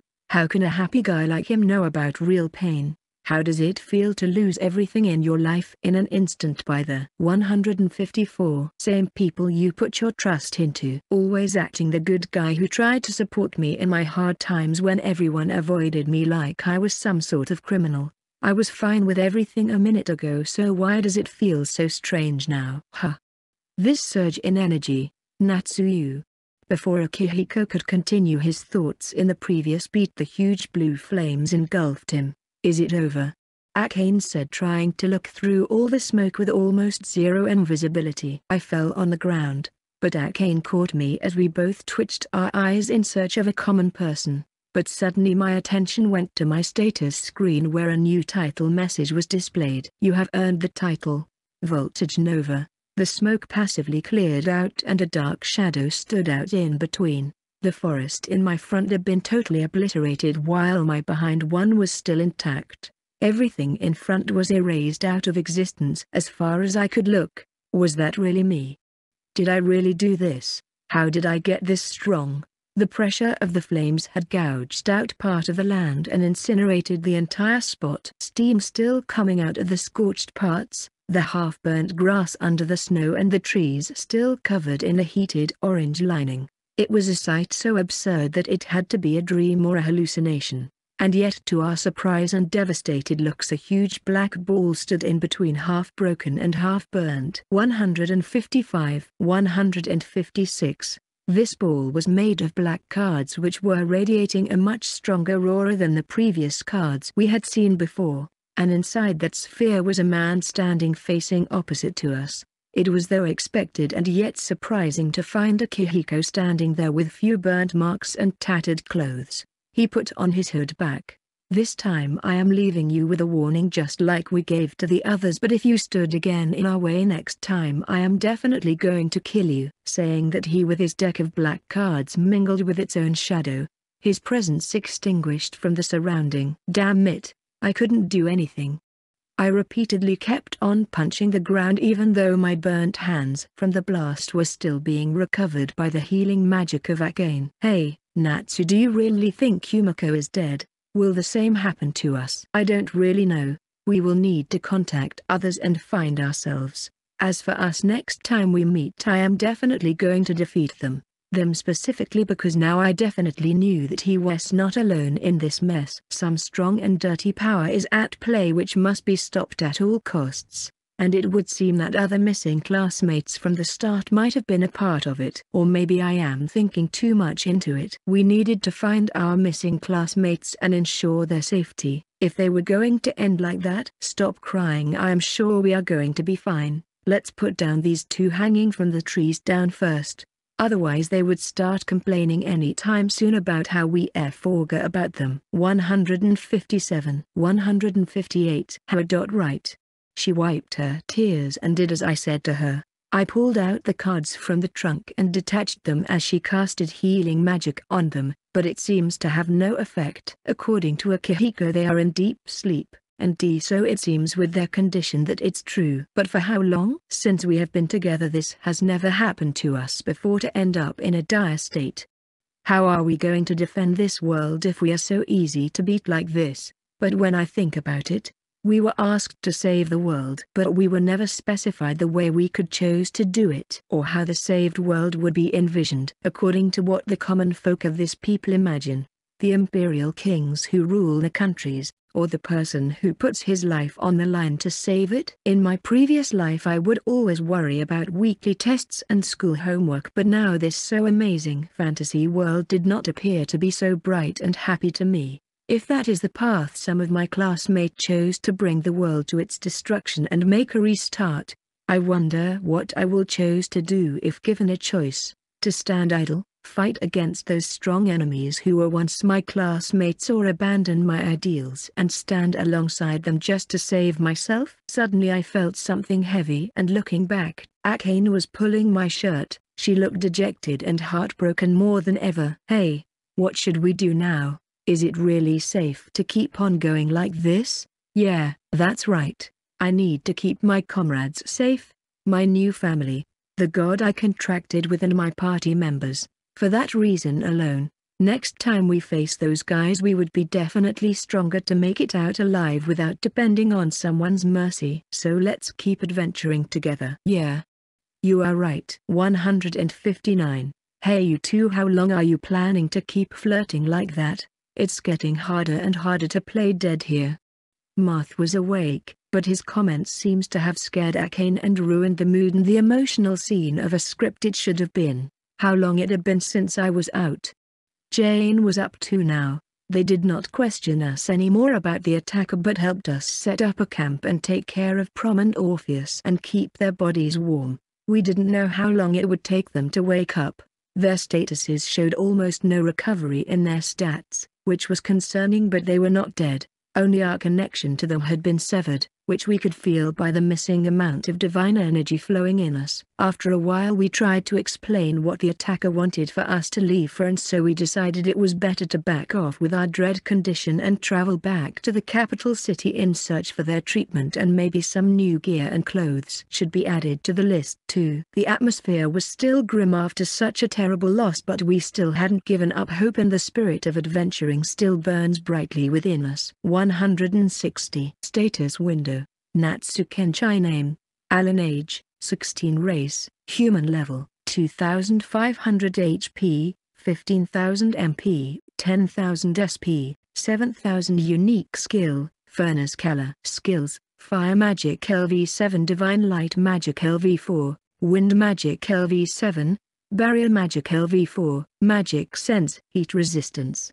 Earth Magic LV4 Title Voltage Nova, God in Contract, Prometheus, God of Fire. 161 Status Window Akane Krigasi Name, Ara Age, 16 Race, Human Level, 2000 HP, 9000 MP, 15000 SP, 6000 Unique Skill, Beast Symphony. Skills, Summoning Magic, Wind Magic LV6, Divine Light Magic LV6, Water Magic LV5, Magic Sense, Title, Peacemaker, God in Contract, Orpheus, Goddess of Music and Poem. 162 Status Window Name, Marth, Age, 17 Race, Human Level, 2200 HP, 9900 MP, 10,000 SP, 6500 Skills, Body Reinforcement, Wind Magic LV5, Earth Magic LV5, Water Magic LV4. Status Window Name, Jane. Age, 17 Race, ELF Level, 2300 HP, 10,000 MP, 14,000 SP, 5,000. Skills, Wind Magic LV5, Dark Magic LV4, Earth Magic LV5, Water Magic LV4, Shadow Movement 163 Status Window Akihiko Totsuka Name, Zanderlift Age, 17 Race, Red Demon, Devil Hybrid Level, 3000 HP, 20,000 MP, 25,000 SP, 24,000 Unique Skill, Khan World Skills, Fire Magic LV9 Dark Matter Magic LV2, Earth Magic LV7, Hypervelocity, Magic Sense, Magic Resistance, Fast Regeneration, Steel Body, Empowerment, Titles, The Trickster from the Bottomless Pit, God in Contract, Loki, God of Mischief 164 165 Chapter 5 And Evil for Evil Damn it Why I struck on the wall of the frozen cave where every inch of the wall was covered in deep white ice which by time had forgotten to melt on its own. Why couldn't I finish them? It was much easier with my other classmates or other it felt fulfilling that time. Even if I had made up my mind, is it because I still considered him a good friend of mine? But that's all in the past now and this life is totally different. Doesn't matter next time for sure. I said to myself as I tread down faster, the stairs of this ruin which I found deep inside the snowy mountain bidden by a magic illusionary barrier just as he told me and gets wider and wider after every turn I took delving deep underground, the deeper I went the darker and colder it became. But this only made sure for me that I was in the correct ruins, I couldn't have allowed them to roam here like pests after all and discover the secrets behind it. Before I reincarnated in this world I thought I would get a totally new life to live, different from the previous ones. For me it was like a delete button of my pale history. I also considered it a gesture of God for my salvation from the hell I was living in. 166. My classmates used to consider me some sort of criminal, as if I had murdered someone and came running to school. Everyone gave me a scornful look as they passed me if they knew all of secret, and if someone didn't know then the others would make sure to tell them. People are rather quick to splash dirt on others. No one likes cleaning their own mess and someone others is considered a taboo. But he was different. Natsu he grabbed my hand and asked me to join his basketball club. At first I stared at him, wondered why he was doing this. Did he want to stomp on me just like others did and make fun? If that's what he really wants then let him have it. I didn't care about my life anymore. neither about my self-respect. All was lost on that day. My father murdered his own friend from whom he had taken a huge loan and always refused to return it. My mother had left me after a year I had been born. I don't remember her and father threw away all of her pictures and things of memory. I was always kept in the dark. Further used to always say to me that how he was the only one I could depend on in my life. I have no one else to ask for help and even if I asked no one would help me. That's how he would always keep me indoors. On daily basis, he would used to come home drunk and destroy all the housewares. And on certain weeks time when he would be frustrated he would slap me and go to sleep. Later in the morning he would ask for my forgiveness and say that he loved me. Maybe that's how my upbringing mostly has been or that's what mostly kept me sane and going. Maybe that's how he kept me caged all this time, or, that was his own way of not letting me go because he loved me. Day after day, as I grew up, his demeanor towards me changed. He would start complaining about how I have been an inconvenience to him this whole time and I am only alive because of him. The maniacal love 167 he would shower on me was now turning into something disgustingly dark. Jealousy. That's how I would word it. He was jealous of me because he thought I had him because I would never leave my son alone. But my wife left me even though I loved her. It's your fault. It was just after you were born. Maybe that's how my father felt. Someday attacking me with a kitchen utensil for dropping eggs, or make me stuff stale vegetables raw because I forgot to take proper care of them. Slowly when did these little things turned into me being beaten for no reason even I don't know. I was always at home alone and even at school my father told me to never talk to someone. So, I never knew how one would describe my situation. The environment of the house soon started changing when all kinds of hoodlum-looking guys who would talk vulgar all day started coming regularly to my house with my drunkard father. Then there were those who started knocking on the doors asking for their borrowed money why which my father lost in gambling. Whenever I told him to stop gamble, he would start beating me again telling that I was only able to eat everyday meal because he has been working hard. But all day I saw him resting at home, coming late at nights all drunk and then the usual unjustified beating on regular basis and the morning forgiveness. It turned into a routine. The bandages near my abdomen would usually hide the bruises and the back which was scarred with red marks which by now had become permanent. Myself was disappearing and I was slowly getting adapted to all of this too just like the previous old times. But then he started bringing women in the house and the same kind of hoodlums guys started staying at home. But one thing never changed. 168. He kept on beating me even in front of them. Calling me a pitiful kid who was abandoned by his own cruel mother and he was the only one who took care of me. That's how my father usually described me in front of his friends. When I tried to say something, he would call it business work and make me shut up. Slowly the things in the house started vanishing too, and he would blame me in front of his friends for stealing and making me naked and beating me to his heart desires. Even if I cried and told him that the one who was stealing were his so-called friends he wouldn't listen. You are just a cheater and lie like your mother. I hate you just like I did your mother. If only you would have disappeared along with her, it would have given me back my freedom. Then he kicked me, it's all your fault. It's all your fault. It's all your fault. Shouting at me like that he threw chairs at me and then came his belt raining down on my back. That was the first time I did not cry when I was being beaten because I knew now my voice won't reach to anyone. That morning after he asked me for forgiveness that was the first time I turned away and in return I got slapped for not obeying him. I was abandoned. He said it himself that he hated me. My mother hated me. My father hated me. And then there was no one else. There is no point to care about them. The only one who cares about me is me alone. Then one day, a man in black suit came and my father welcomed him properly. He brought in drinks and speaking politely to him.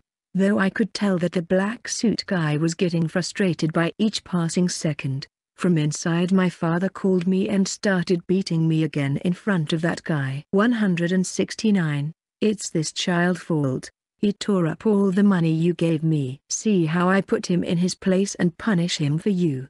further took out his belt as usual and started throwing blows on my naked back where the skin was red instead of the normal peach. The man got scared and started shouting to stop but my father continued. You are lying, stop putting the fault on your son and beating him.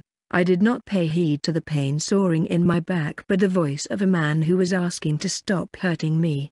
This was for the first time someone asked my father to stop what he had been doing for years. Others would usually smile back at me and tell me to be a good son or sometimes would lend my father a hand or new ways of correcting and disciplining me and take control over me. That's how they justified the burn on my left palm to use the candles on the cake they brought for themselves to celebrate for. Seeing that the man did not follow up with his tactic, he threw me out of the room. After a long heated exchange, there were crashing of two bottles and the sound of the tables being flipped. Ag.Akihi.co. Quickly come here, help me. I quietly opened the door and seeing the inside horrible scene I puked. There was blood everywhere shards of sharp strong glass pieces scattered around. Half of the bottle slid in the throat of the black suit guy and his eyes rolled up his body and suit soaking in a pool of blood still gushing out of his throat. And from under the turntable I could hear deep hurried breaths of a man calling out for help in his feeble voice. That was my father calling out my name. Akihiko you damn child, I know you Arthur. Help your PAPA he loves you so help him. Call the ambulance. 170. I went closer to take a look at the person, and another bottle was fixed in his body where his stomach should have been. With the pain and his legs crushed under the table he couldn't move otherwise the blood would pour out of the wound. If I called the ambulance, probably he would be saved, but I waited. I stared at him. You monster. Call for help. Help your father. His voice skyrocketed as pain was taking over his consciousness. My ears were hurting with his voice calling me his son and a monster at the same time. Saying that he loves and someday that he hates me. Which one it is? His harsh voice. The blood all around here. The stink of death from the man who was asking my father to stop beating was making my senses go bleak. It's so unfair. Unfair. I wondered will everything become normal if all of these things vanished? What if I really disappear from in front of his eyes? Thinking that I pushed one of the glass pieces fallen on the floor inside the man's neck while he looked at me with a grim look and eyes as red as blood itself was pouring out of it. When I thought the voices stopped I closed down his eyelids and went and slept in the bedroom. Next day the police came and sealed my house. They took me in custody and took my testimony. They said that they found my fingerprints on the bottles including my dad and the black suit guy. I just said that I carried the bottles in the room and they let me go. This all happened when I was in middle school. After a year I decided to change schools under the care of a faraway relative. And maybe this information somehow spread in the high school on the first day that my father was a killer. All kind of rumors started exploding. How my father was a bad guy.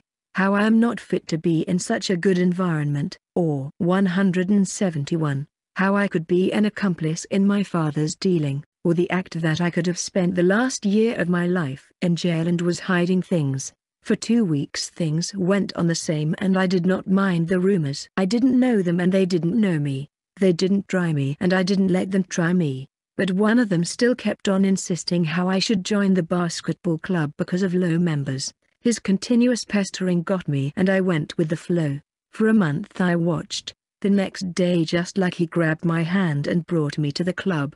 He took me to the court. For the next two months I played, and when I realized I was already surrounded by other basketball club members who admired my talent in it, I knew this guy had in it. Akihiko get ready for the next round. Yeah. I replied to Natsu the person, who turned my life upside down. But I was liking this change. Maybe he was my best friend and I still did not know whether he felt the same about me. And I never wanted him to be bothered with the question. For the first time I thought he could be the one to accept me even if I explained him the one who silenced my father forever was me. He just might be the only who could have understood my situation back then. But after the summer vacation everything changed when we got held up in the bus accident, then it to heaven and finally reincarnate into a new world. We were told that we would get our new forms according to our personality and nature affinity. I was born in a humanoid monster tribe, Red Demon Clan. We were living on an island all in the extreme west of the map and surrounded by the fog. According to my father who was the tribe chief we lost the war and our place in this world. But this world unlike any other had magic, a new loving mom and a caring father from birth, as I saw them take care of. 172 Me, I did not care whether they were monster or I was a monster hybrid. We never came in contact with other species with the fact that how isolated we were with the help of illusionary fog which kept strangers away and prevent them from visiting this island. Though I could not find my god in contract Loki anywhere. So I waited for him. On this island you had to hunt and eat dangerous beast. But when I went on my first hunting trip I saw blood and started puking.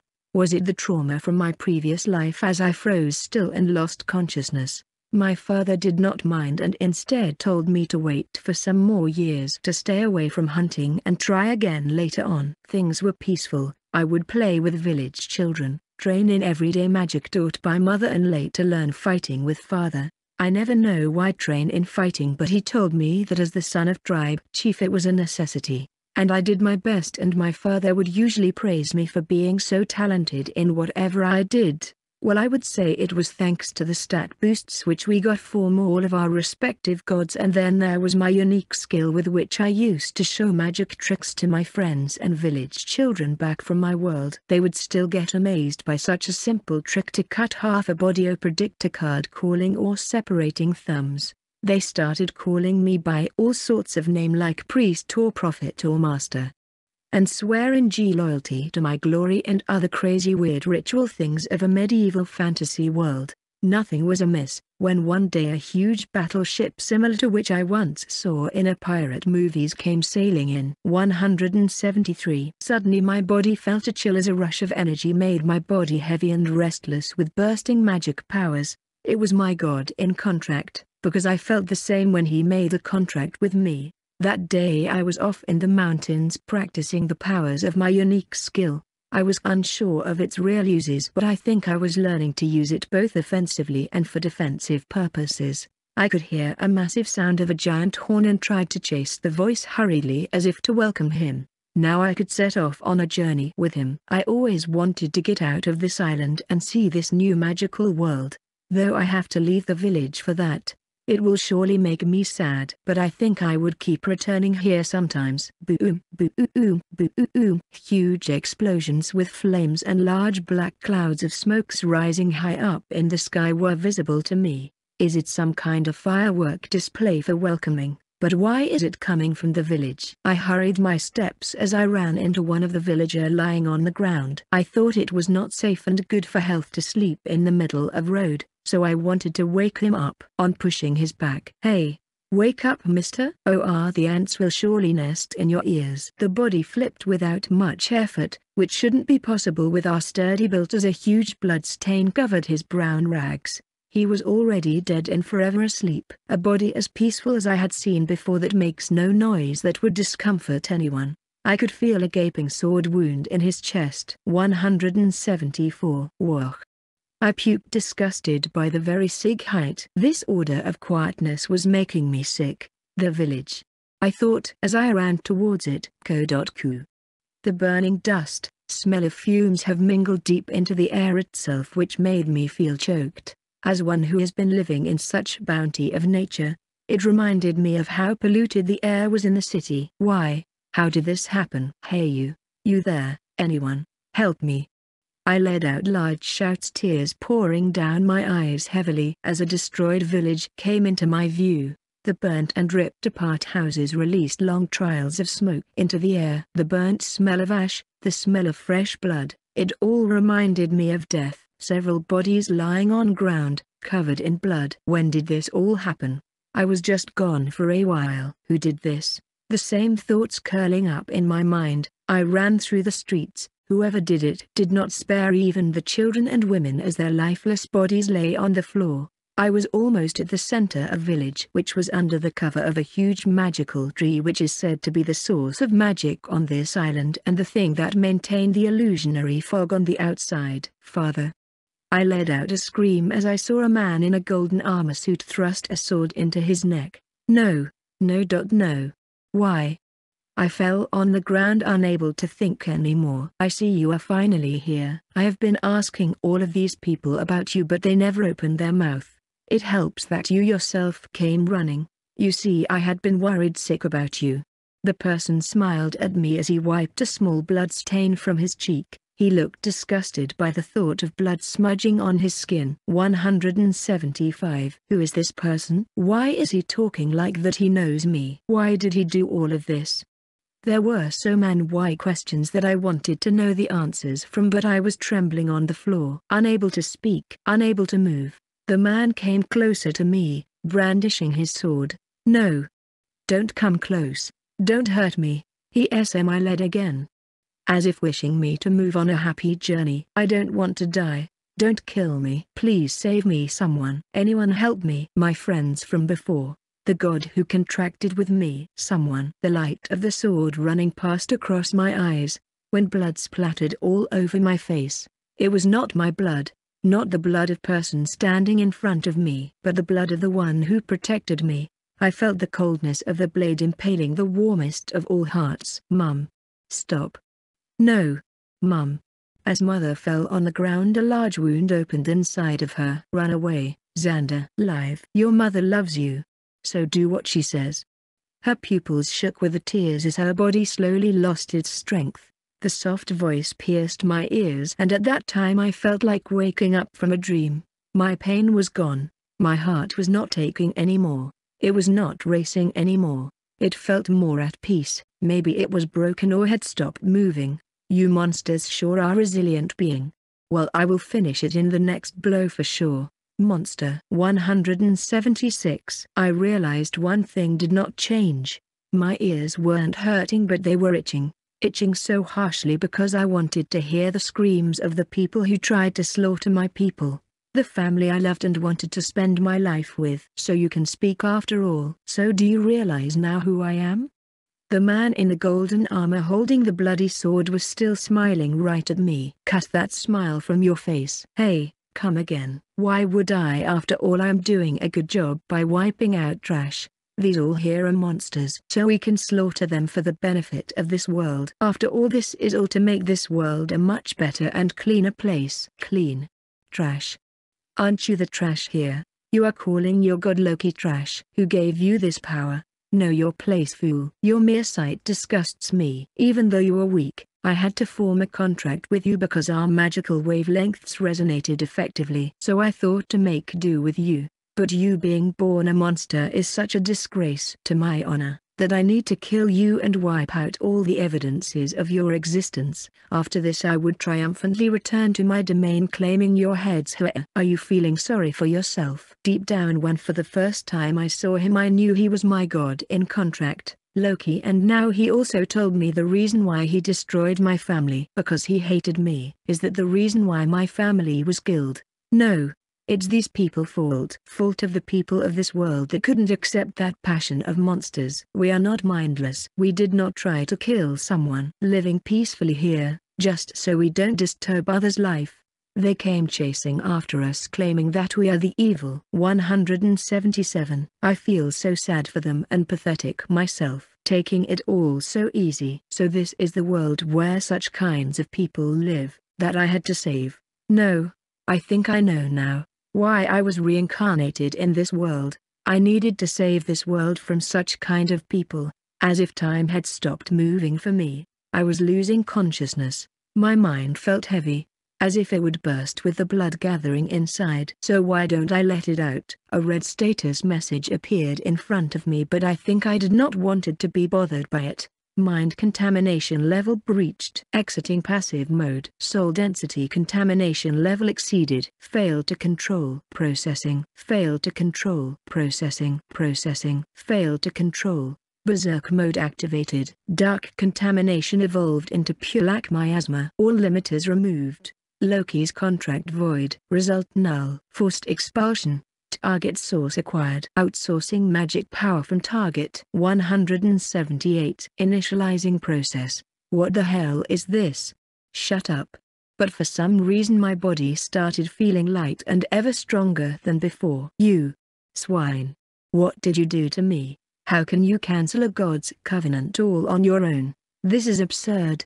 It doesn't matter, I am going to finish and sever all the bonds that I ever shared with a monster like you. You should be proud that to slay an evil monster a god himself showed up to kill you. Die with the regret that this is all your fault. That because you existed in this world all these people had to die. I did not reply then. But in that instant I quickly rose up from my place, and grabbed the man by neck, tightly clutching it between my fist. It was just a thought, but my body acted on its own. Loki's face paled and was now drenched in white as if life itself was being sucked out of him. Phase change started. Absorbing source's power. 0% 10%, 20% 50% 80%, 90% 98% 99.9% 100%. Transfer complete. What did you do to me? What are all of you looking at me attack him this is my order. I felt stronger by every second as the power within me growing at an exponential rate. My red hairs became longer, my body became more mature and muscular and my short horns became much longer. Is this some kind of transformation? It hurts a little, but THE sensation felt like a bliss. It felt like I could do anything in this world. Card world. Activate 179. Hundreds of cards appeared around me as the original red color turned into black and radiating an intimidating black aura. I did not care because they felt a thousand times stronger than before.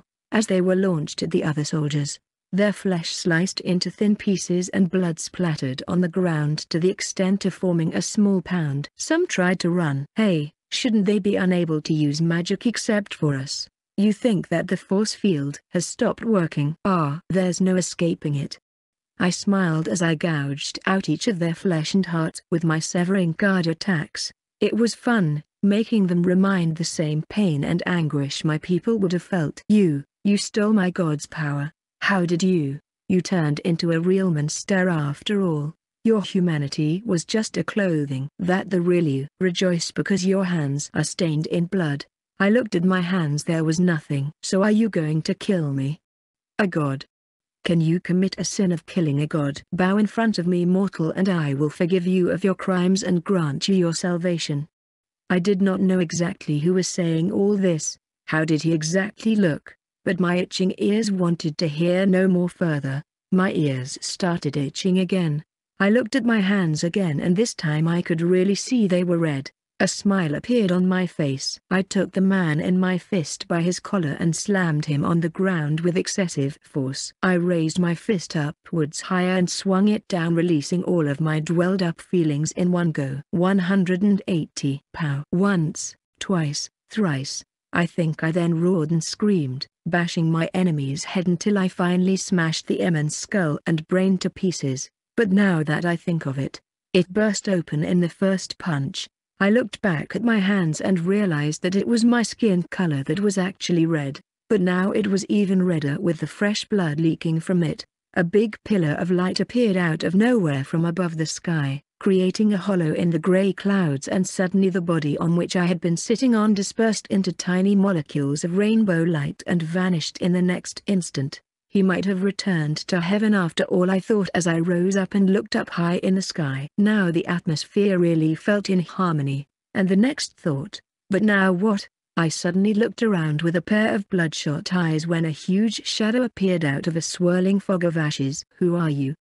This strange sensation almost left me in a defensive stance as I scowled at him. Even with such a strong power flowing inside me I could instinctively tell with my now heightened sense that I was no match for this being. He wore a huge black robe with a hood beneath which I could only see darkness and black fog radiating out of other three openings. Let me help you, a strange tight voice came under from the black robe and extending a warm help to me. I heard a huge SIN's voice as I remembered about the ship with which Loki came. 181. A strange purple lightning emerged from the sky and charred the ship in the next second as the burnt-out pieces fell and sunk into the river filled with shark monster that would devour the corpses of the crew. There was no question of survivor with the amount of light that sparkled on the ship or to the extent that the ship was reduced to ashes. Who are you and what are you here for? My name is Zero and I am here to fulfill your wish. Isn't it fallacious to assume that you would know of my wish? I want you to become the part of my world which I am going to create where people like you are accepted and can live freely. It is time for those ignorant gods watching from the top to rethink about their omnipotence and exceptionalism and the disrespect they have shown to this natural world. Those words from a stranger were not trustworthy. The man was suspicious than even the salesman of my previous world, but the idea which he wanted to sell to me was more than enough for me to make me follow him through a black portal that led me straight to hell. Now that I remember, I left all my brethren corpses untouched, because that was the rule in our village. Whenever someone died his body was thrown into a deep pit saying that it should be returned to from where it came. Let the nature do its work. This world contains my family now and I won't let others discriminate or make it unhappy anymore. 182. I had almost reached the bottom through the last flight of stairs of the cave, when a huge door covered entirely in ice came into view. Almost 80 feet tall this door, I wondered what was inside in it that Zero wanted it so badly, according to him. This gate is supposed to be sealed and no mortal magic would be able to break through it. That's why. As planned I took out the two origin stones from my storage and placing it in front of me I smashed them on the wall with my concentrated energy fist. Swirling light came radially flowing out of it. This outburst of magical energy was more than anything I had ever seen before. So this is the true power of two gods. Having all this power and yet they act so high and mighty and aloof but still do not use it to stop all the unfair things happening in this world. Then let me have that power and I will use it myself as I see fit. The door cracked, as the thick ice sheet crumbled into small sparkly crystals and melted into the next instant by the heat of the light. In the next second a huge hole appeared into the gate and a thrust of cold storm poured to the outside, as I walked in.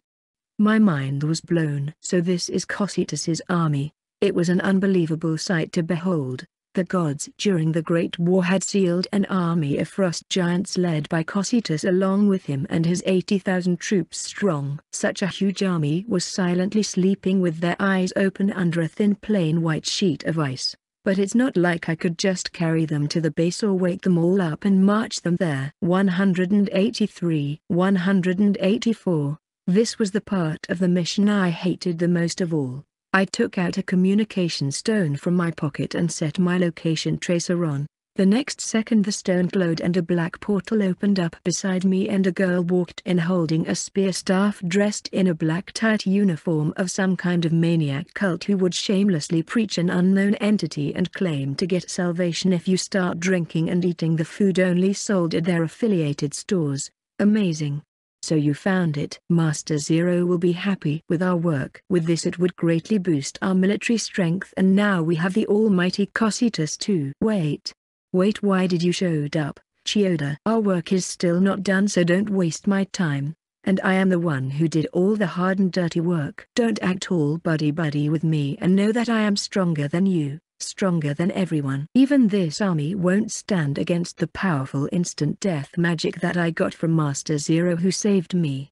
Kaiba Chiyoda, another reincarnate and human who works under Zero and is faithfully devoted to him to the extent of saying in essence of soul. I wonder what's her story, but with the little information I know she was weak and was exploited by her goddess. But then when she was about to die she was saved by Zero and learned instant death magic. It's just like it sounds, she can kill anyone just by seeing the person, but no one knows know how she does it. I think it was about time when you would call me, Another person in white robe about the same height as me and of an unknown race walked through the dark hole. Sakamoto Sanda, wielder of time and space magic to an extent that he can sometimes even stop time or change its flow but again I don't know how he does it. 185 Both of them keeps the secret of their power hidden and rarely shows them off. That's why they are the kind of monsters and I wonder is anyone really in the outside world who could defeat these two with such frightening powers. I doubt even if a god would descend he would be no match, unless he is a high-ranking god we are the strongest in the world and will do anything to get our wishes and plans through. Hey tell me, okay did you kill those two, didn't you just say Chiyoda to not act so friendly? I frowned at her, I see so you failed at killing them. Well we need to report that to Master Zero too. I just gave them a warning and got what I really wanted. Next time if they stand in our way I will definitely kill them. You are just so pathetic. But if it was me, first I would have given them a sleep death and would have drank their blood to my heart's content. Her craze for blood is more worse than I thought. At this point of time I wonder whether the fact she is a human is even true or not. Stop disturbing me and get ready. Sakamoto interrupted. He then opened a huge portal gate on the ceiling where all the living ice statues of the army got sucked in as we flew inside the hollow and vanished in it with it. 186. Information Brochure Current status of reincarnates and their gods. Homura Kenta. Freya, Goddess of Lust. First Prince of Lativania Kingdom. Currently studying in Grind-Alwood Magic Academy. Natsu Kenchai. Prometheus, god of fire, adventuring together with other reincarnate Akane Kirigashi, Sado Fujibayashi, Ares, god of war, prince of a royal family, currently studying in Grind-Alwood Magic Academy, Sakamoto Sanda, Kronos, god of time and eternity, currently working as a Devil's Army general under Zero. Status of God, unknown. 187, Ryuji Uka, Takemi Kazuchi, God of Swords, son of a Count family, currently studying in Grind-Alwood Magic Academy. Okeren Oishima, Hermes, the messenger god, second son of a royal family, currently studying in Grind-Alwood Magic Academy. Kanata Aizawa, Hephaestus, the smith god, currently in Dwarven Kingdom, researching on latest weaponry technology, suspected of some huge top-secret project underway. Akihiko Totsuka, Loki, god of mischief, currently working as a Devil's Army general under Zero. Status of God, return to Divine Realm. Hashima Katsuragi, Poseidon, god of sea, currently working as a Devil's Army general under Zero. Training pirates in the northern Middle Ocean to disturb trade routes between demons, humans, demi-humans and elves. Status of God, unknown. 188 Kenma Takeshi, Erebus, God of Darkness, second Prince of Perilous Empire, currently studying in Grind-Alwood Magic Academy, secretly working alongside Zero and Erebus to take over the control of this world and rebuilding it. Haridakatri, Artemis, Goddess of Hunting, first Princess of Alucrad Empire, currently studying in Grind-Alwood Magic Academy. Yumika Furata, Aphrodite, Goddess of Love, deceased. Status of God, unknown. Syaka Tenma Diana, goddess of forest, daughter of a Marks family. Currently studying in Grind-Alwood Magic Academy. Akane Kirigashi, Orpheus, god of music and poem. Adventuring together with other reincarnate Natsu Kenchai. Satumi Yakta, Ikelos, god of nightmares. Currently working as a Devil's Army general under Zero together with her god. 189. Sakura Kendo, Astraea, goddess of justice, princess of a royal family, Tama Donjo, Over, goddess of beast, daughter of a noble family currently studying in Grind-Alwood Magic Academy. Saki Honda, Inu, goddess of blood, currently working as a Devil's Army general under Zero. Status of God, unknown. Kariba Chiyoda, Kali, goddess of death, previously an adventurer, currently working as a Devil's Army general under Zero. Status of God, return to Divine Realm. Saki Kondo, Athena, goddess of knowledge, currently living in the Great Tathaya Labyrinth with her family. Athena is the princess of Heart Kingdom, currently looking after her territory and taking care of monster invasions. Formed a secret spy organization to search for Saki now Alicia. 190 191 Chapter 6 Red Spider Lilies it has been almost more than a year since I met mother and father and started living a peaceful and happy loving life here with them. Learning magic and all kinds of fighting combat techniques from them. I have finally completed my single sword swordsmanship training and dual wielding under the guidance of the one titled true hero of this world, Caroline, my mother. Yeah. I responded to my mother, in the training grounds. Alicia you have completed and learned all the things I had to teach you to.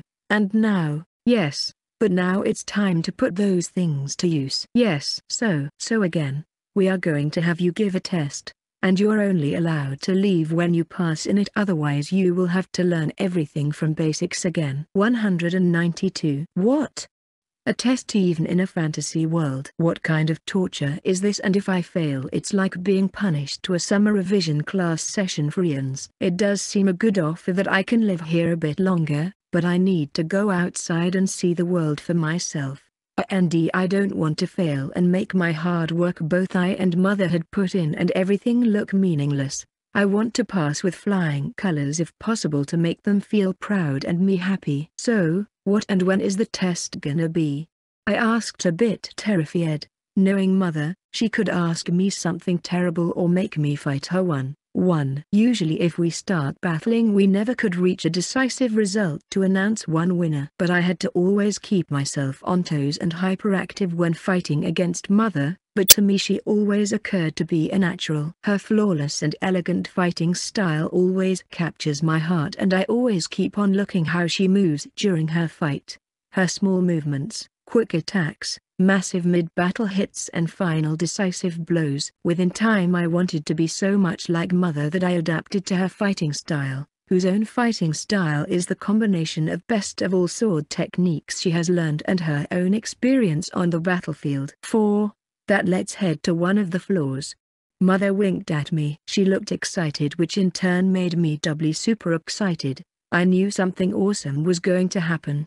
Mother and father never go to other floors to fight monsters, actually they never fight unless training us. 193, but here we were on floor 95, a marshy plain area, and the monster in front of us was a horde of titan appearance and a four-handed quad arms. Maybe it sensed our presence and shot a bloodshot four eyes towards us. But I was waiting for mother's instruction because both of us knew even if it, they were a strong bunch of monster, it was neither a match for both of us. Watch me, carefully Alicia.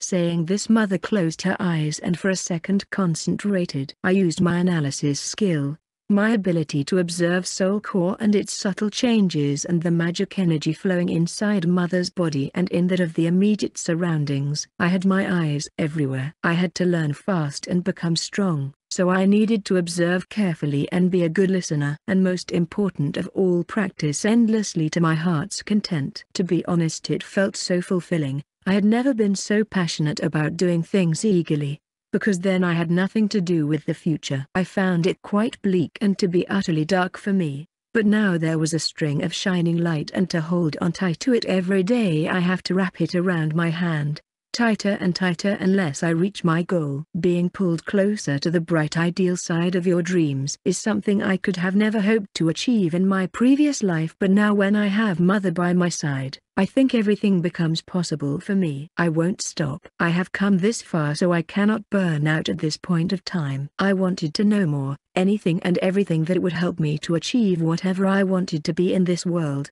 and then, it finally started happening. 194 Magical energy outputs from her magic veins were bursting with overflowing amounts of magic power. Then there was like a sudden bombing inside her soul core with ever-increasing increment of light from it. She was constantly burning large amounts of magical powers and life force and focusing it all on her sword.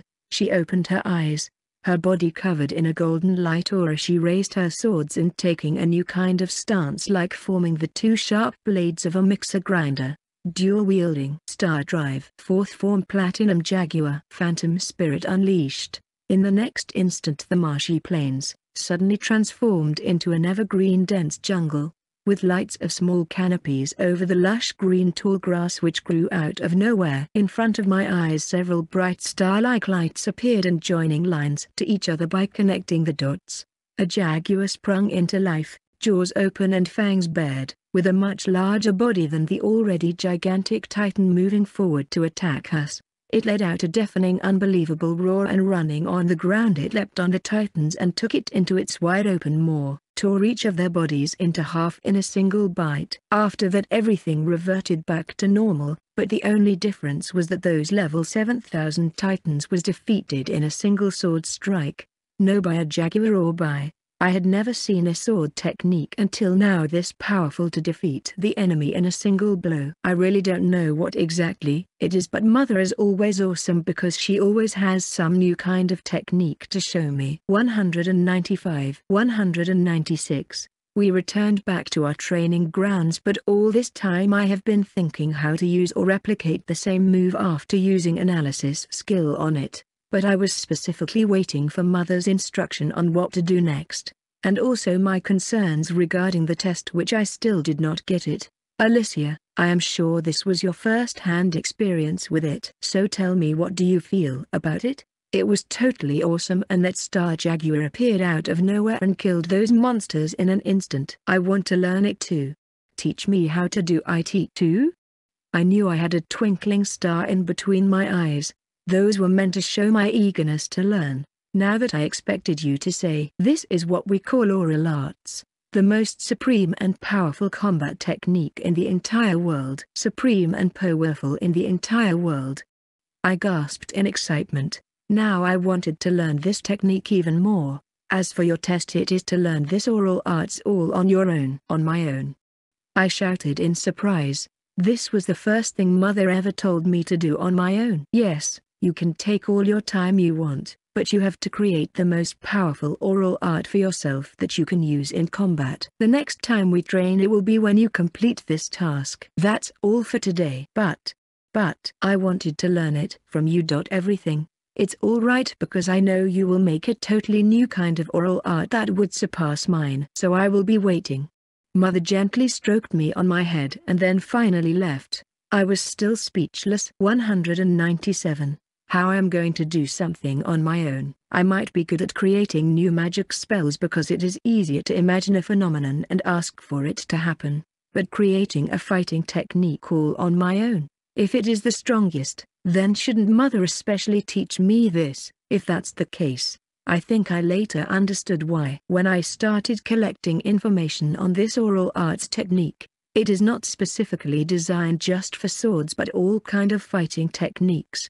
More importantly it's a technique designed by Godis themselves to control the flow of life energy inside the body and in the outside world that brings phenomenal changes that is desired by the user's mind into reality more like forming a metaphysical territorial plane of your own imagination. It is like creating your own world domain of imagination and trapping the target inside it. Once this new field phenomenon takes place, the user's overall ability is tremendously magnified and any attack deployed becomes a guaranteed hit. Manifesting an oral art requires vast amounts of magic power, life force, high mental fortitude and a clear peaceful mind. Hence this also makes it the most difficult fighting ability to master. There are very few who can teach it, even fewer who learns it on their own and still even fewer who manifests it accidentally based on a crisis or an emergency desire. The longer you train in it the better and more refined this combat art gets. So the requirements are to construct a real tangible environment that I want and then use it to my advantage to defeat an enemy. Mother used a phantom beast constellation which matches with her own unique ability, phantom materialization. 198.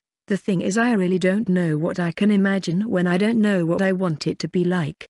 I didn't want to rush things so I have to regret it later on. Mother did tell me to take any amount of time I wanted. But seeing mum perform it once I wanted to do it too, so I was getting impatient at the same time. Quite contradictory, so I started hitting the library and tried to learn more about this thing and its other users. I asked father and he too has one of his own, but he refused to show me saying that mother has instructed not to. It was a test after all so cheating is not allowed. Well, for now I decided to observe. Keep a look at your surrounding and try to ponder deep in your heart. You will find your answer. Quite a cliched and ambiguous statement for a realist like father, but mother did tell me that people of this world do like these kind of dramatic dialogues because gods too used it to sway the hearts of people and gain popularity. I wondered if they were having an idol contest for fans before war that they needed to get people's attention so badly. Well that hint only got me fired up and I started to investigate things even deeper with much more interest and zeal. I tried to look inside things, broke things using my dismantle spell and later put everything back to its original using my equivalent exchange, unique ability. Anything I went around I dismantled it, I started breaking all kinds of magic stones kept in the alchemy lab, breaking all kinds of tools and weaponry in the storeroom and did not even left the antique, There was no problem in breaking stuff around if I could just use equivalent exchange to fix it back, though this did lead to accidents like I once allowed a poisonous gas to release from a do not touch vial, or further accidentally pressed a fragile 199 piece of actively cut explosive stone tightly, which later led him being bedridden for a week. Though I healed him with my healing magic but since I have been screwing around with his library tower, he has got mental scars and do not want to go there again until I had given my test and he had already decided to stay until then locked up in his room. Well, it's not a pleasant feeling to have a live bomb blast accident in your hand and then you are asked again to cross a road filled with landmines. But I am sure he will get around it soon. If possible a little more than sooner. So, I have now got all the freedom in the library now when suddenly the magic circuit inside an artifact fissioned into two and blew apart the right top half of the tower. Now, that's something I can't fix if nothing is left there to fix. 200 Unknown Forest Area. This is not working at all. I have been at it for more than a month but I couldn't find anything of use. I raised both of my arms which had gotten tired of flipping through pages and stripping off of things. What a waste. I sighed. As I kept on walking G in uncharted forest land. I had never been into this area. It's not like I think I should waste time exploring around or tinkering with my free time, but the thing is, I am kind of lost, here, thanks to my almighty divine gift of getting lost, and forgetting the way back home. So I helplessly kept on walking, and walking without food and water over the tough road covered on both sides by a gateway formation of trees. I was too embarrassed to call someone for help and say that I got lost and couldn't find my way back in my own house. I cannot falter here. If I can't even do this on my own how I am going to search for Athena or save the world. I kept on moving my legs which eventually got bored too. Just then I saw the road ending near a huge wall of bushes and a small white steel gate decorated with beautiful flowers over it was open. I quietly walked in and surprisingly I found mother there looking down on earth. No, I think more appropriately SHE was looking at some stone tablets. Gravestones, was Smione buried there? Was it mother's relative, a friend or comrade? I quietly walked in and stood beside mother, who had a sad expression her face but I could tell that she had already moved past that crying stage or feeling sorry for those who lost their lives and wondering why we were the only ones who were left behind. 201 She had made up with the situation and I think she was just reminiscing about the happy past she had spent together with them. So you found this place Alicia. Mother's voice had deepened somehow, maybe she was overwhelmed with her own emotions. Maybe it's better to not tell her that I stumbled here since, I am lost. Well I think she was figured out that already, when she smiled at me at the same time. It's scary to know that she can predict what I am doing at any given time. I gently held her hand which was warm even with how freezing cold and windy it was here than other other places in the mansion. Mother held my hands tightly back, as though she found a driftwood in the sea. I ducked a little to see the names engraved on the grey stones, Nathania, Maltina Ethel, Leon Amos, and several other names. As I started thinking more about what these meant, my eyes stopped at another unbending sight. Near the foot of some of the stones several beautiful red flowers growing. I had never seen such gorgeous flowers that smelled so pleasant. As I tried to kneel lower to smell it more up close and take a closer look at its soft delicate thin petals and long anthers. Mother was watching me like a child playing in a garden. Those are called red spider lilies. Aren't they beautiful? For them to grow here it's quite unexpected. WLUC in this world these flowers are very rare and growing them is very difficult. Just a naturally occurring bunch of these to be able to see. We should consider ourselves lucky. So they are that special. Should I pick some and take back home? No, I think you should avoid doing that, at least when they are growing near a grave. 202, 203. Why is that? I got intrigued and curiosity got a hold of me. It's related to the people's belief here that these are flowers of death and helps the souls of the dead to pass on and tell those who are alive that all their last wishes had been fulfilled. Well I like to call them last goodbyes flower. Flowers that fulfill wishes. I kept on staring at them. In this world almost all of my previous wishes were fulfilled and now it's my turn to fulfill the wishes of those who love me. I wonder whether my parents in my previous life had any last wish. Did their wishes come through?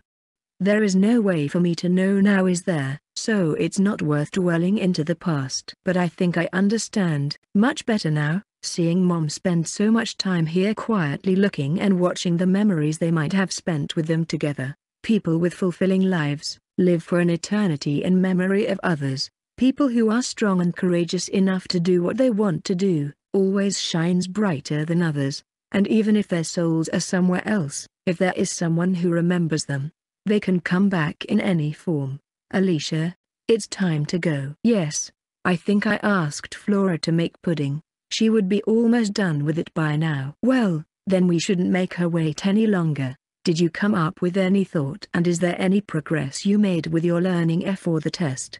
I for some time stared at the blank in the air and then smiled back at mother. I think I do have an idea now that is worth trying for. 204. Information Brochure.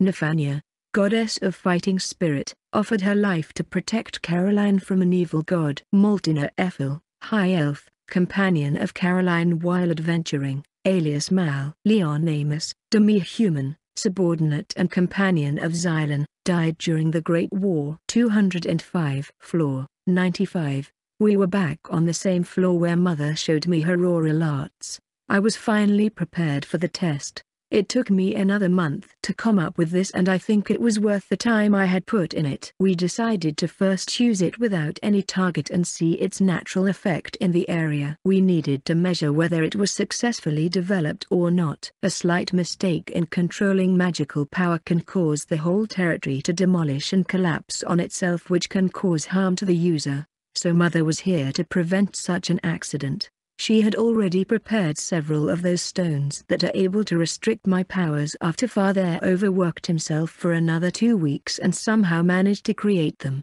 To be working like a black company employee, and worked to the bones by mother was not a first-hand experience for him. So everything could be said that, it's all in the good, Producing them is really a big hassle and the process needs a humongous amounts of refined ores, magic of the alchemist in huge amounts and top-notch precision in forming the internal structure of the crystal. By far what I understand, these Tenio stones have the ability to convert magic energy into light form and then they infinitely reflect themselves inside the crystal structure which later makes it glow and is able to store it safely. This concept reminded me of the total internal reflection phenomenon we use to study in a diamond, but now, I needed more than ever to focus on myself on what I really wanted to do in this new life and with the power I have developed over time. 206 That's right. Oral arts are not just elementary combat skills, but the metal which I hold onto and the resolve with which I have been fighting in the battle. I concentrated on my magic aura and the deep magic concentration seated in the Blassique mist that covered my soul core. At least that's what mother told me when I learned how to look at my own soul core.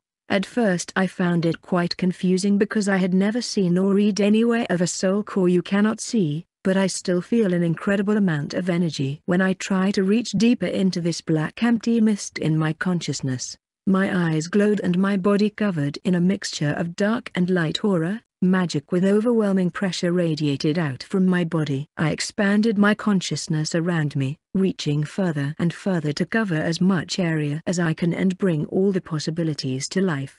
The future I want to see, the future I want to carve out with my own hands and the future I want to live in. I muttered this in my head as if I were giving myself a suggestion, and conveyed the image I had developed in my mind as two scabbards materialized near my waist. I pulled out my two swords from them and poured all my life force I could muster into my swords to bring out the possibility I wanted to see into the present reality. 207 Caroline Escalonash Born, for the purpose of test, I brought Alicia back to floor 95. She took her position in the middle of the floor and there were no other monsters on this floor because I had already wiped them all out. I had been waiting for a long time to see what Alicia could come up with her oral arts, the granddaughter of my master, one whose own oral arts at full strength had the potential to destroy worlds at her full power. Even when she taught me, I had to give the same test of making my own oral arts style. The oral arts she displayed was not only just an attack, but it was like creating life itself. Even today her true prowess lies in a different plane where I can never as a mortal hope to reach. But Alicia, who has a totally new power in her grasp, who doesn't bother herself with the limits but always looks ahead and tries to find solutions instead of looking at the problem and complaining, only she can probably do it. As her teacher and a student of my own teacher, that would make both of us proud. Show me, Alicia, the ultimate arts you developed for yourself the fruits of your hard work and your resolve to manifest your dreams into reality. I clutched my hands tightly in anticipation as it began. As the dual blades of white and black materialized, the air started vibrating in the environment just by their presence. They were truly the ultimate weapons, a weapon which surpassed all logic and can even defy the authority of gods. The force field I had put in the area was already destroyed by the magical aura Alicia was radiating unknowingly. It might be even ten times stronger of what I already showed her. To go beyond her normal limits and delve deeper into her life force reserves. 208. To be able to pour out the true desire of your soul, that's the true essence of Vora arts. All the magitite ores in the areas were glowing brightly more than ever in response to the increasing magic density. And then she finally started composing and deploying her own territory, overwriting the current form of creation and turning into that of her own. Brandishing her white and black swords, she brought them in a form of X and finally let them loose, a sky.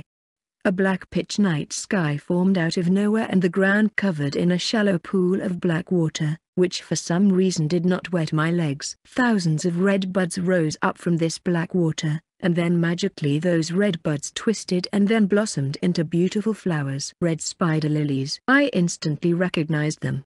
No matter how far I looked, there were these flowers lying everywhere and their sweet smell overwhelmed my nose. The rare death flower and one which guides and the souls. And yet, it was such a serene and peaceful view that I failed to notice when the sky cleared and Alicia was looking at me. For how long was I lost in thoughts and the beauty of the view? The black pool was gone, that means the territory had faded away and when I looked in front the dimensional boundary between the walls of two floors was utterly destroyed and pulverized and through the huge hole that opened into floor 96 lay a wasteland wrecked ground as if hit by a stream of missiles and finally a devastating earthquake there was not a single monster I could sense in the dust cloud in that area. So, Mother how was it? 209, 210. I again looked around to confirm what actually did happen for a careful person like me to be caught up in the moment. In that time the energy slash that came out of the combined effect of the force of the two swords, destroyed the wall, then the dimensional space between the two floors by crossing the threshold energy and finally even cleaned all the monsters who might have been inhabiting floor 96. It was beyond expectation. That's the only thing I could come up with. Alicia you. Passed the test with full marks. Yes, Alicia was exalted to hear those words and made a short jump like a kid in her overjoyed state, but sometimes I really do forget that she is only a kid three years old, and having expectations and putting responsibilities on her is not what I should be doing. Because she was reborn some of her ways of thinking and reflexes had been reset to that of a child, but since she was about 16 years old when she reincarnated she also acts maturely because of that and then she also living in her previous life's body. Maybe that's what she unconsciously chose for herself, and is fine with the choice, and blaming everything on fate is not how I do things. Alicia let's go back and prepare for your victory celebration. A celebration? Well let's have a party. That's what I want to say. Then and Flora should start on the preparations for it without further delay, but something is still bothering me. Making a concerned look was something I do not see in her regularly. For some time I actually felt bad that she would be the one preparing food items for her own celebration but she seems happy the most while doing this for us. 211. Don't tell me she is fed up with making food for us now, while all we two have been doing is sit around and eat like gluttons. What is it Alicia? marks of hesitation messing up with my face a bit. It's just that I couldn't come up with a name. What? That's what concerning her. Didn't you call out an exciting name when you released your oral arts? I want one too. It was so cool to shout it out loudly. Wait. Even I feel embarrassed a bit but with practice. I later realized that it had become a part of it already, a habit, that I just couldn't get done with it. Don't worry. You will eventually come with a cool attack name, if you keep practicing it. Amu.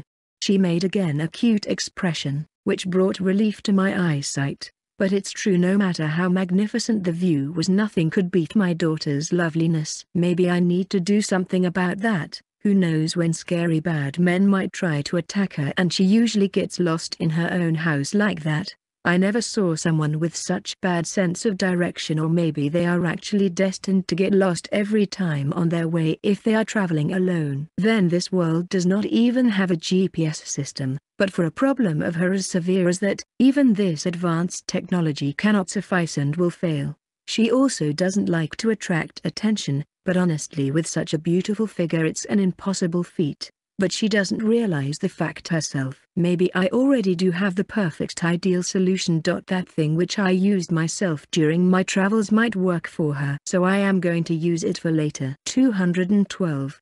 Before leaving I checked back at the place and was baffled to see that the garden of red spider lilies was still growing on the infertile land. That time I realized the amount of power Alicia could exert is unbelievable and to measure it is a foolish venture. When an oral arts lifts off, all its effects are vanished. But even for me who witnessed several gods fight during the Great War an oral art whose territory effects lingers in real time was unheard of. 213.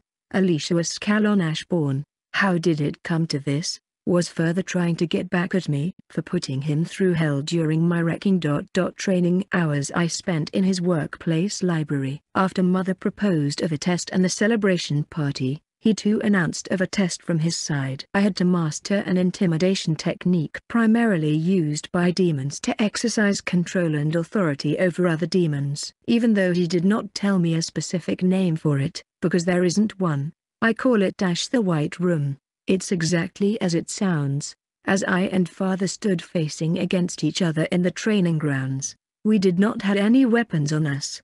We didn't need to.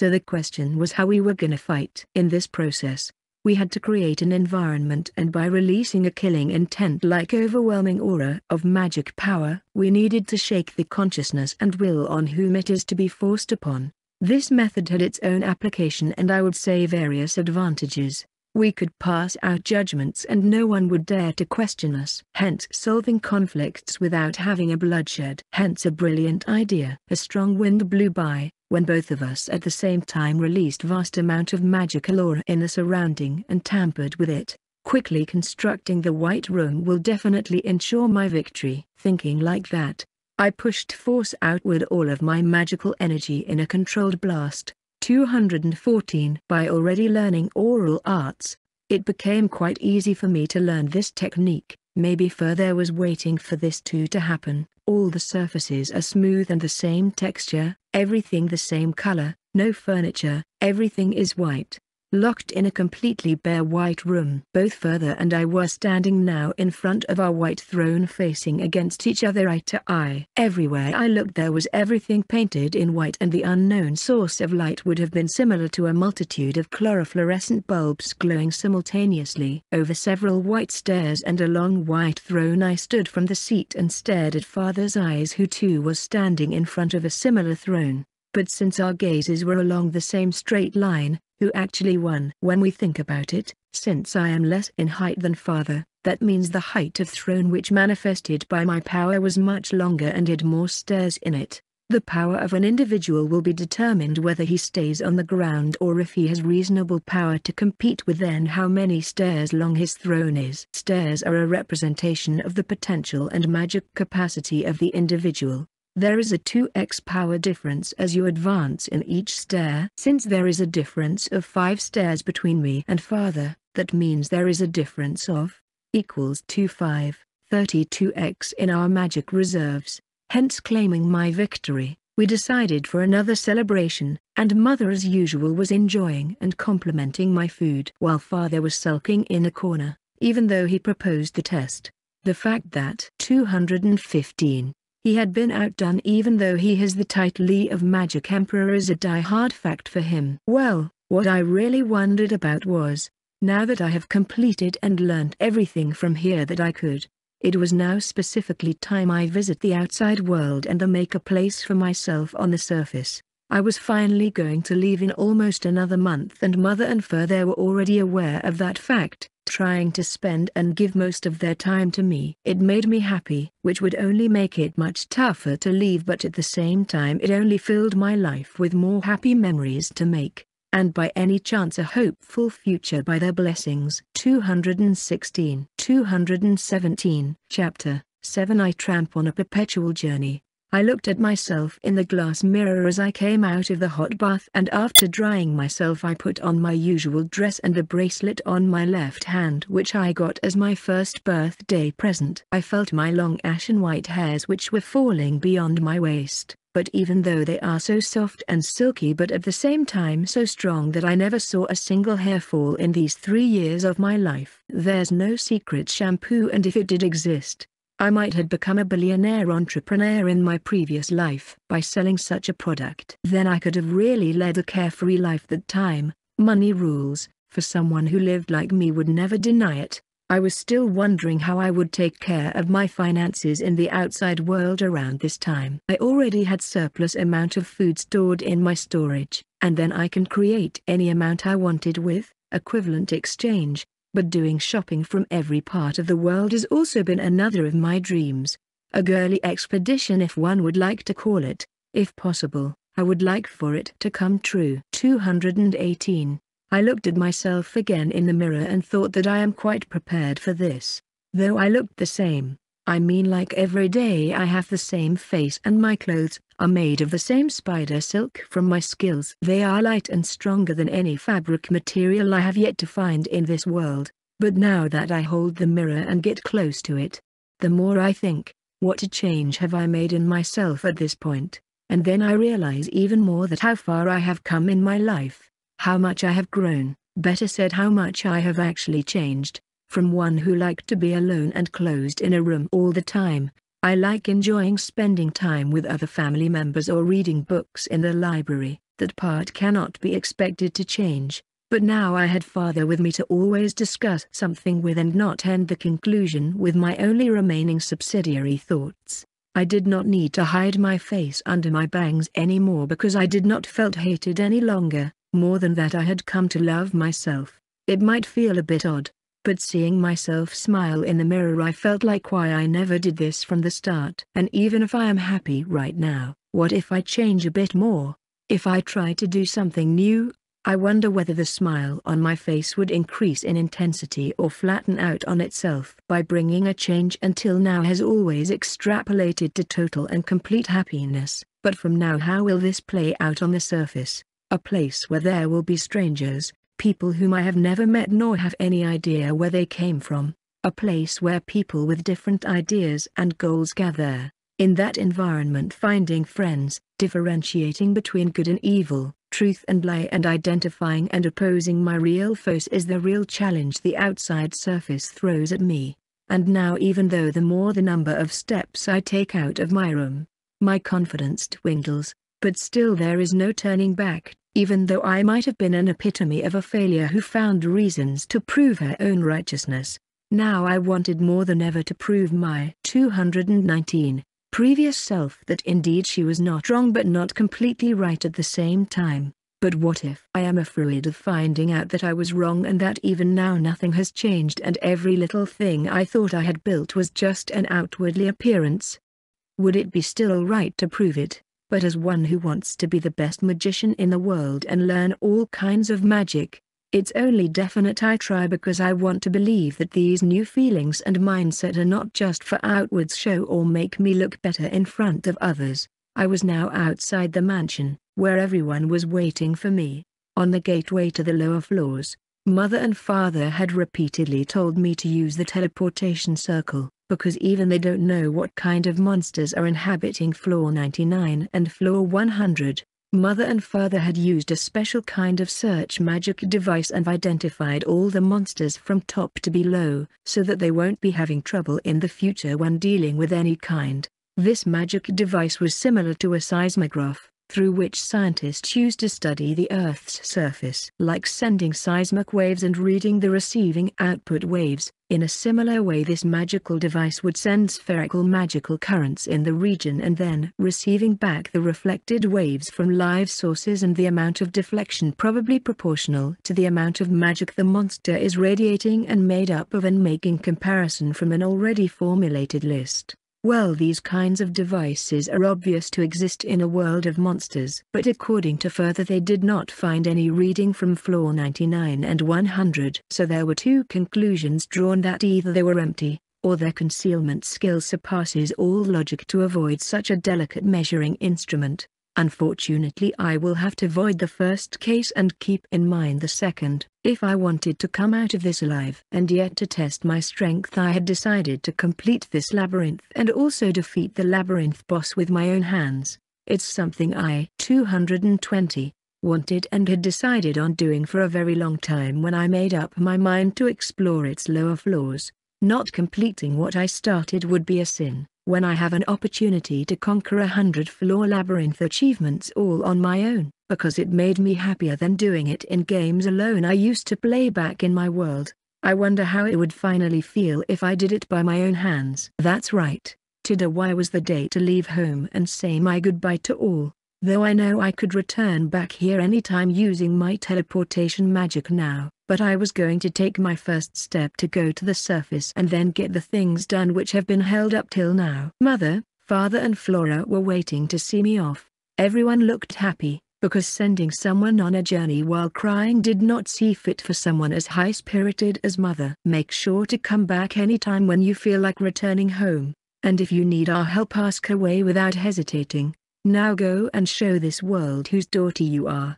Mother was excited more than ever, though I thought that keeping the fact that I was now the daughter of the true hero and the true demon lord with their family titles now attached to my name I needed to keep my status and identity hidden all the time, but I had already made all the arrangement for that. Further had already said what he wanted to say to me yesterday, so he didn't waste much time and said his goodbyes and wishing me best of luck on my journey. Flora too who had prepared some cheesecakes for me and packed it in a lunch I just put them in my dimensional storage. Lady Alicia if you need anything or whenever you need my service, please call me anytime you wish. I will miss you a lot. And dot and well for now, please look after this mansion and I would really miss cooking together with you so I think we will have to wait a bit for it to happen again. I replied to Flora to cheer her up a bit or to make her feel a little better because it looked like she was about to break in tears. 221 She is really obedient and since I made her as her creator she feels obliged to love me, or maybe she really likes me. During that time I did not had a specific reason to create Flora. After learning about golems and me knowing about robots and with Al's ability I thought it was possible to create someone like her and so I did. Later when I saw that usually the house is in a mess I tried to make a consciousness which is devoted towards cleaning and cooking to help around in the house. But no matter, to me she is a friend and always will be. Mother and father had already given their goodbye gifts to me the previous day and I think they would come a lot handy in my traveling. Without making it any more difficult I bend my head a little. Thank you mother and father for looking after me for these two years and always caring and loving me like your own daughter. I am leaving now but I wish to return soon. Mother suddenly hugged me and said, what are you talking about? Don't be so unfair or start with a formal speech because we will always love our kid and will be waiting for you and to hear about your adventures. It was now time for me to leave as I headed to the bottom of this abyss and then finally completing this labyrinth I would be finally able to see the real blue sky. Now that I wonder, are there more than one sun? From which direction does the sun rise? Does this world has a violet moon? The thing is I realized just now that I lack common sense and common facts related to this world. I might excel in magic and swordplay now, But I will have to learn everything like a kid about this world on the way. It is going to be more difficult than I thought. Phew. By any chance am I catching father's slow drive affinity now? Probably not. Well I will figure out something. For now I need to focus on the battles I have to fight ahead in this harsh labyrinth. 222 Caroline and Silen waved their hands until their daughter eventually vanished from their sight completely. So, she will be no W finally able to leave this hellhole of this world. And yet we four call it our home? Our own little world in this enormous vast world. Isn't that right Zyle?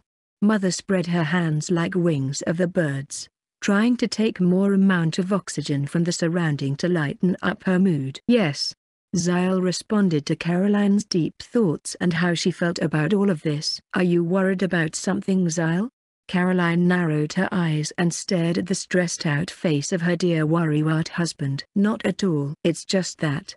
I couldn't seem to get my mind off it. Are you still that worried about her? Was it really right to let her leave when she is so young and have an almost insufficient knowledge of this world? She was trying to learn common sense from two war maniacs who are dead for this world almost 200 years ago.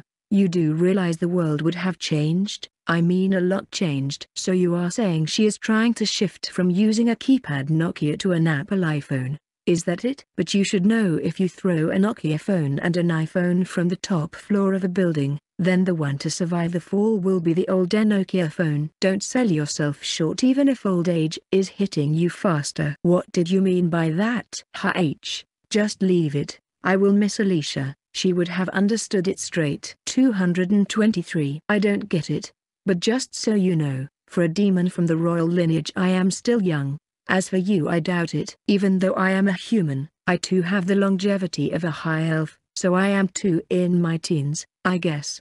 No you are not. But I still have my concerns regarding what if she eventually comes to hate this world. As an otherworlder myself, even though this world has totally different values and its own way of doing things but with time and the people with whom she will create and share bonds will help her make her own place in this world and I can guarantee it. You should know better than anyone that those who know fear of losing things they love won't be driven by hatred. I think I doubt I ever saw her afraid of anything. Do you remember when we first time encountered her, when both of you were engaged in a battle? Do you really need to bring that up? You scared? No. Not in the least. The demon lord was hesitantly turning his head away, just so that no one could catch his lie. She was strong enough to go through an attack that could have killed you and her altogether, keeping true to your ambition when it could mean life or death.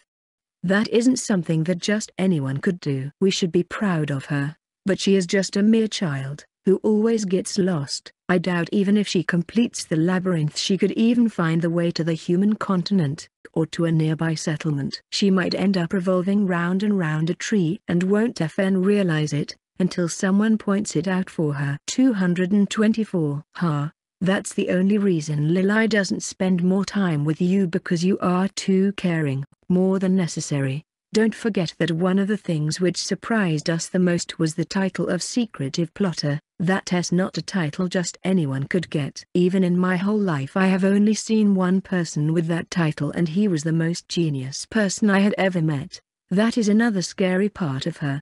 The Demon Lord sighed. Why don't you SK Flora to tonight make a hot pot, your favorite food and relax a bit? What if she goes berserk on the outside if something bad happens to her? Well, then the power of love will surely save her, or, the world is screwed otherwise. Well it doesn't deserve to exist if it makes my daughter unhappy. Seeing Caroline's free-spirited heart, made the demon lord feel refreshed again and he realized that it was one of the most special things about her that he liked the most. The journey and the stories it entails that lied ahead did not belong to either of them, but to their daughter alone and she should have every right to make her own decision and the best thing to do was support her from the sidelines. 225. The previous day, Alicia I wanted to give you something, before you leave. What is it? I excitedly asked. Could it be a top secret weapon that can flatten out a mountain in an instant? Everything Mother possessed were all rare class weapons that she had collected over time by conquering dungeons, defeating strong opponents and the monsters or custom made by the best craftsmen of her time. The hero was leaning over her huge treasure chest, It was a rather dilapidated old brown trunk with some decorated golden lining, but for Caroline it was more valuable than any amount of gold. For her it was a treasure trove of her precious memories. After some searching, she pulled out an item from inside and handed it to me. It was a mask, or better described as a pure white Venetian masquerade mask, one would see people wearing in old-styled European balls. It's not like it could completely cover my face. It only hid my half-frontal lobe, down to the nose, and two sharp protrusions from the ear sides up to the end of the chin. And my eyes were completely visible. But why a mask? This mask will help you keep your identity safe.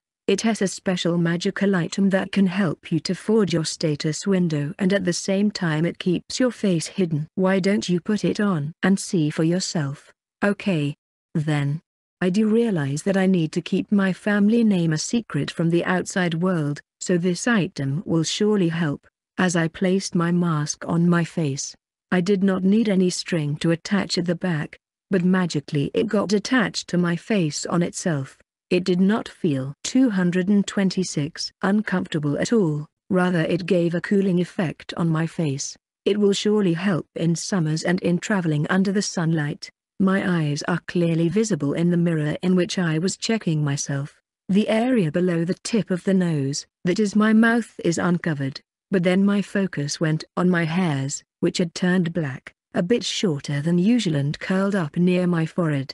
I looked towards mother, who might know something. I told you this is a special item that helps you to forge your identity. Even I used it myself on my adventures to keep my identity hidden otherwise good for nothing people would always keep on pestering you. So it may have done that thing to your hair for that very purpose but black hairs suit you as much as your white hair. Overall you look so adorable in that mask that I cannot move my eyes away. Caroline commented as she had already started acting in a strange way. If mother thinks it's fine then it is.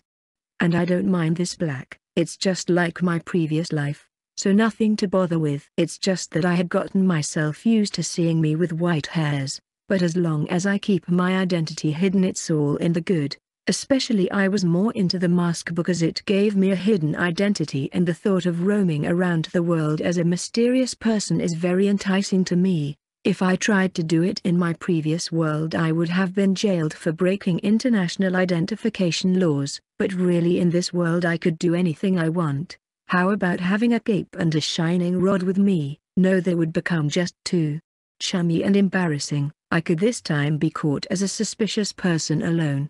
Listen Alicia, never show your face to anyone, unless you trust them, got it? Mother made sure to stress out on that point as if she was up to something and then continued, and also this mask comes with an 227 added effect to suppress your strong magical aura. You wouldn't want people fainting in your presence when they are standing beside you. Well I think mother is cracking a joke, but it helps me to hide my aura, then it's good for stealth attacks too and won't be a hindrance in the battle. I then put the mask in my storage. When I noticed mother searching for something in her own dimensional storage. Wait there's one more thing, which I made especially for you. You made it. That's right. I have been working on it for a long time for this very day. Mother then took out a hand fan from her storage and gave it to me. As I was about to take it in my hands, I realized what it actually was. It was more of a restrainment weapon. It was first too heavy to hold, but I think I can manage it just fine now by adjusting the power in my hands. It was again a white-colored Chinese hand fan. The only difference was that instead of made of paper it was made of some kind of strong plastic polymer, probably a new substance of this world. As I opened it with a jolt, I realized how sharp the edge was and its strong built which gets stronger the more magic I put in it. It's almost unbreakable. It had no special design on it or some kind of decoration, an elegant fighting tool which I can carry anywhere without any problem. And I think my dual blades too like it, because there is no kind of stingy response from them.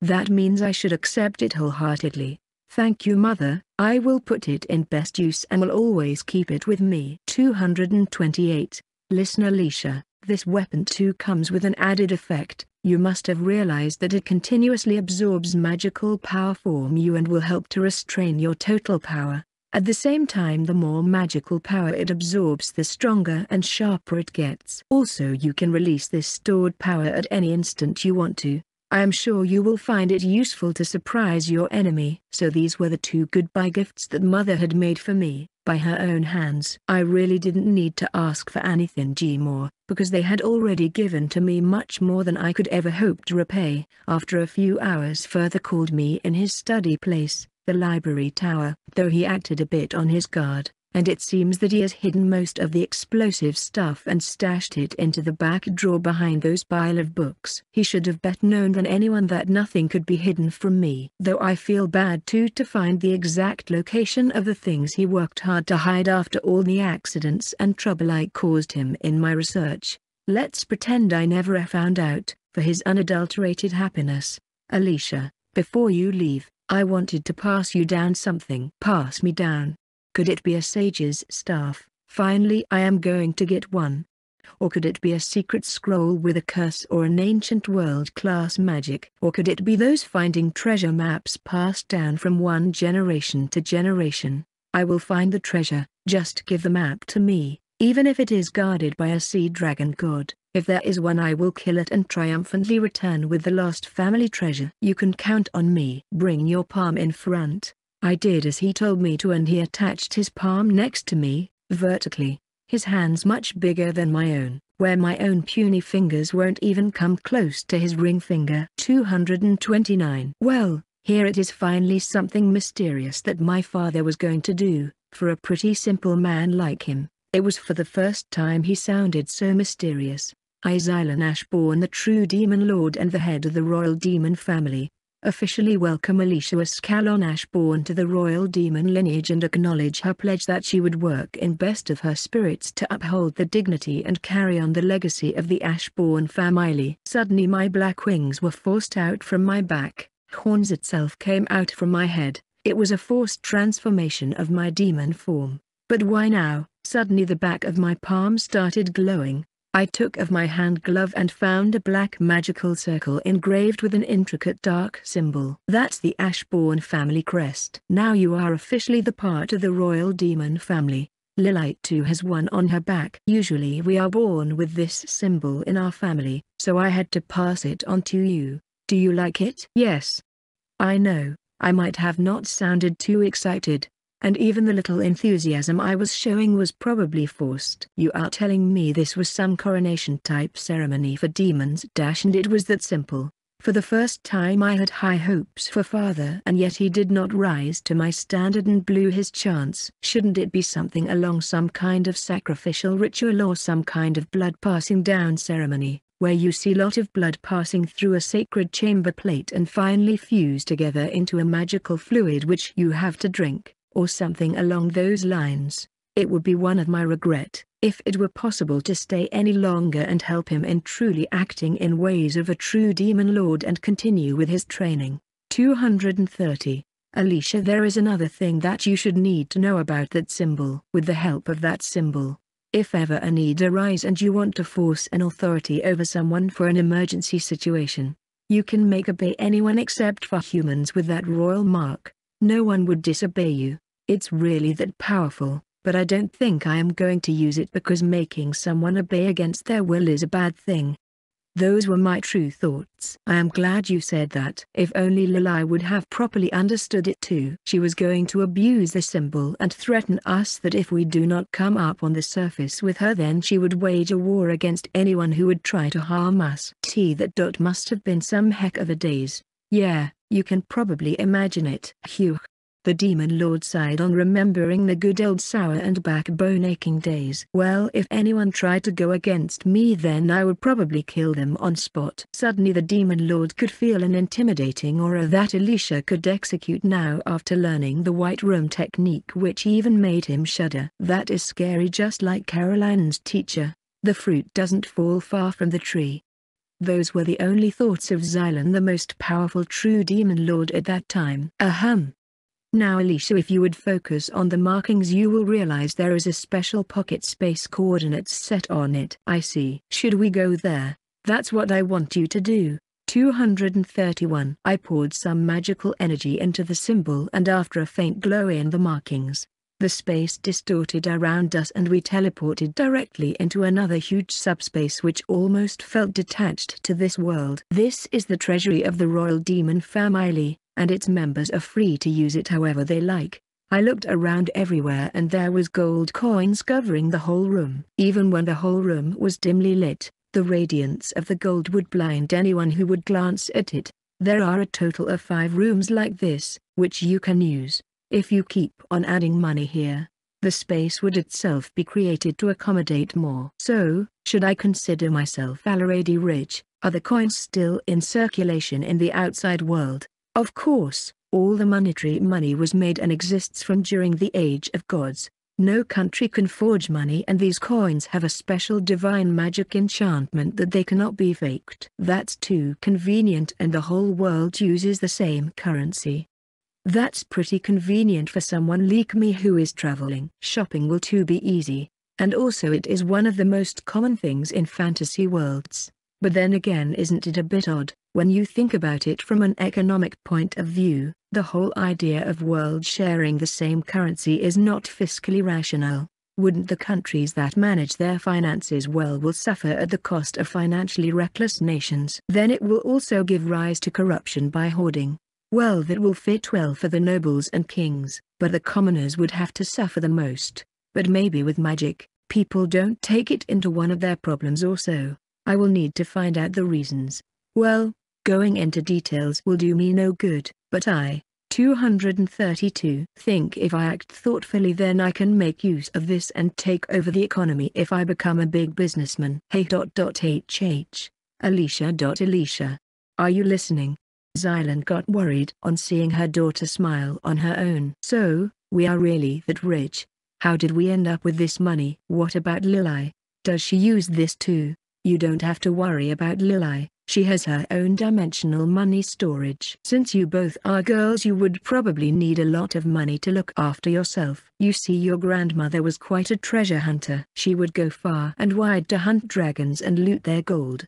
And since I was not that extravagant, I would only use it for research in magic and development purposes only. But you are both free to use it for your own amusement. This money has only been decaying here for these years after all. Wait isn't that like spoiling your own child? I hope Lily doesn't turn out like those rich kids who pretend they can buy anything, while in actual their money belongs to their parent which is thanks to their hard work alone. Then again, this amount in one room would have been enough for me to be the richest person in my country back on Earth. Regardless I don't know its true value in this world or how over time the value of money did change in these years since father and mother have been here for a very long time and know a little about the world themselves. What if due to inflation this money remains of little value? I won't know until I go to a market. I did hope of becoming a president of my own business estate, that has also been one of my dreams to own a business company and take over the market of the world.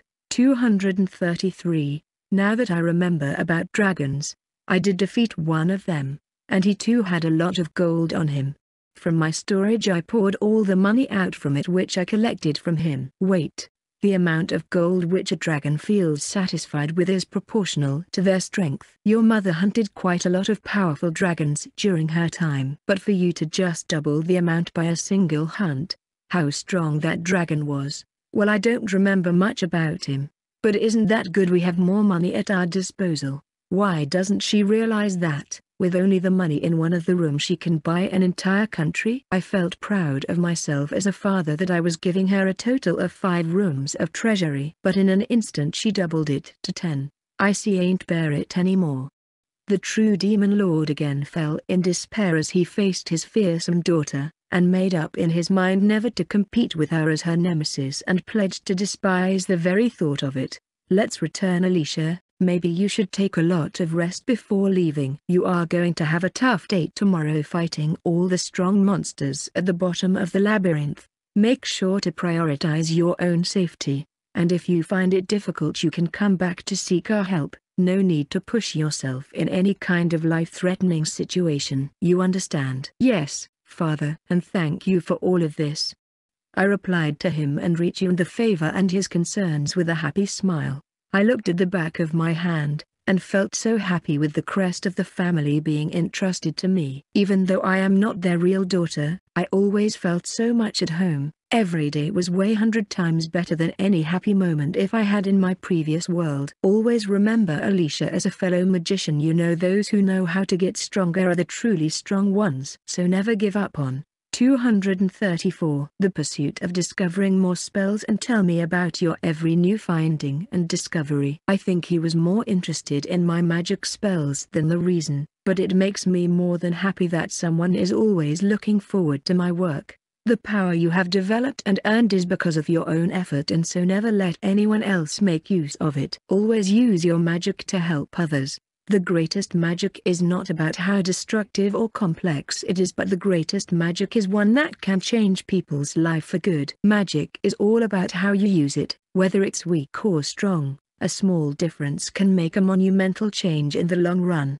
The greatest, most powerful magic, even if I whip up something new, can it still be called the greatest? I always find room of improvement the more I learn. Every time I use magic, I like it because I feel connected to everyone else. If I truly would describe how the greatest magic will look like then it's the magic of meeting wonderful people like Athena, Mother, Father and Lili. If encounters themselves are magic, then I would like to still keep on using it. 235 Floor 97 I was at the entrance of floor 97 and as I started walking forward, I spotted the enemy already, a total of five. They were huge 50-meter tall crystal giants, and now when I take a look at their status I realize that magic won't be effective on them.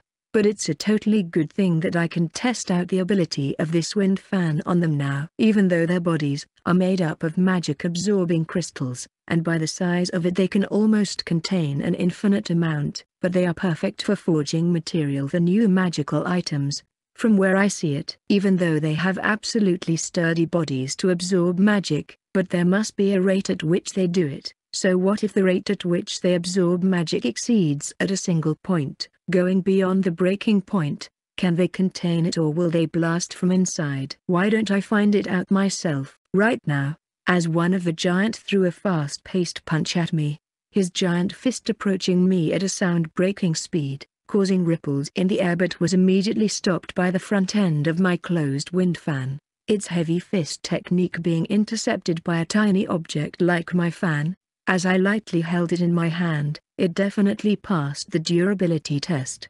The next thing was to check on its ability that mother told me was to release all the magic stored up until now in it in a single flash. I think it has already absorbed enough magic as it is, and when I released all that magic at the single point on its fist in form of wind cutter, 236. I have to make sure that the point is a singular and does not take much time to activate otherwise it will spread to an area making it much easier for the giant to absorb the magic. I opened the fan in an instant and with a screeching sound, the whole giant's body cleanly bisected in two half parallel to the edge, split asunder down the middle by a clean sharp ultra-violent plane of wind and its each half of the body fell on either side. This fan can really do some special crazy things, as I kept on trying other ways of using my fan as a weapon and magic along with it, I wiped out the other four, without realizing the fact, that eventually I had made monster hunting a fun and an experimenting vendetta.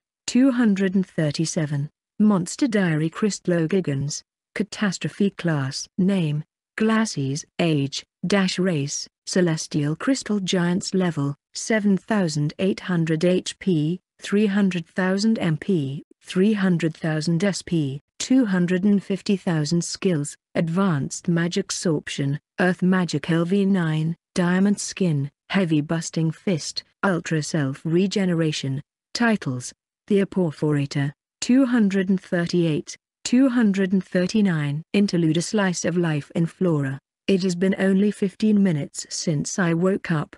I was arranging the red spider lily flowers which Lady Alicia liked so much, in the vase placed inside her room near the window where the light is most abundant. Every time I looked at the red color of the flower it reminded me of her beautiful eyes. I used to wake up along with her late night and stand near her side, Seeing her passionately work hard and study made me absolutely happy. I was not crying, I just had already started missing her. Being separated from my master and being abandoned is the worst thing that can happen to me. But my master has already made it clear that I am free to do anything and if I want something to do then it is to work for her and dedicate my entire life in her name alone. That is my only wish, my only reason to live. I was already left with the duty to look after my lady's parents that is more than I could ask for and I know that she is grateful towards me to look after all their need while she is away. But the one who finds herself 240, fortunate is me, who is granted this opportunity to help my master and follow her orders. Whether it is regarding the cleaning of clothes, preparing bath water, maintaining the gardens, or keeping the rooms clean I do it all and these are just meager works that doesn't require much effort.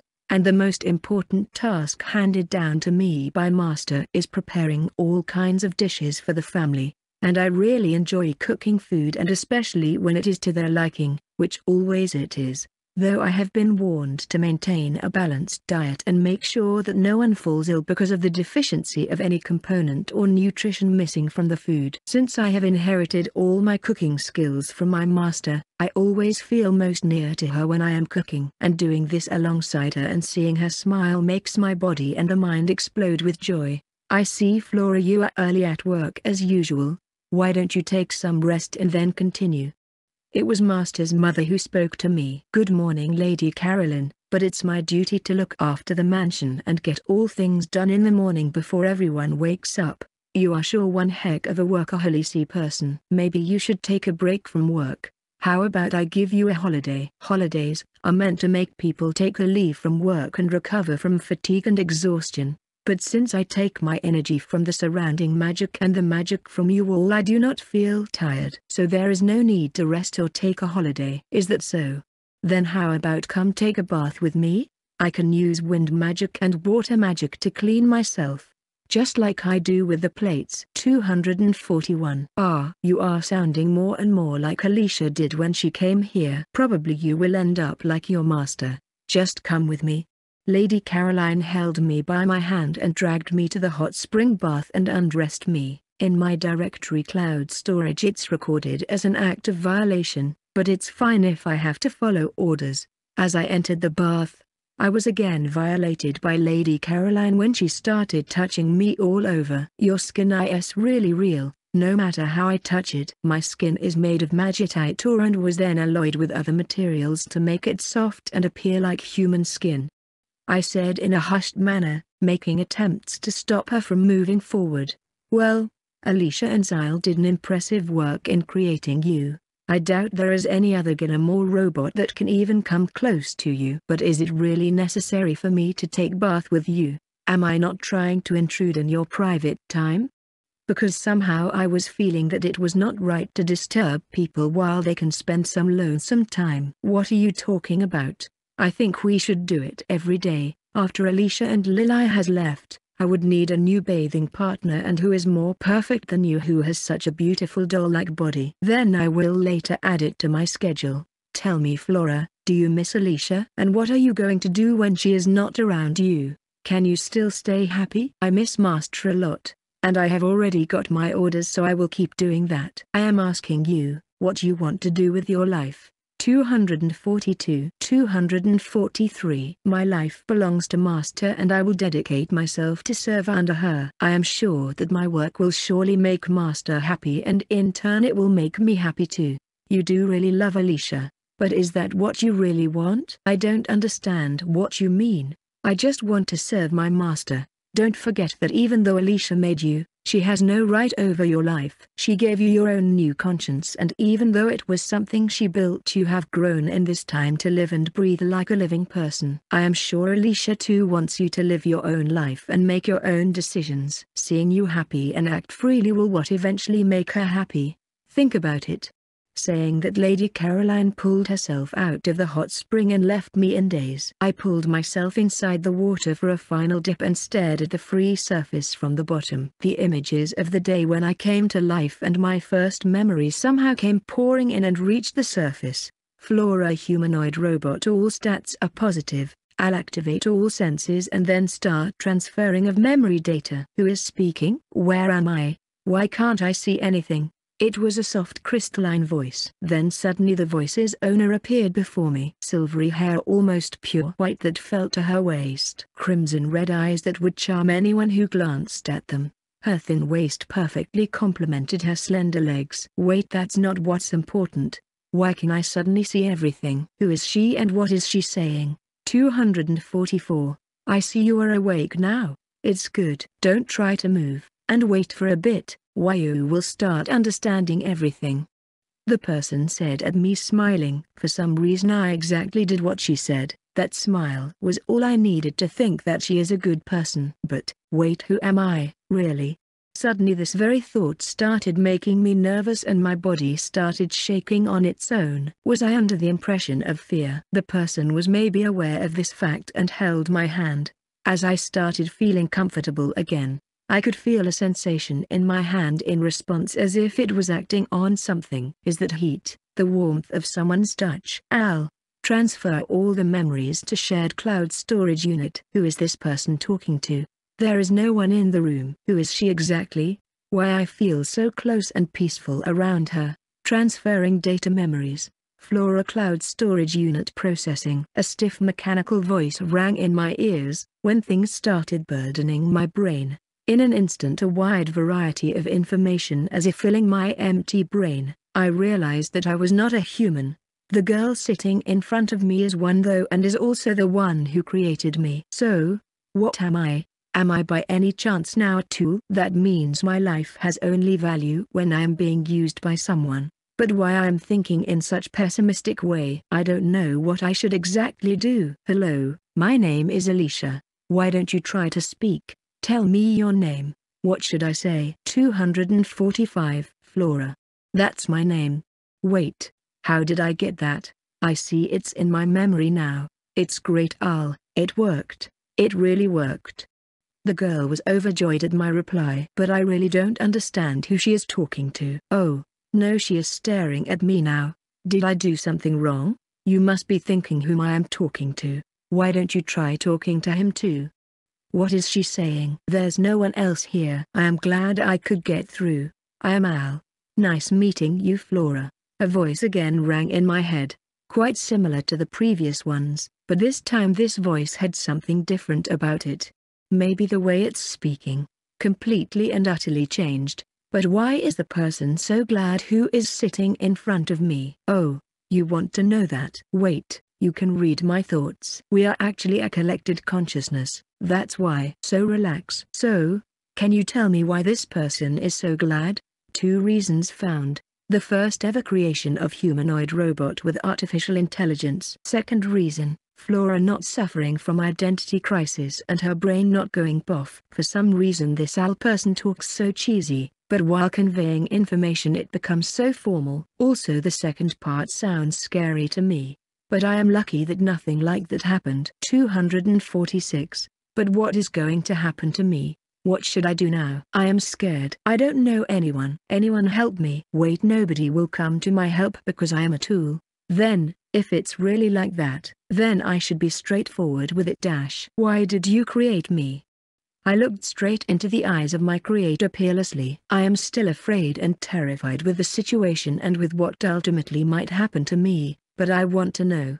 Because I can't skip out now. For some time she stared blankly at the space in front of her and suddenly with a bright face as if having gained enlightenment, she said the most absurd thing to me that I would have ever first heard or will ever hear. Even I don't know. I just felt like making one. I was dumbstruck. How could she say that when it's a matter of life and death to me? If there is no reason for me to be created then why am I still active? No, that couldn't be.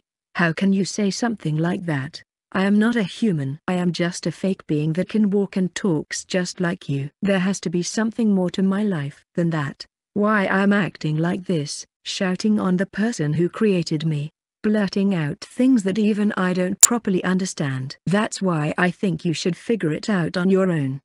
Your reason to live Decide it for yourself freely. Why is she still smiling at me even though I am the one shouting at her? Don't lie to me. I am just a tool you made. I am not even real, so how can I think freely? I did it again. Now she will definitely get mad at me and throw me away. 247 Being nervous around me, angry for yourself and at the same time concerned about me. See you are self-conscious. You can think for yourself and for me you are just real as any other person. I could not come up with any counter-response, because at that time she took my hand and placing it at the center of my chest, thump dot dot thump. For that second I really felt alive. SCE, you are real. I told you, as if at that very second time had stopped for me, the world had stopped spinning, like a dream coming to life. I realized in that moment that I truly became alive. That moment was real for both us. As I rose up to the surface, I realized the vision through my eyes was still obscured. I tried to wipe my face, but for a second after getting clear, it got drizzly and muddled up again. I was crying, for some reason I felt ache in my heart at the exact place where she told me that I was real. But I think I knew now, what I wanted to do for myself was to grow and prove that I like a real person can learn to protect what was the most important thing in my life. I got out of the bath, and after drying myself I put on my clothes. I went to see Lady Caroline as soon as possible. Lady Caroline, will you please teach me how to fight and become strong?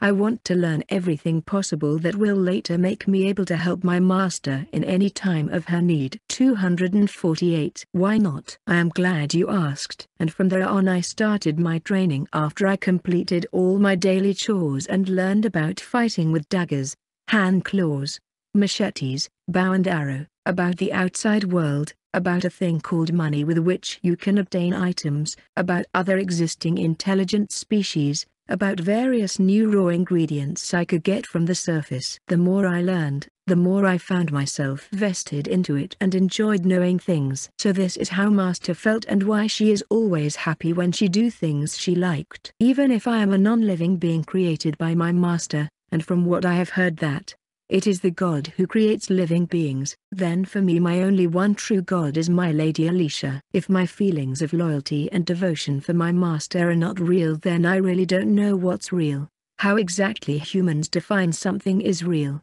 When they themselves try to imitate others, falsify their own identities, hide their own emotions, real intentions and betray their own kind and self-expectations by making false promises then I'm much better at not being real because I genuinely love my master. I also learned that there are repulsive and beings that are inferior to me called golems. I hate them, and I know I am the world's most perfect robot because she is my one and only creator. 249 250 Chapter 8 The strongest monster of the abyss. I see so you have been living here since the day you were born. I asked the little monster in my palm. Yes, my queen, since the day I have been born, I have found myself confined in these walls, but finally our queen is here to look after our welfare. I am so happy. A tiny squeaking voice rang in my head. Yeah about that part. Can we discuss about it a little first? I showed a bit of hesitation in saying this but the queen part has still been bugging me. My queen is my queen. That's the only thing I know and this tiny sweet voice doesn't seem to back down or take a no for an answer. Hugh H. how did it even come to this? I think, it all started when I entered floor 98, 251. I could hear clattering voices from all over the place, almost similar to a ticking of an analog clock, as I crossed the arc passage. It was a huge grass plain, with a water fountain on the very right corner and a cluster of magicite trees which illuminated the whole place like a glowing Christmas tree. It was more of a paradise than a monster lair, but the only thing that made me feel off was the clattering, metal scraping noises from the huge giant spiders inhabiting this place. To be honest I was more into enjoying the view than the thought of fighting them. Also for reasons, they felt so nostalgic, as if looking at a reflection of myself which I was once. As I made my presence known to these spiders, I expected them to bring the fight directly to me. I prepared myself to send them off to the other side without hurting. I couldn't show them sympathy if they try to hurt me, though if possible I will make it easy for them to pass on. All the spiders suddenly stop moving their front claws or doing the work they might have been doing maybe like washing their fangs or scrubbing their spider webs in the running water. but staring in my direction and then again in the left corner of the floor, where a huge black spider was resting on a huge pumice rock, maybe treating it like a throne of some kind. Suddenly the black spider made out a huge roar after looking intently in my direction and all the other spiders froze in their places. I didn't understood what was happening, but it was fun watching them nonetheless. If they tried to act suspiciously I was going to annihilate them either way. So it's all in the good, as their distorted arrangement quickly turned into a classified special arrangement of rows and columns. They matching and synchronizing their movements marched towards me, in a somewhat akin to a parade or 252 processions I would see on television when the military rallies to the parliament. I was more than ready to unleash my spell, when the black spider appeared in front of me. It was so quick that I wouldn't have been able to react, if I didn't keep my guard up. Was it teleportation, maybe shadow movement from the looks of it? They are all high-level spiders after all and with huge bodies like that they are quite a monstrous sight to look at. Well, I did also look the same WHN I was one. As I was immersed in my thoughts of my dark and harsh past, a shrill voice excitedly banged in my head, even though it did not cross paths between my two ears. Was it telepathic communication, but with whom?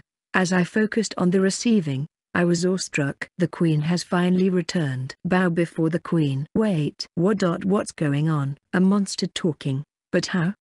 Could it be that I am hearing things? Am I that adverse to killing spiders now? But if they try to harm me then I have no choice. I should just burn them after all. When suddenly a status message appeared as if an oracle, to prevent the demise of these innocent spiders who were now bowing and shouting praises for their queen. But where is she? I failed to spot another huge or powerful spider except for the black one, but he too was a part of this entire parade charade. Rather he is the one who initiated all of this and the others followed. Legacy of Goddess Arachne. Title activation. Confirming evolution. Confirming level steps. Transferring rights. Process initializing. 253. Wait. What's with my status all of a sudden? And why is Al acting on his own with his emotionless mechanical voice? Subtitle, Queen of All Spiders, Authority Activated. How did I get this title now? Is it because of that weird title which I have since my birth? Why is it activating on its own? Is it some inner mechanism, with some conditions to be fulfilled? And if the title is the Queen of Spiders does that mean their queen is me? Just to confirm, I asked the black spider by directing my gaze at him. Since they can make me understand their language through thought communication, the vice versa should work too or at least I am hoping for it in that matter. Can you tell me who your queen is? It's you my humble queen. A loud voice again ran through my head again. I knew it, but what should I do with it now? All of the spiders almost numbered in hundreds, ranging from different colored shells, blue, green, red, gray, violet and the one who was standing in front of me was the only black spider. He appeared to be indeed the most powerful among them and the one at the top. So titles do work like authority, and the spiders instinctively respond to my presence. Before this I had never used the power of a title, but it does seem useful now. Maybe I should try to acquire more of them, but I have to make sure that I don't end up with a weird one. All hailed the mighty queen. 254 all hail the majestic queen. All hail. Okay fine. I am your queen. So stop for now. I who got frustrated with their loud noises, without thinking shouted inside my mind, but it seems that due to telepathic thought path communication they heard it. A pin drop silence fell in the bottomless chasm of the labyrinth, and except for my worried looks, strained forward in the flowing downstream water, nothing seems to be moving. Are they mad at me because I shouted at them? I looked at the black spider and could tell he was eagerly waiting for something. So I tried doing this. Being as direct as possible. By any chance do you want something from me specifically as your queen? I need to gain their trust. If by any chance we can reach to a conclusion to stop our fight, then I am more than willing for a peace negotiation. The black spider walked in front a bit and tilting his black spherical head, attached to its huge body, like bowing to me he continued in his ear-splitting sound, Oh, humble queen, as your subjects we can't ask you for anything. No, no, There could be something I could do for you. Just ask. My queen how kind of you to offer us your divine protection. Wait, but I didn't offer anything to you. You just went and decided it on your own. He continued, then if you must then we want to procure some nutritious food. We have survived till now by eating plants, but it doesn't seem to work for us that much in terms of fulfilling our 255 demands. Would you be willing enough to grant us food with your absolute power? Wait. These spiders eat plants. And now they are asking for something nutritious. Sealed it be meat. So ultimately they are omnivores. But why haven't I ever thought of eating plants when I was one? Right while fighting monsters I would usually end up destroying the whole floor or burning down the whole place. Well, you learn something new every day, so I will leave it at that and take it as a lesson. As for their food, I have defeated a lot of monsters and with help of gluttony and equivalent exchange, I can recreate monster corpses, so will it be okay for them to eat it? Will monster corpses work for you all? Anything our queen offers to us we will be honored to accept it with all of our heart. Then how about this, I recreated a sandworm corpse to fill almost half the floor, which I once defeated inside the labyrinth. I wonder for how much days it will work for them. Thank you, my queen. This will surely make your subjects happy. How could we ever repay to you? Don't go crying on me, you asked for it, so you get it. You, honestly don't need to. You are so kind my queen, let us all dedicate our lives in your name. Please use our meager lives to fulfill all your means. Wait, didn't you decide it all on your own? But I don't think there is any backing out now and it's not like I can't use their help. All I need to do as a queen is to make sure that they live a happy life and do not die because of any avoidable circumstance. If serving me, their queen makes 256 them happy, then I shouldn't refuse the offer, as long as I don't make their life less comfortable or put them in harm's way. But is this amount really enough for you all? Yes, my queen most probably for a month or two. Are they dieting freaks? With their size, even this amount won't last for an hour. Oh, I see that's how it is. I understood the whole fuss when they shrank themselves. That's right, until now they had been using body transformation but their true size is almost that of a nail and can still lower their body size to a thick marker's dot. Color me impressed. They changed from abominable apocalyptic creatures to household innocent childlike spiders. Most of them were now feeding on the sandworm, while I was checking their stats through appraisal. To be honest, they were not much of fighters or attack magic user monsters. Though they have high resistances, but they are mostly sneaky type ones. Most of them possessed skills for hidden attacks like poison breath, confusion, paralysis, sleep, mirage, dream contact and even extended to mind attack skills like hypnosis and taking body control. Now I can see their true potential as a mini squad a small army of spider troops good for scouting and directly taking out bosses of the opposing armies. To be honest no one would even suspect them and they can just go and do anything. Hiding is not a problem for them at all. If they learn advanced conceal, then not even investigative skills would work on them. 257. My queen is there anything I can do for you? The black spider came to me on its own violation with the exact proposal I had wanted. But first can you tell me what I should call you? I am sorry for making it difficult but I don't possess a name. Right I had doubt about that, only singular entity monsters possesses names. Then how about I call you Ellie, it makes me so happy to obtain a name from our benevolent queen.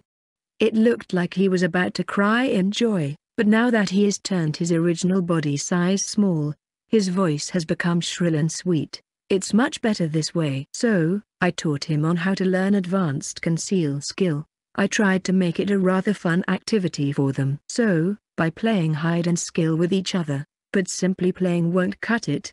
They needed to be engaged in combat too, and to catch each other they had to use their webs. It will improve their combat skills in the end and some of them will learn the required skills. Well, we will get to see the results in a month or two. As a compensation I made a promise to teleport lots of meat monster to this floor and also guarantee their safety when they needed me. With help of Ellie's skill we could even communicate over long distance and when I would need them ever in future I could just teleport them to my side. This makes me realize that what I am doing might be similar to monster taming but since they call me their queen then should I call it monster subordination. Hey by the way Ellie.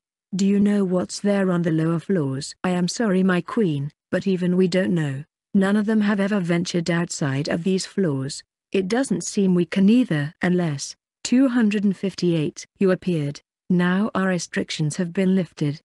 That was something new for me to learn. Due to my authority, they are no more bound to the rules and dimension barriers that maintain order in this place. Yes, that might be true. When I appeared somehow they too got the title of worker spiders. Am I running some kind of corporate system now? Sorry for being useless my queen. No problem. You all just try to live a healthy and fun life here. But I can tell you one thing that whatever there is below us, is not alive. We never sensed any life energy coming from there but always experienced a cold powerful surging malevolent energy occupying it. That does help. Well I have a clue now, and I think I know what I should expect then. After that we said our goodbyes to each other and all the other spiders seemed to be overwhelmed by me leaving, but I assured them that I will help them whenever they have a problem. And that's how our little congregation came to an end and thus a spider colony was found under my supervision. 259 Floor 98 Who would have thought that I would be able to see such a creepy and yet fascinating sight someday? Till now I had only seen it in video games and novels, but they do really exist in this world. Those who sleep for eternity and yet walk the land, those who look straight forward at their goal and yet are mindless, those that are not already rotten but yet immortal, the undead. As I was a step away from the gate, the lower land was filled with a dense pitch black mist. So, that's what is called a black miasma pool. For one to be here, it's sure is a mystery right now. Usually they could be said as naturally occurring pounds in the realm of dead, hell, but for one to be here and so huge to cover the entire floor. I needed to tread carefully in here. From what I have learnt, these pools is what power up the monsters, causing different changes in their bodies, pretty much like evolution. But it's way worse because it takes away their sanity and fear of death and instill in them the thought to destroy whatever is in front of them. I looked at all the humanoid-like creatures, creatures other than humanoid shapes with almost no forms. Undead, zombies, skull people, whatever one calls them were walking on this floor. The air was so cool to almost make my breath clog in my throat. The sight of these indescribable creatures, the cold black darkness did not only had consumed the floor but also had plagued their hearts which almost made me scramble backwards. But I had to move forward, even though this was my first-hand experience with them. I had to learn to deal with such a problem at some point if I wanted to succeed in my and Athena's goal. 260. So, to first know of their weaknesses and strengths properly, I wanted to play it safe and avoid the black miasma and its adverse effects. Even though I have magic immunity and resistance I doubt it would be absolutely effective against such an overwhelming amount. I had to keep my promise with mother after all to not get hurt if I am able to, so from the stairs alone I decided to launch magical attacks, since they won't respond to my presence unless I enter the F-Law or, or step into the Black Miasma. Gravi, Sphere, Wind Cutter, Fusion Sphere. I launched my preliminary rail of attacks, but unfortunately, it had no effect on them. On those whom I casted Gravity Sphere stay stuck to the ground. On those whom I cut through Wind Cutter, felled into various parts but continued to grossly walk with their cut-down half-bodies. With no choice I decided to raise the level of spells. Black Flare. In the next instant the whole floor was on fire, which confirmed the fact I had learned about the undead. Magic is ineffective on them. The black fire just spread over their bodies with doing no damage whatsoever and died out. The reason being, that the undead are specific creatures that possess infinite and zero amount of magical energy. They keep on alternating between them. For a body which ceases to have a soul, but when their escaping consciousness ends up in a loop of leaving and re-entering a body it gives rise to an undead. When the consciousness leave their bodies they have zero magical energy, and when their consciousness returns back by absorbing magic 261 energy from the surrounding and pure lack miasma they have almost an infinite supply of it. This process is fast in undead who have strong will and are powerful, while it's comparatively slower in the weak ones. This leads to the conclusion that my black fire magic failed and so will the other magic spells. I mean killing an already dead being sounds lame, though I have to do just that. To be more precise to defeat an undead we need to erase their existence. In this world people have only one solution of defeating an undead, that is divine light magic which works well in destroying the magical veins and severe their consciousness form their will. But for this humongous pool of miasma and undead numbering in hundreds it would almost take an entire day, and I don't like to work like a bull, but take smart steps for quick total annihilation of my enemy. So, it was my best time to try out my new weapon that I once failed to control. But after regular practice with Mother I was finally able to gain complete control over it. I will also able to confirm the exact potency of this weapon and its limits at the same time. Soul Weapon Manifest, Deliosphere. The next instant I was covered inside a translucent white color sphere. This was my soul weapon. Unlike any other soul weapon, it was one of its kind because I cannot use it directly to attack. The ground below me got erased, so I used wind magic to skywalk.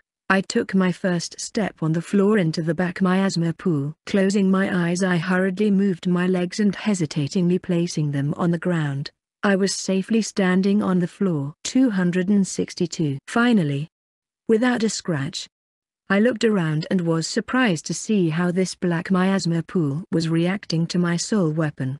As soon as the black mist touched the periphery of the sphere it vanished leaving an empty space which was then covered by the surrounding mist. The process continued forever, as if the sphere was acting as some kind of a sink or a drainage point. But the sudden change in the level of black miasma had already alerted the undead of their energy source being depleted by me. They took an offensive side. Some came running in my direction empty-handed, some with rusted swords and wearing brown rusted armors. Even the monster-looking type undead did the same and mindlessly attacked me. But I was not bothered. The moment they touched the sphere, they vanished. Not even a single trail left behind, almost being reduced to nothing, as if they were being deleted from reality. That's the feeling I get. I was happy as I moved forward towards the next gate leading me to the final floor. I did not need to do anything except walk as all of my enemies unthinkingly vanished from my sight as did the most of Black Miasma which was almost completely gone with few traces behind. Then not to forget about the undead mounting over black horses, those really fired me up, watching them in real life was a dream come true. But they too found a similar ending of being erased. Within 15 minutes I had not only defeated all my enemies but also purified the land. But seeing the floor did not make me much happy. The fertility of the soil was gone, it was burned to the very bottom of ground with almost all of magics being used to sustain the black miasma itself. 263 264 I decided to pick up some soil, and later try finding ways to restore it to normal in as little time as possible. I might have to confront these good-for-nothing creatures in future later too. So it's better to be prepared. 265 Floor 100 The situation just can't get worse than currently what it is. I had started getting bad premonitions the moment I saw a four-square gate sealing the passage to the final floor, just like an unwritten invitation or label. One labyrinth final boss monster, order up. Using my wind fan I slashed through the gate, ripping apart it into two pieces with a clean cut. It was obvious that Mother's gift would prevail against these pesky ancient doors, though now I regret it when I think I could open a museum with these kinds of objects. The people would go crazy in my previous world on such a discovery claiming dash a fine piece of ancient work, a breakthrough in ancient times technological advancement. Or what not stupidity over a dumb door. At least give it a rest. It might be just a door to someone's washroom in old times. But maybe it would be just considered an old dull gate in this world and the idea of a museum, won't work that well in magical world because things needed to be put to use instead of being hanged on walls or bore the mind of school children on a museum trip. Then there are all kinds of restoration and sustaining magic which defeats the entire purpose of recording time artifacts. But the world which I was about to enter had no limits or boundaries as such. I would have thought as much when this floor is the only one separated with a sealed door. Danger is etched and has been echoing in this empty dark space. I could neither perceive a wall nor the ground. It was all covered in pitch black miasma much darker and denser than the last time, but instead of being surrounded by undead, a huge black sphere was floating in the center of the place. 266 With no choice I activated my soul weapon and stepped into the black miasma and it still is ineffective on me, but I was still creeped out by how the miasma was reacting. It was a curious sight, but at the same time, it made me feel indescribably uneasy.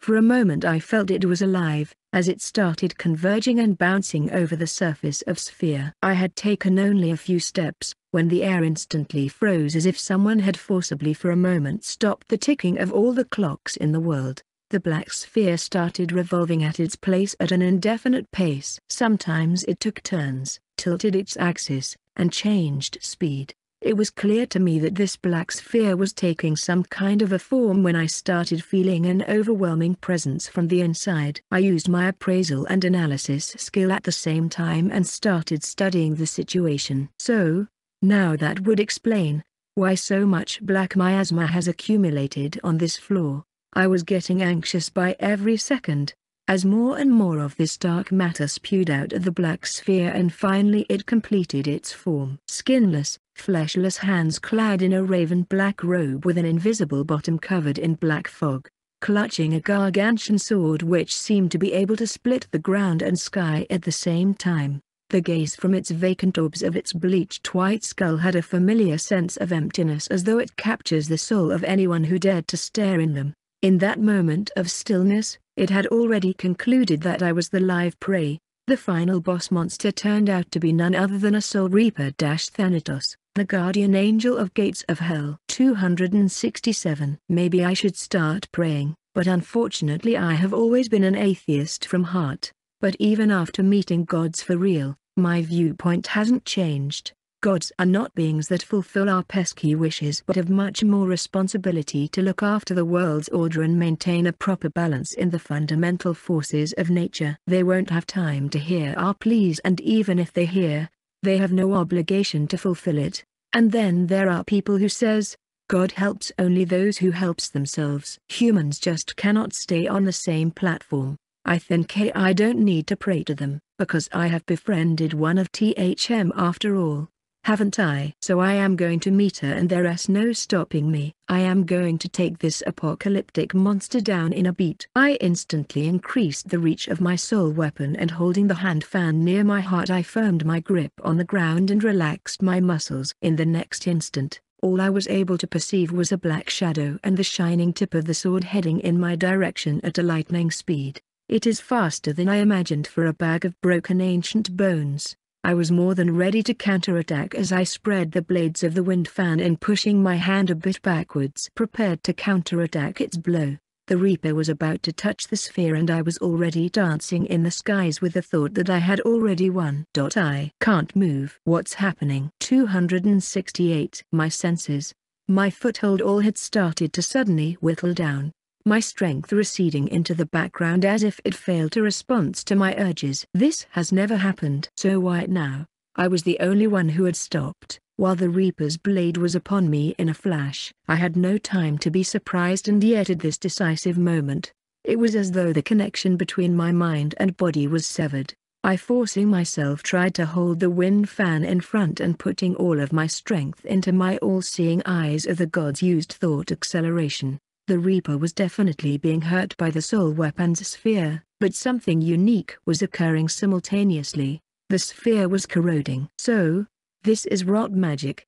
I think I have overestimated the powers of my soul weapon and underestimated the enemy at the same time. According to analysis rot magic, is an old decaying skill. Whenever anything comes into the vicinity of the Soul Reaper it starts to decay on its own. Time itself started decaying almost halted when it approached me. My energy started decaying as it touched the sphere which corroded as well. There was no more time to think. The only immediate solution to get out of this mess was to release all the stored energy inside the flag at once.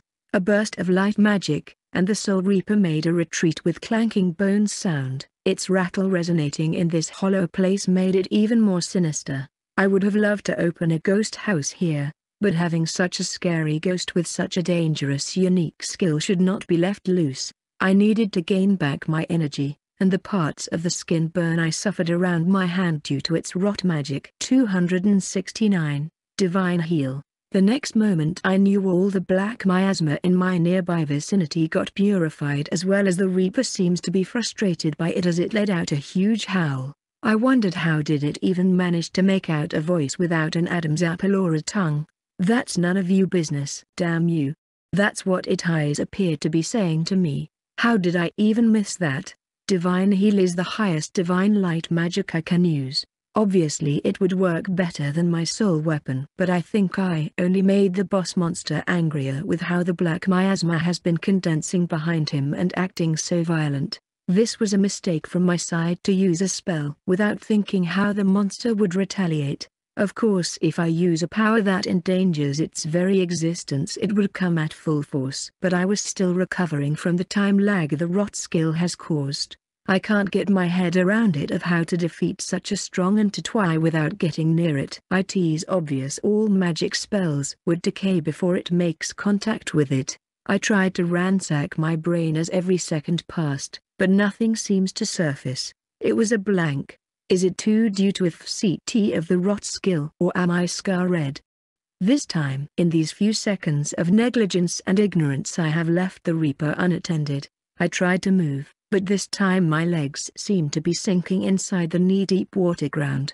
The black mist had turned into a liquid, while a small tsunami of it was rising before the Reaper's back. What is it trying to do now? 270. The streams of black fluid repeatedly clashed in midair and before I could recover from the fact that I was sinking deeper into the quicksand of this dark matter a huge black gate manifested and floated on the turbulent surface. The Reaper's body shook heavily as the black fluid now started flooding the entire region, while it went beyond my waist level and started draining itself into the black gate summoned by the Black Angel. My consciousness still fading, my body still not accustomed to such high concentration of black miasma in liquid form I was losing my willpower and magic that was being sucked out of me like a sponge being repeatedly unscrunched tightly to drain the last drop of water from it. My body was in a lot of pain. But my only thoughts remaining of getting hurt, as I was being pulled towards the gate and finally sucked into it. My only regret to be unable to put any resistance because I was too relaxed for someone who wanted to conquer a labyrinth.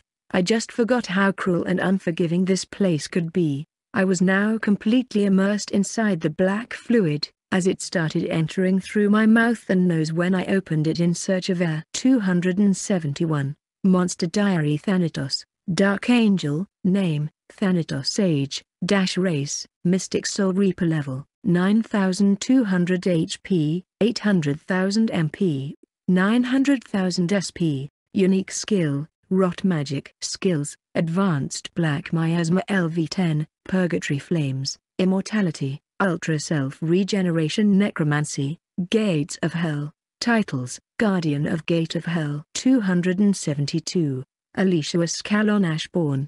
It has now dawned upon me of how I forgot to learn swimming from mother, but I was drowning deeper and deeper into this endless, bottomless pit, going along with the current, being pulled down to its non-existent foundation, light fading. All I remembered was Benji hauled inside the Hell Gate which the Reaper summoned, my hand seemed to be as empty as it only grasped nothing. The more I tried, the more my body hurt. I wished to live. I did not wanted to die. I had felt this way more than I can count. This coldness in my mind, this single thought of living and a wish to survive, that all I had hoped for. I don't want to go out like this. It's so pathetic and maybe so much like me, as if someone then responding to my call, Two brilliant lights in my hands illuminated in this black pitch omnipotence for a second, or so I thought as the vestiges of darkness returned to the depths of hell. I immersed into it further and further until I finally fell asleep. When I was back on earth sometimes I always thought it would be a good to sleep and never wake up. Waking up day after day only became boring, more appropriately, it never felt like wanting to see a tomorrow. For me it was like the same day, Same things being repeated on its own, stuck in a loop where even if I want to, I cannot proceed on the desired path I wanted to. 273. It was as if someone was controlling my life and I couldn't even do a thing about it. And that someone might be the one because of whom I can't do or become things I wanted to. I couldn't reach it. Neither can I fight it. So it would be good to skip out on some day. No one would mind. No one remembers me nor I want to remember them. Taking a break. Is that what I wanted? Maybe. Booty that is something I don't want right now, because the feeling of each passing day is like a loss that no living being can avoid. Especially in this life. This change and feeling was visible to me as one of the most. So was I not alive back then, were my days on earth of no consequence. Does that make the present me useless, in front of a powerful foe? I don't know. Why don't I answer it for you? Till now it felt like I was talking to myself and answering on my own. But this second voice woke me up as I realized myself sitting in the only chair of my room, my hands tied up by a thin rope and interlocked on the back. The person standing in front of me was yet another me wearing the school uniform with a weird smile, as if it made her feel pleasure in seeing her own reflection in a miserable state. What a bizarre situation. I don't think I could get a bit more worried or surprised because pretty much I have gotten used to seeing myself. 274 it's weird talking to other personalities of me, like last time it was a kindred one and other was a devilish one. I wonder which kind of me is this one now, to be creepy enough to tie her own self in her past home. You have the answer.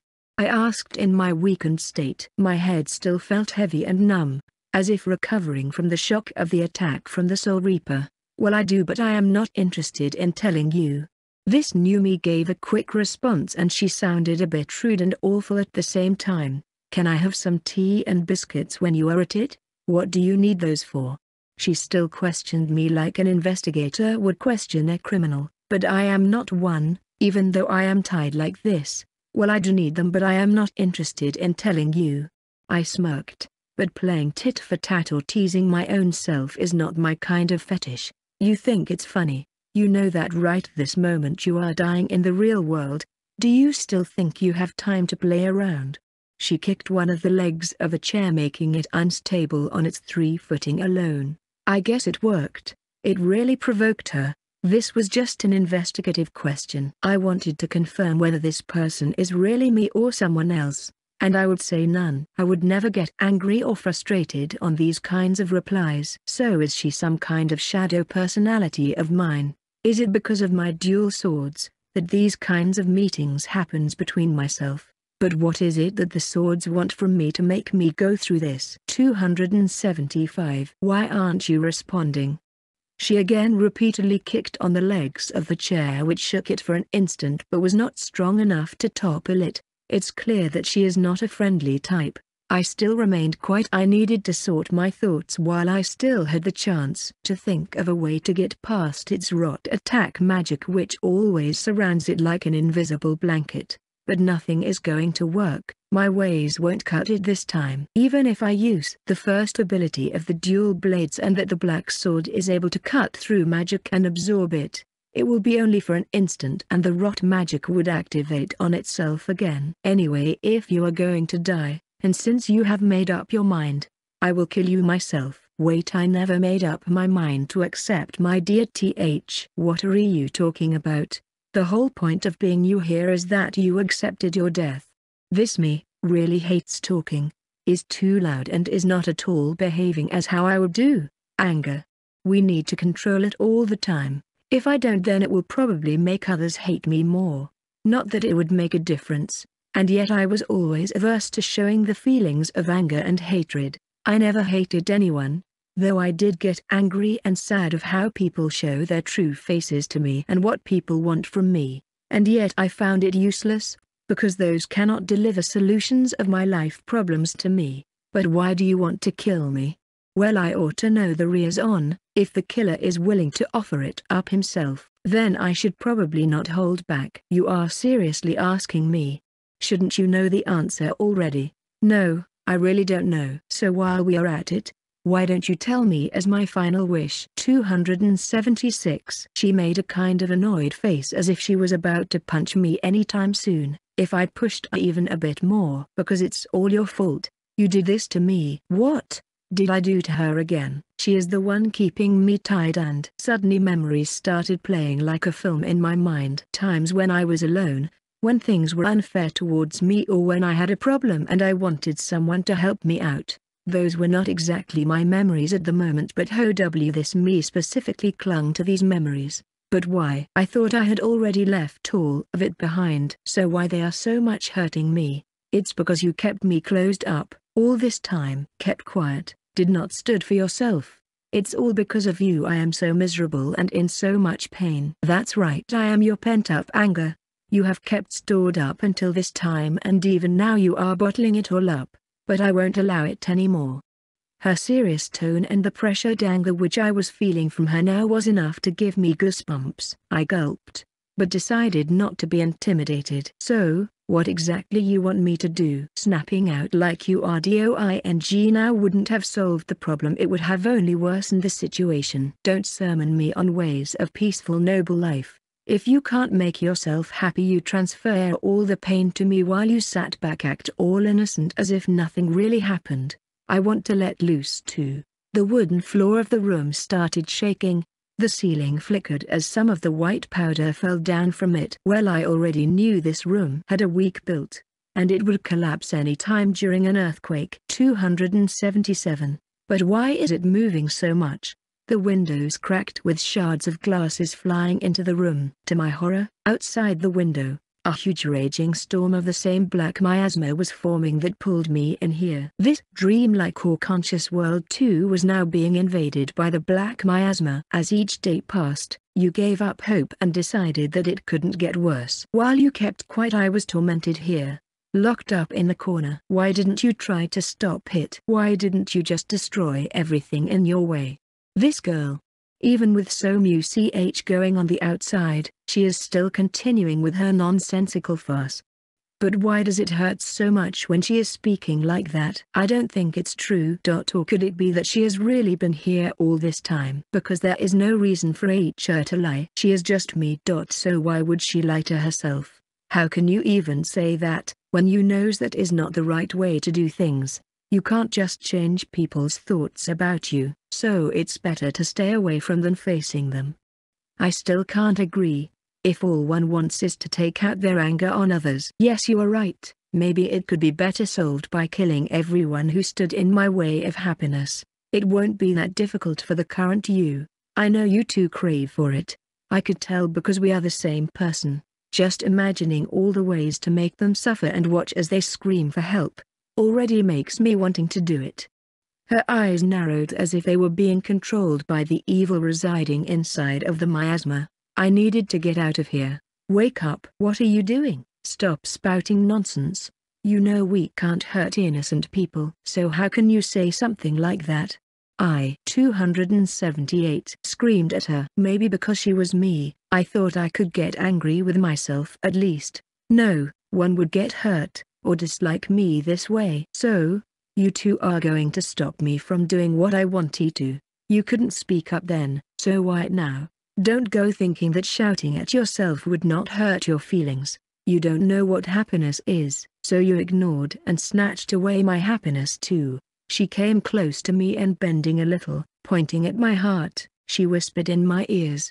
My eyesight began scorching, as everything turned fuzzy, the shock had rendered me numb to the extent that I couldn't feel the moisture that had surfaced in my eyes. I was burning from inside, because of the rage of this person who spoke in my ears dash because you will be the only one hurting the most. So burn with me. At that moment the roof got torn like a massive storm and all other natural calamities had hit the place at the same time. Black miasma started seeping in from below the closed door. It started hurting more and more as I screamed. I was really scared. Scared for my own life this time, not knowing what would happen next and the only thing ahead I see is a blank. It made me more scared of taking another step. So this is how she felt. With nowhere to go, nowhere to run, with no one to show you kindness and all on your own, she endured all of this alone. And yet again, She took it all upon herself, as I felt a sudden relief from the pain which was bursting inside me until now, light returning back in my eyes, I looked for her. 279 Seeing that the girl was now drenched in a tornado of some kind of black mist as she stood there shouldering all of it on her own. I wanted to shift my gaze away, but her screams chased me down and knocked my ears.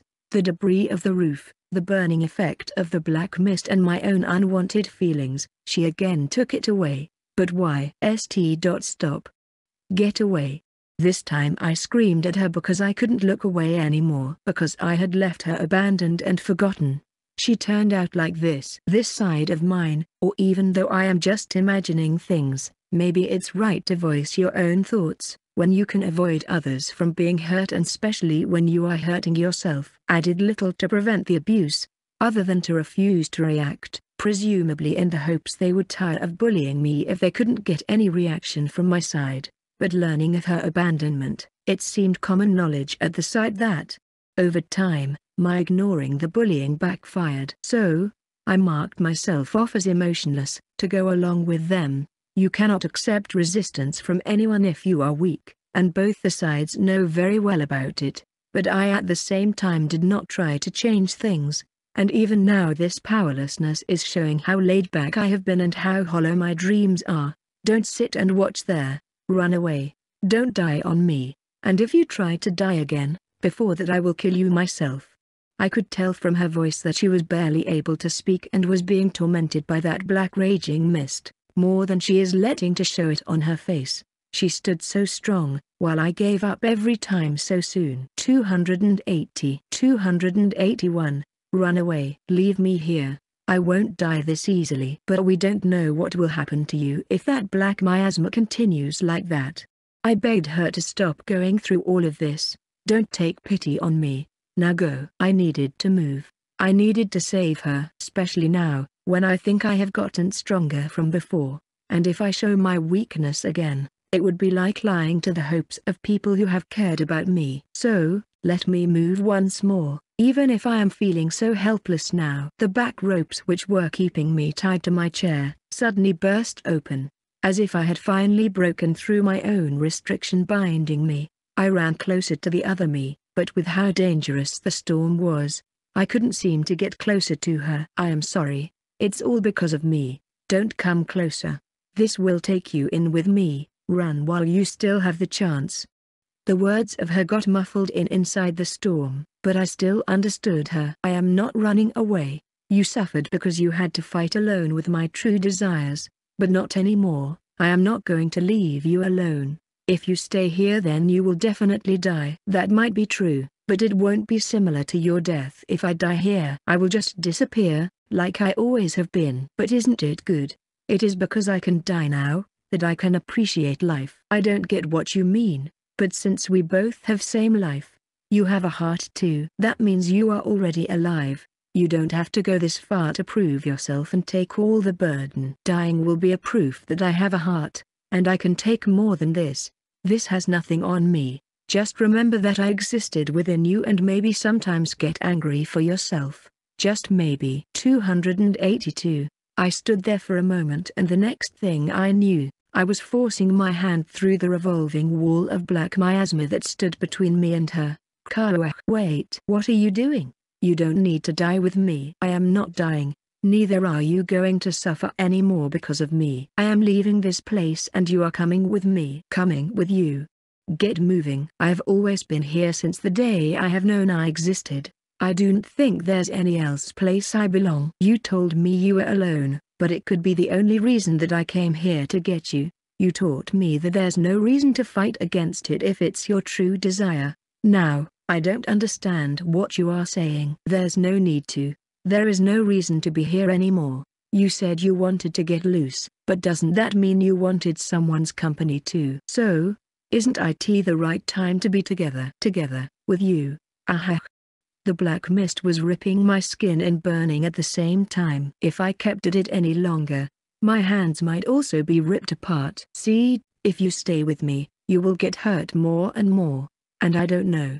Whether this anger is controllable or not. I do realize no W, that anger might be the cause of others hating me too and I don't know what I will do if you start hating me too. Just come with me because there's still so much you can do with me than better dying here. You might be just my imagination with different 283 values of life attached to you. But there's no reason for you to be here. Grab my hand and let's leave this place. Fine then I won't hesitate. You asked for me and I will give you my power. Right then let us be together as one from here on. Clasps. My hands fumbled in the dark in search of her hand as she held out her own and grasped it. A special culmination of black and golden light surrounded her as it consumed the entire vicinity and the next the whole world around me. The only thing I remembered from there was her confident smile and that I was finally able to understand myself a bit more. Dual blades, White and black swords. Skill, absolute life and death control activated. 284. Floor, 100. Cold and hollow. An infinite valley of darkness and the silence of death. The Soul Reaper brandishing its huge long sword, beckoned through his hands as the gates of hell which he had summoned through his own power closed its doors upon this mortal world. The place returned to its quietness again and the intruder had been dealt with. The Soul Reaper stood in its place. One could say that it was relieved by meditating in the peacefulness of its own creepy dark domain or it was sizing up the peacefulness before the storm would hit. After a few seconds, as if there was an uproar among the souls inhabiting the black pool, but even though the source was untraceable, two streaks of bright light flashed upon the gate carving across and a white figure jumped out by slamming the indestructible gates of hell dual-wielding Arenula's technique. First form, Quad Spectre, a powerful single concentrated quick draw attack from both my blades converging all my energy at a single point. I slashed the gates of hell open. My sword left white and black traces behind as it flew forward and collided with the Soul Reaper's blade, sparks flying in every direction but only the Reaper was knocked backwards by the force of impact, leaving a huge gap in between. I held my swords perfectly still before me and let a smile curl the corners of my mouth. I have come back for my sweet revenge. 285. The bones of the Reaper again rattled and crackled as if one were putting salt through pyrolysis or playing a clamshell as a living instrument. By any chance, is your whole body like a music instrument in itself? I tried to ask a question out of curiosity. I do hear some blowing instruments and organ pipes are sometimes made up of bones, and if for him it is natural then maybe he should join a band called Deadbeat Jaiawah. As if disturbed by my offer it let out a huge scream and refused to be a part of such a prestigious entertainment production group. Responding to the cries of the Soul Reaper, the broken gates started submerging into the water, and thousands of souls flew out at the same time, forming black circular masses in the huge sky. They kept on growing in size until they were huge enough that they could destroy an entire building if allowed free fall. The Reaper pointing his sword at me went for another piercing thrust aimed directly at my heart. At first I leapt in to face the enemy with my own blades, Without missing a moment's guess, I blocked the sword which he swung hard at me with my white sword. As I was about to aim my black sword at his neck, I instinctively jumped back, leaving a space in between. Making a blue barrier over me, I blocked the huge black meteor of souls falling on me. I knew the barrier couldn't hold it any longer, as several cracks have started appearing on it, but I had already a new ace up my sleeve.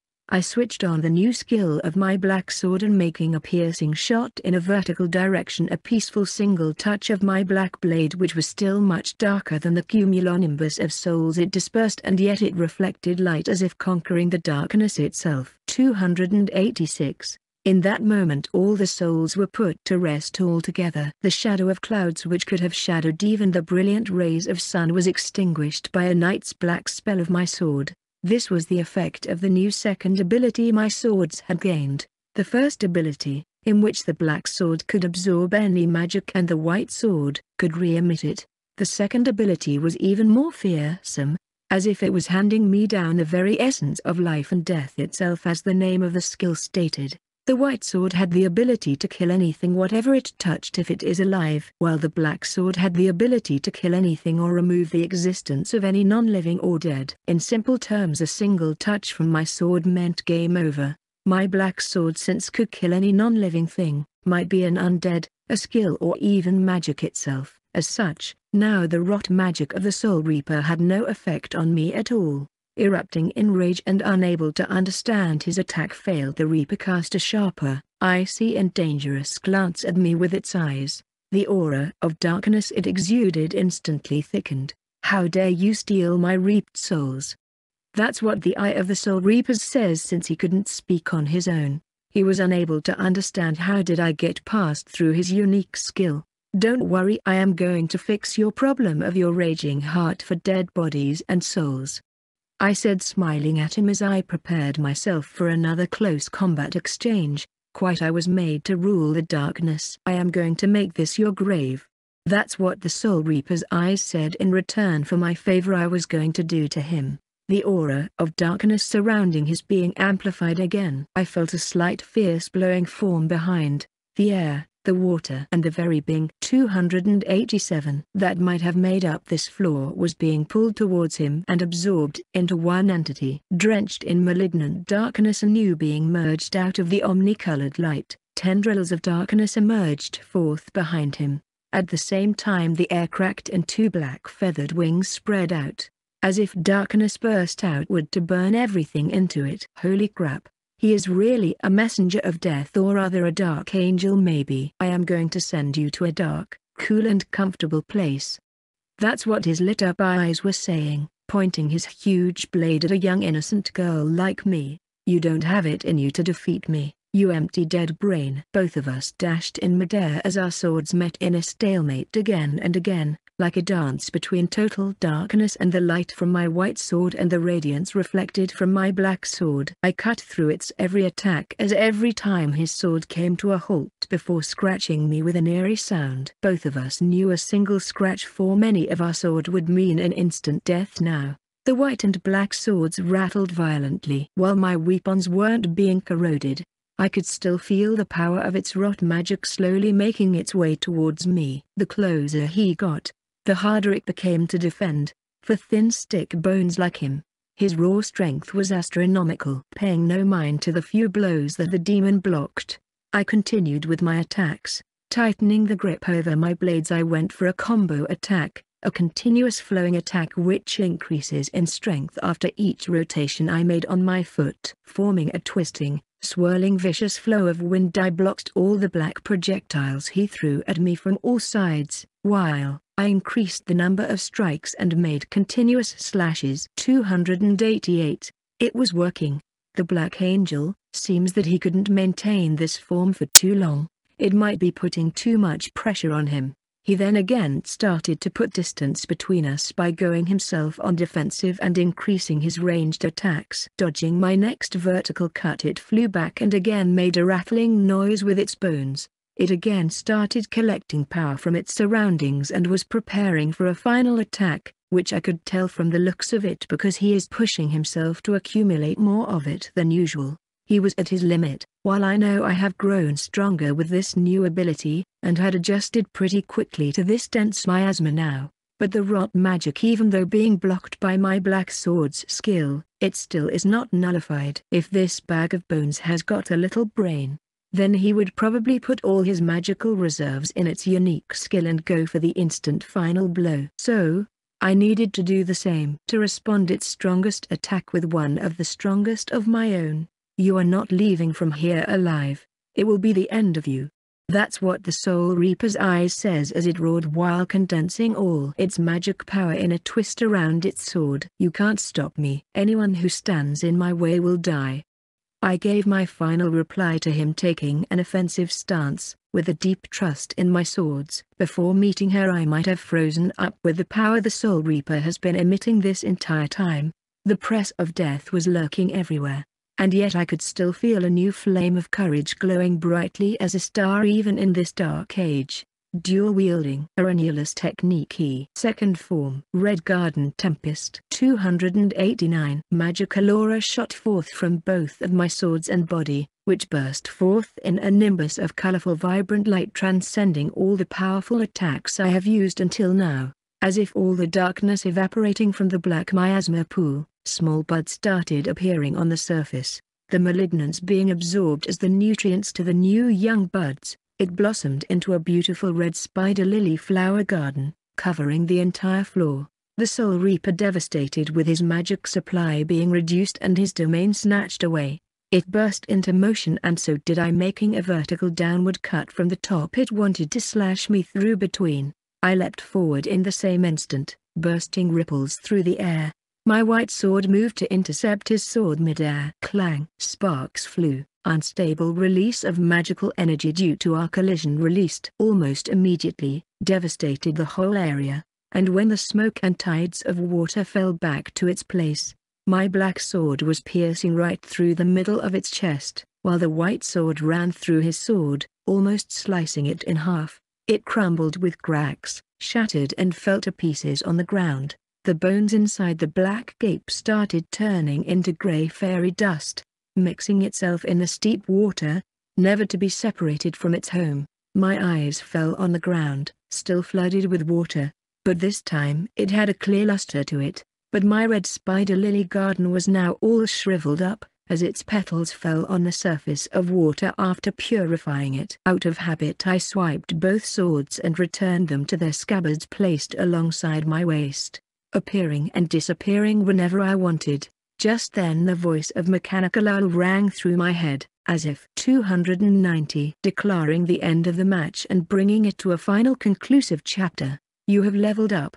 You have reached level 30. Acquired title, Shadow Lord. All-seeing eyes of the gods activated. 8 form, Eye of Nevma. An unsavory feeling went past my head, as if all the energy was being drained and forced into me at the same instant. I knew I needed to go to sleep now, but I just can't fall asleep in water. With the remaining light in my eyes, I conjured a small room out of wooden earth, opened the door and fell on the not-so-fancy bed in the inside, in an instant. Exactly after five days when I woke up and crossed the door of the tiny room I had conjured, I could see a clear blue ground of water with red spider lilies growing all over the place.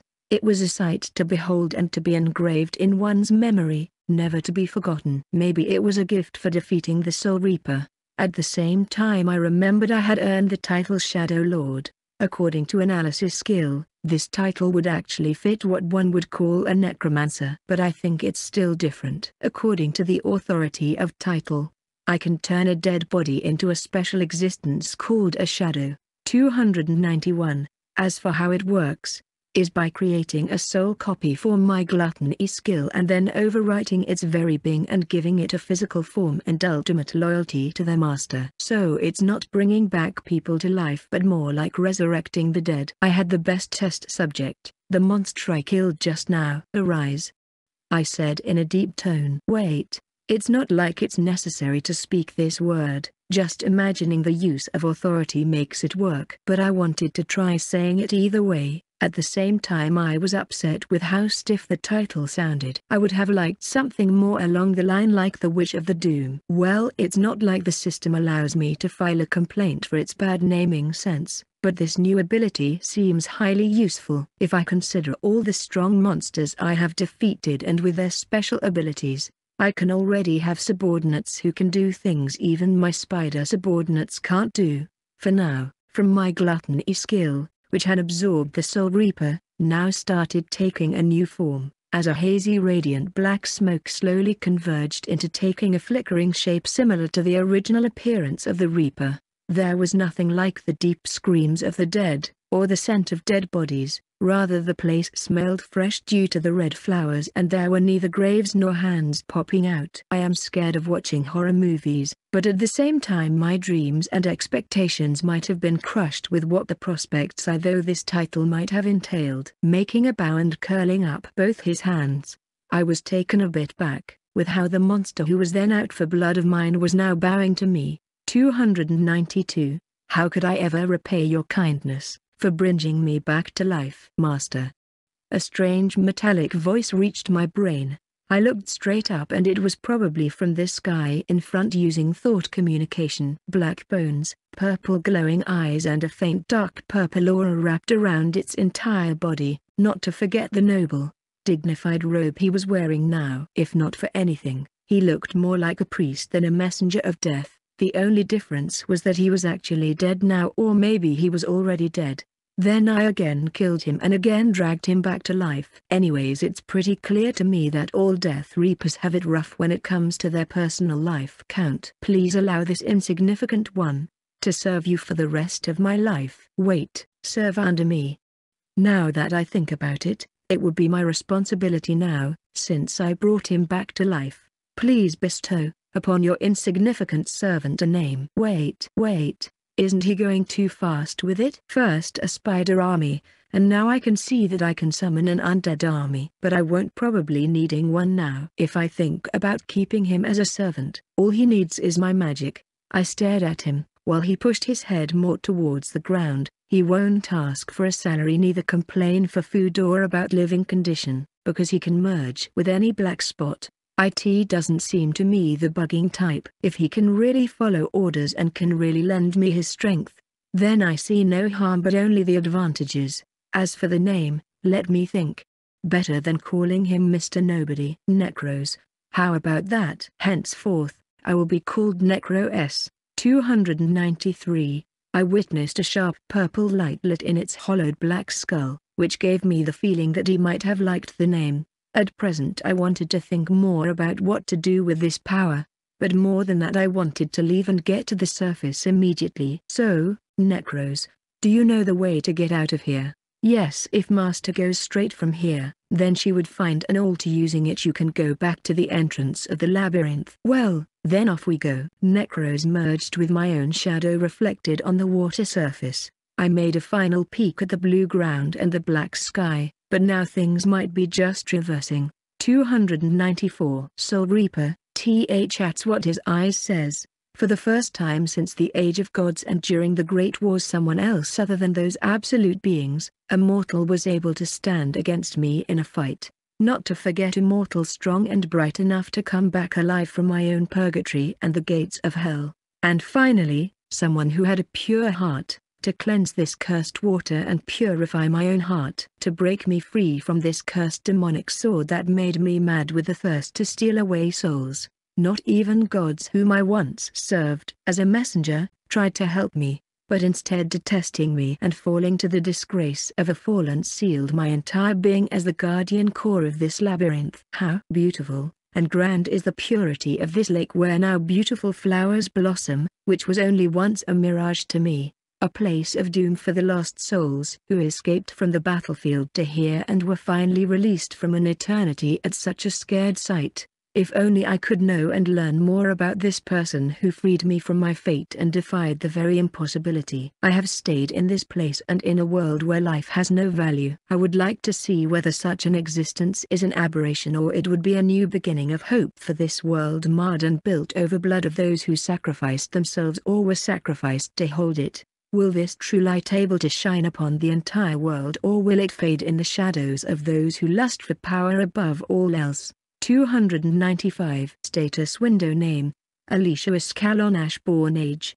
2-year race. Human Level. 30 HP ERRMP ERRSP ERR Unique Skill. All-Seeing Eyes of the Gods First Form. Eye of Investigation Second Form. Kinetic Eye Third Form Eye of Adrana Fourth Form Eye of Soul Fifth Form Equivalent Exchange Sixth Form Eye of Being Seventh Form Eye of Vox to a Sixth Form Eye of Nevma Skills Glutton ELV10 Eternal Poison World Severing Webs Sage of Advanced Fire Magic Sage of Advanced Water Magic Sage of Divine Light Sage of Advanced Wood Magic Sage of Advanced Wind Magic, Advanced Sound Magic, Sage of Advanced Space-Time Magic, Sage of Advanced Ice Magic, Sage of Advanced Gravity Magic, Sage of Dark Matter, Sage of Advanced Lightning Magic, Sage of Advanced Earth Magic, Bioengineering, Element Manipulation, Abnormal Status Infliction, Advanced Barrier Magic, Title, Legacy of Goddess Arachne, Secretive Plotter, Immortality, Merciless, True Demon Lord Candidate Master Chief, Shadow Lord. 296 Status Window The Dual Blade of Dawn and Dusk White and Black Swords Skills, Absolute Magic Control Absolute Life and Death Control Skill Description Allows the user, to change the laws of magic up to a certain extent. The black sword devours all kinds of magic without exception. The white sword has the ability to transmit this magic and also copy the spell signature and recreate it for the user. Allows the user with the white blade to kill any alive thing, while the black blade allows the user to kill or erase the existence of any dead thing, which further extends to non-living, like, skill effects, items and forces of nature. Weapon description Level authority not reached. Scabbards of Rubrum and Caeruleum. Skill description. The red scabbard provides body temperature maintenance in all situation and divine fire magic control. The blue scabbard provides special healing abilities and divine ice magic control. 297. Igth form, Eye of Nevma grants user to see others' soul core and interfere with their domain can also manipulate others' thought waves and take control over the soul realm if level authority exceeds or the individual is weak-willed, allows the user to implant new thoughts and foreshadow impressions of the world on target's mind. Title, Shadow Lord, allows the user to give an alternate form to the souls and dead bodies, also grant the power to communicate with these shadows. Shadows also possess the skills and to some extent memories of their previous lives. The user has full control over the mind of the shadows and the shadows gains a personality of absolute loyalty towards the title holder. Shadows since do that of a perfect physical existence, that means they are indestructible however weak to light magic. 298 299 Epilogue it was finally time I decided to leave the labyrinth. I will probably never miss these dark, empty long alleyways that made me afraid, weak and spiteful but at the same time fearless and strong. Though I might now have an army of spiders and shadows to look after, but all I need is to provide them with food and they are good with it. That's not that difficult, if I think of the benefits I can get from them later. A powerful spider and shadow army which is reliable, is a power I can't obtain easily, to make others follow me. For that purpose I have to act and be worthy of as their acting queen and representative. For now according to Necros, I have to walk to the black pedestal in front and place my hands on it and channel my magic into it. That would simply transfer me to the entrance of the gateway. Let's do it. 3, 2, 1. Just like games indeed. I wondered whether there were any prizes or not in this matter for clearing such a dangerous labyrinth. I placed my hands on the pedestal. A swirling black light covered me from everywhere and in the next second my consciousness merged into a dark place where I failed to open my eyes. Achieve Achievement. Conquering the Great Tathai Labyrinth. Processing rewards. So there are rewards, for completing this dungeon. Could it be some kind of special life-giving elixir or a mythical weapon? What could it be? 300. Acquired title. Diarchy Iristes of Labyrinths. According to the title's analysis, it allows the user to take dominance over any labyrinth and act as its administrator by making few changes in its structures and design. It also grants authority over the guardian core of any dungeon or labyrinth. Creating your own labyrinth is also a possibility. To be honest I don't find this power much to my liking, but who knows when it might help in emergency situations and to point out any abnormalities. The next moment I was able to open my eyes and found myself standing over a huge plateau covered with small dense layer of green grass, and felt that with time the entrance of the labyrinth might have gotten buried under this huge hill. It was good that no one could enter this labyrinth now and disturb mother and father as my thoughts continued like a long railway line stashed with raw coal ideas. It abruptly came to halt. The fiery rays of sun grazed my pale skin, I felt the warmth of the real sun and the cool wind of the heights as my hairs drifted with the flow. A gentle breeze brushed my cheeks and a pleasant feeling invaded my olfactory lobes. No smell of dreadful monsters, no stale air and no walls surrounding me. I looked up high, spotting a single sun in the huge vastness. It was the real clear as you blue sky, the real one which I have been longing to see. It's so blue dot dot and normal. 301, 302, 303. Afterward. Hello there. This is Noel Alicia. It's been only a short while since the third volume. And here you have the fourth one already. Isn't that amazing?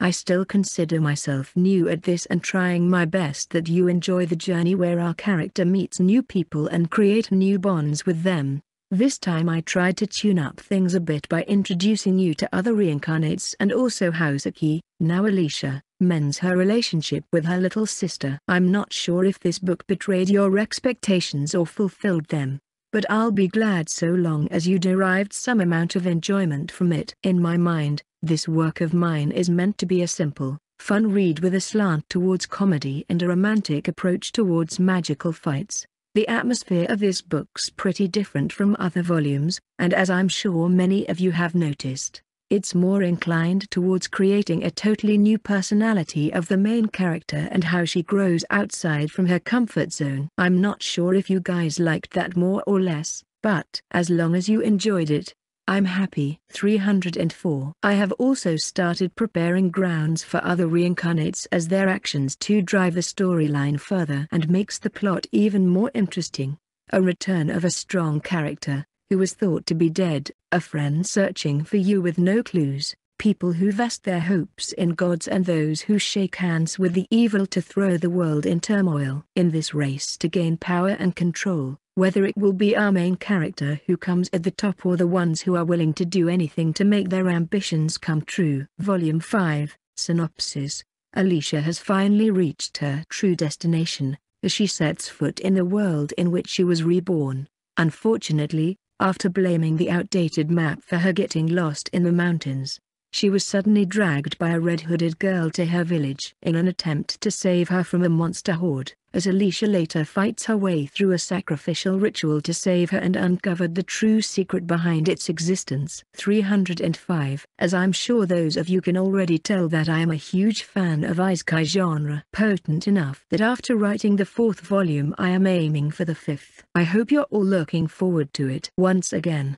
I'd like to thank my readers for letting me enjoy myself all the way through. May we meet again in the next volume of When I Got Reincarnated as a Spider with My Goddess. Noel Alicia. Contact me, noelalicia14 at gmail.com. 306. See you in the next volume. 307.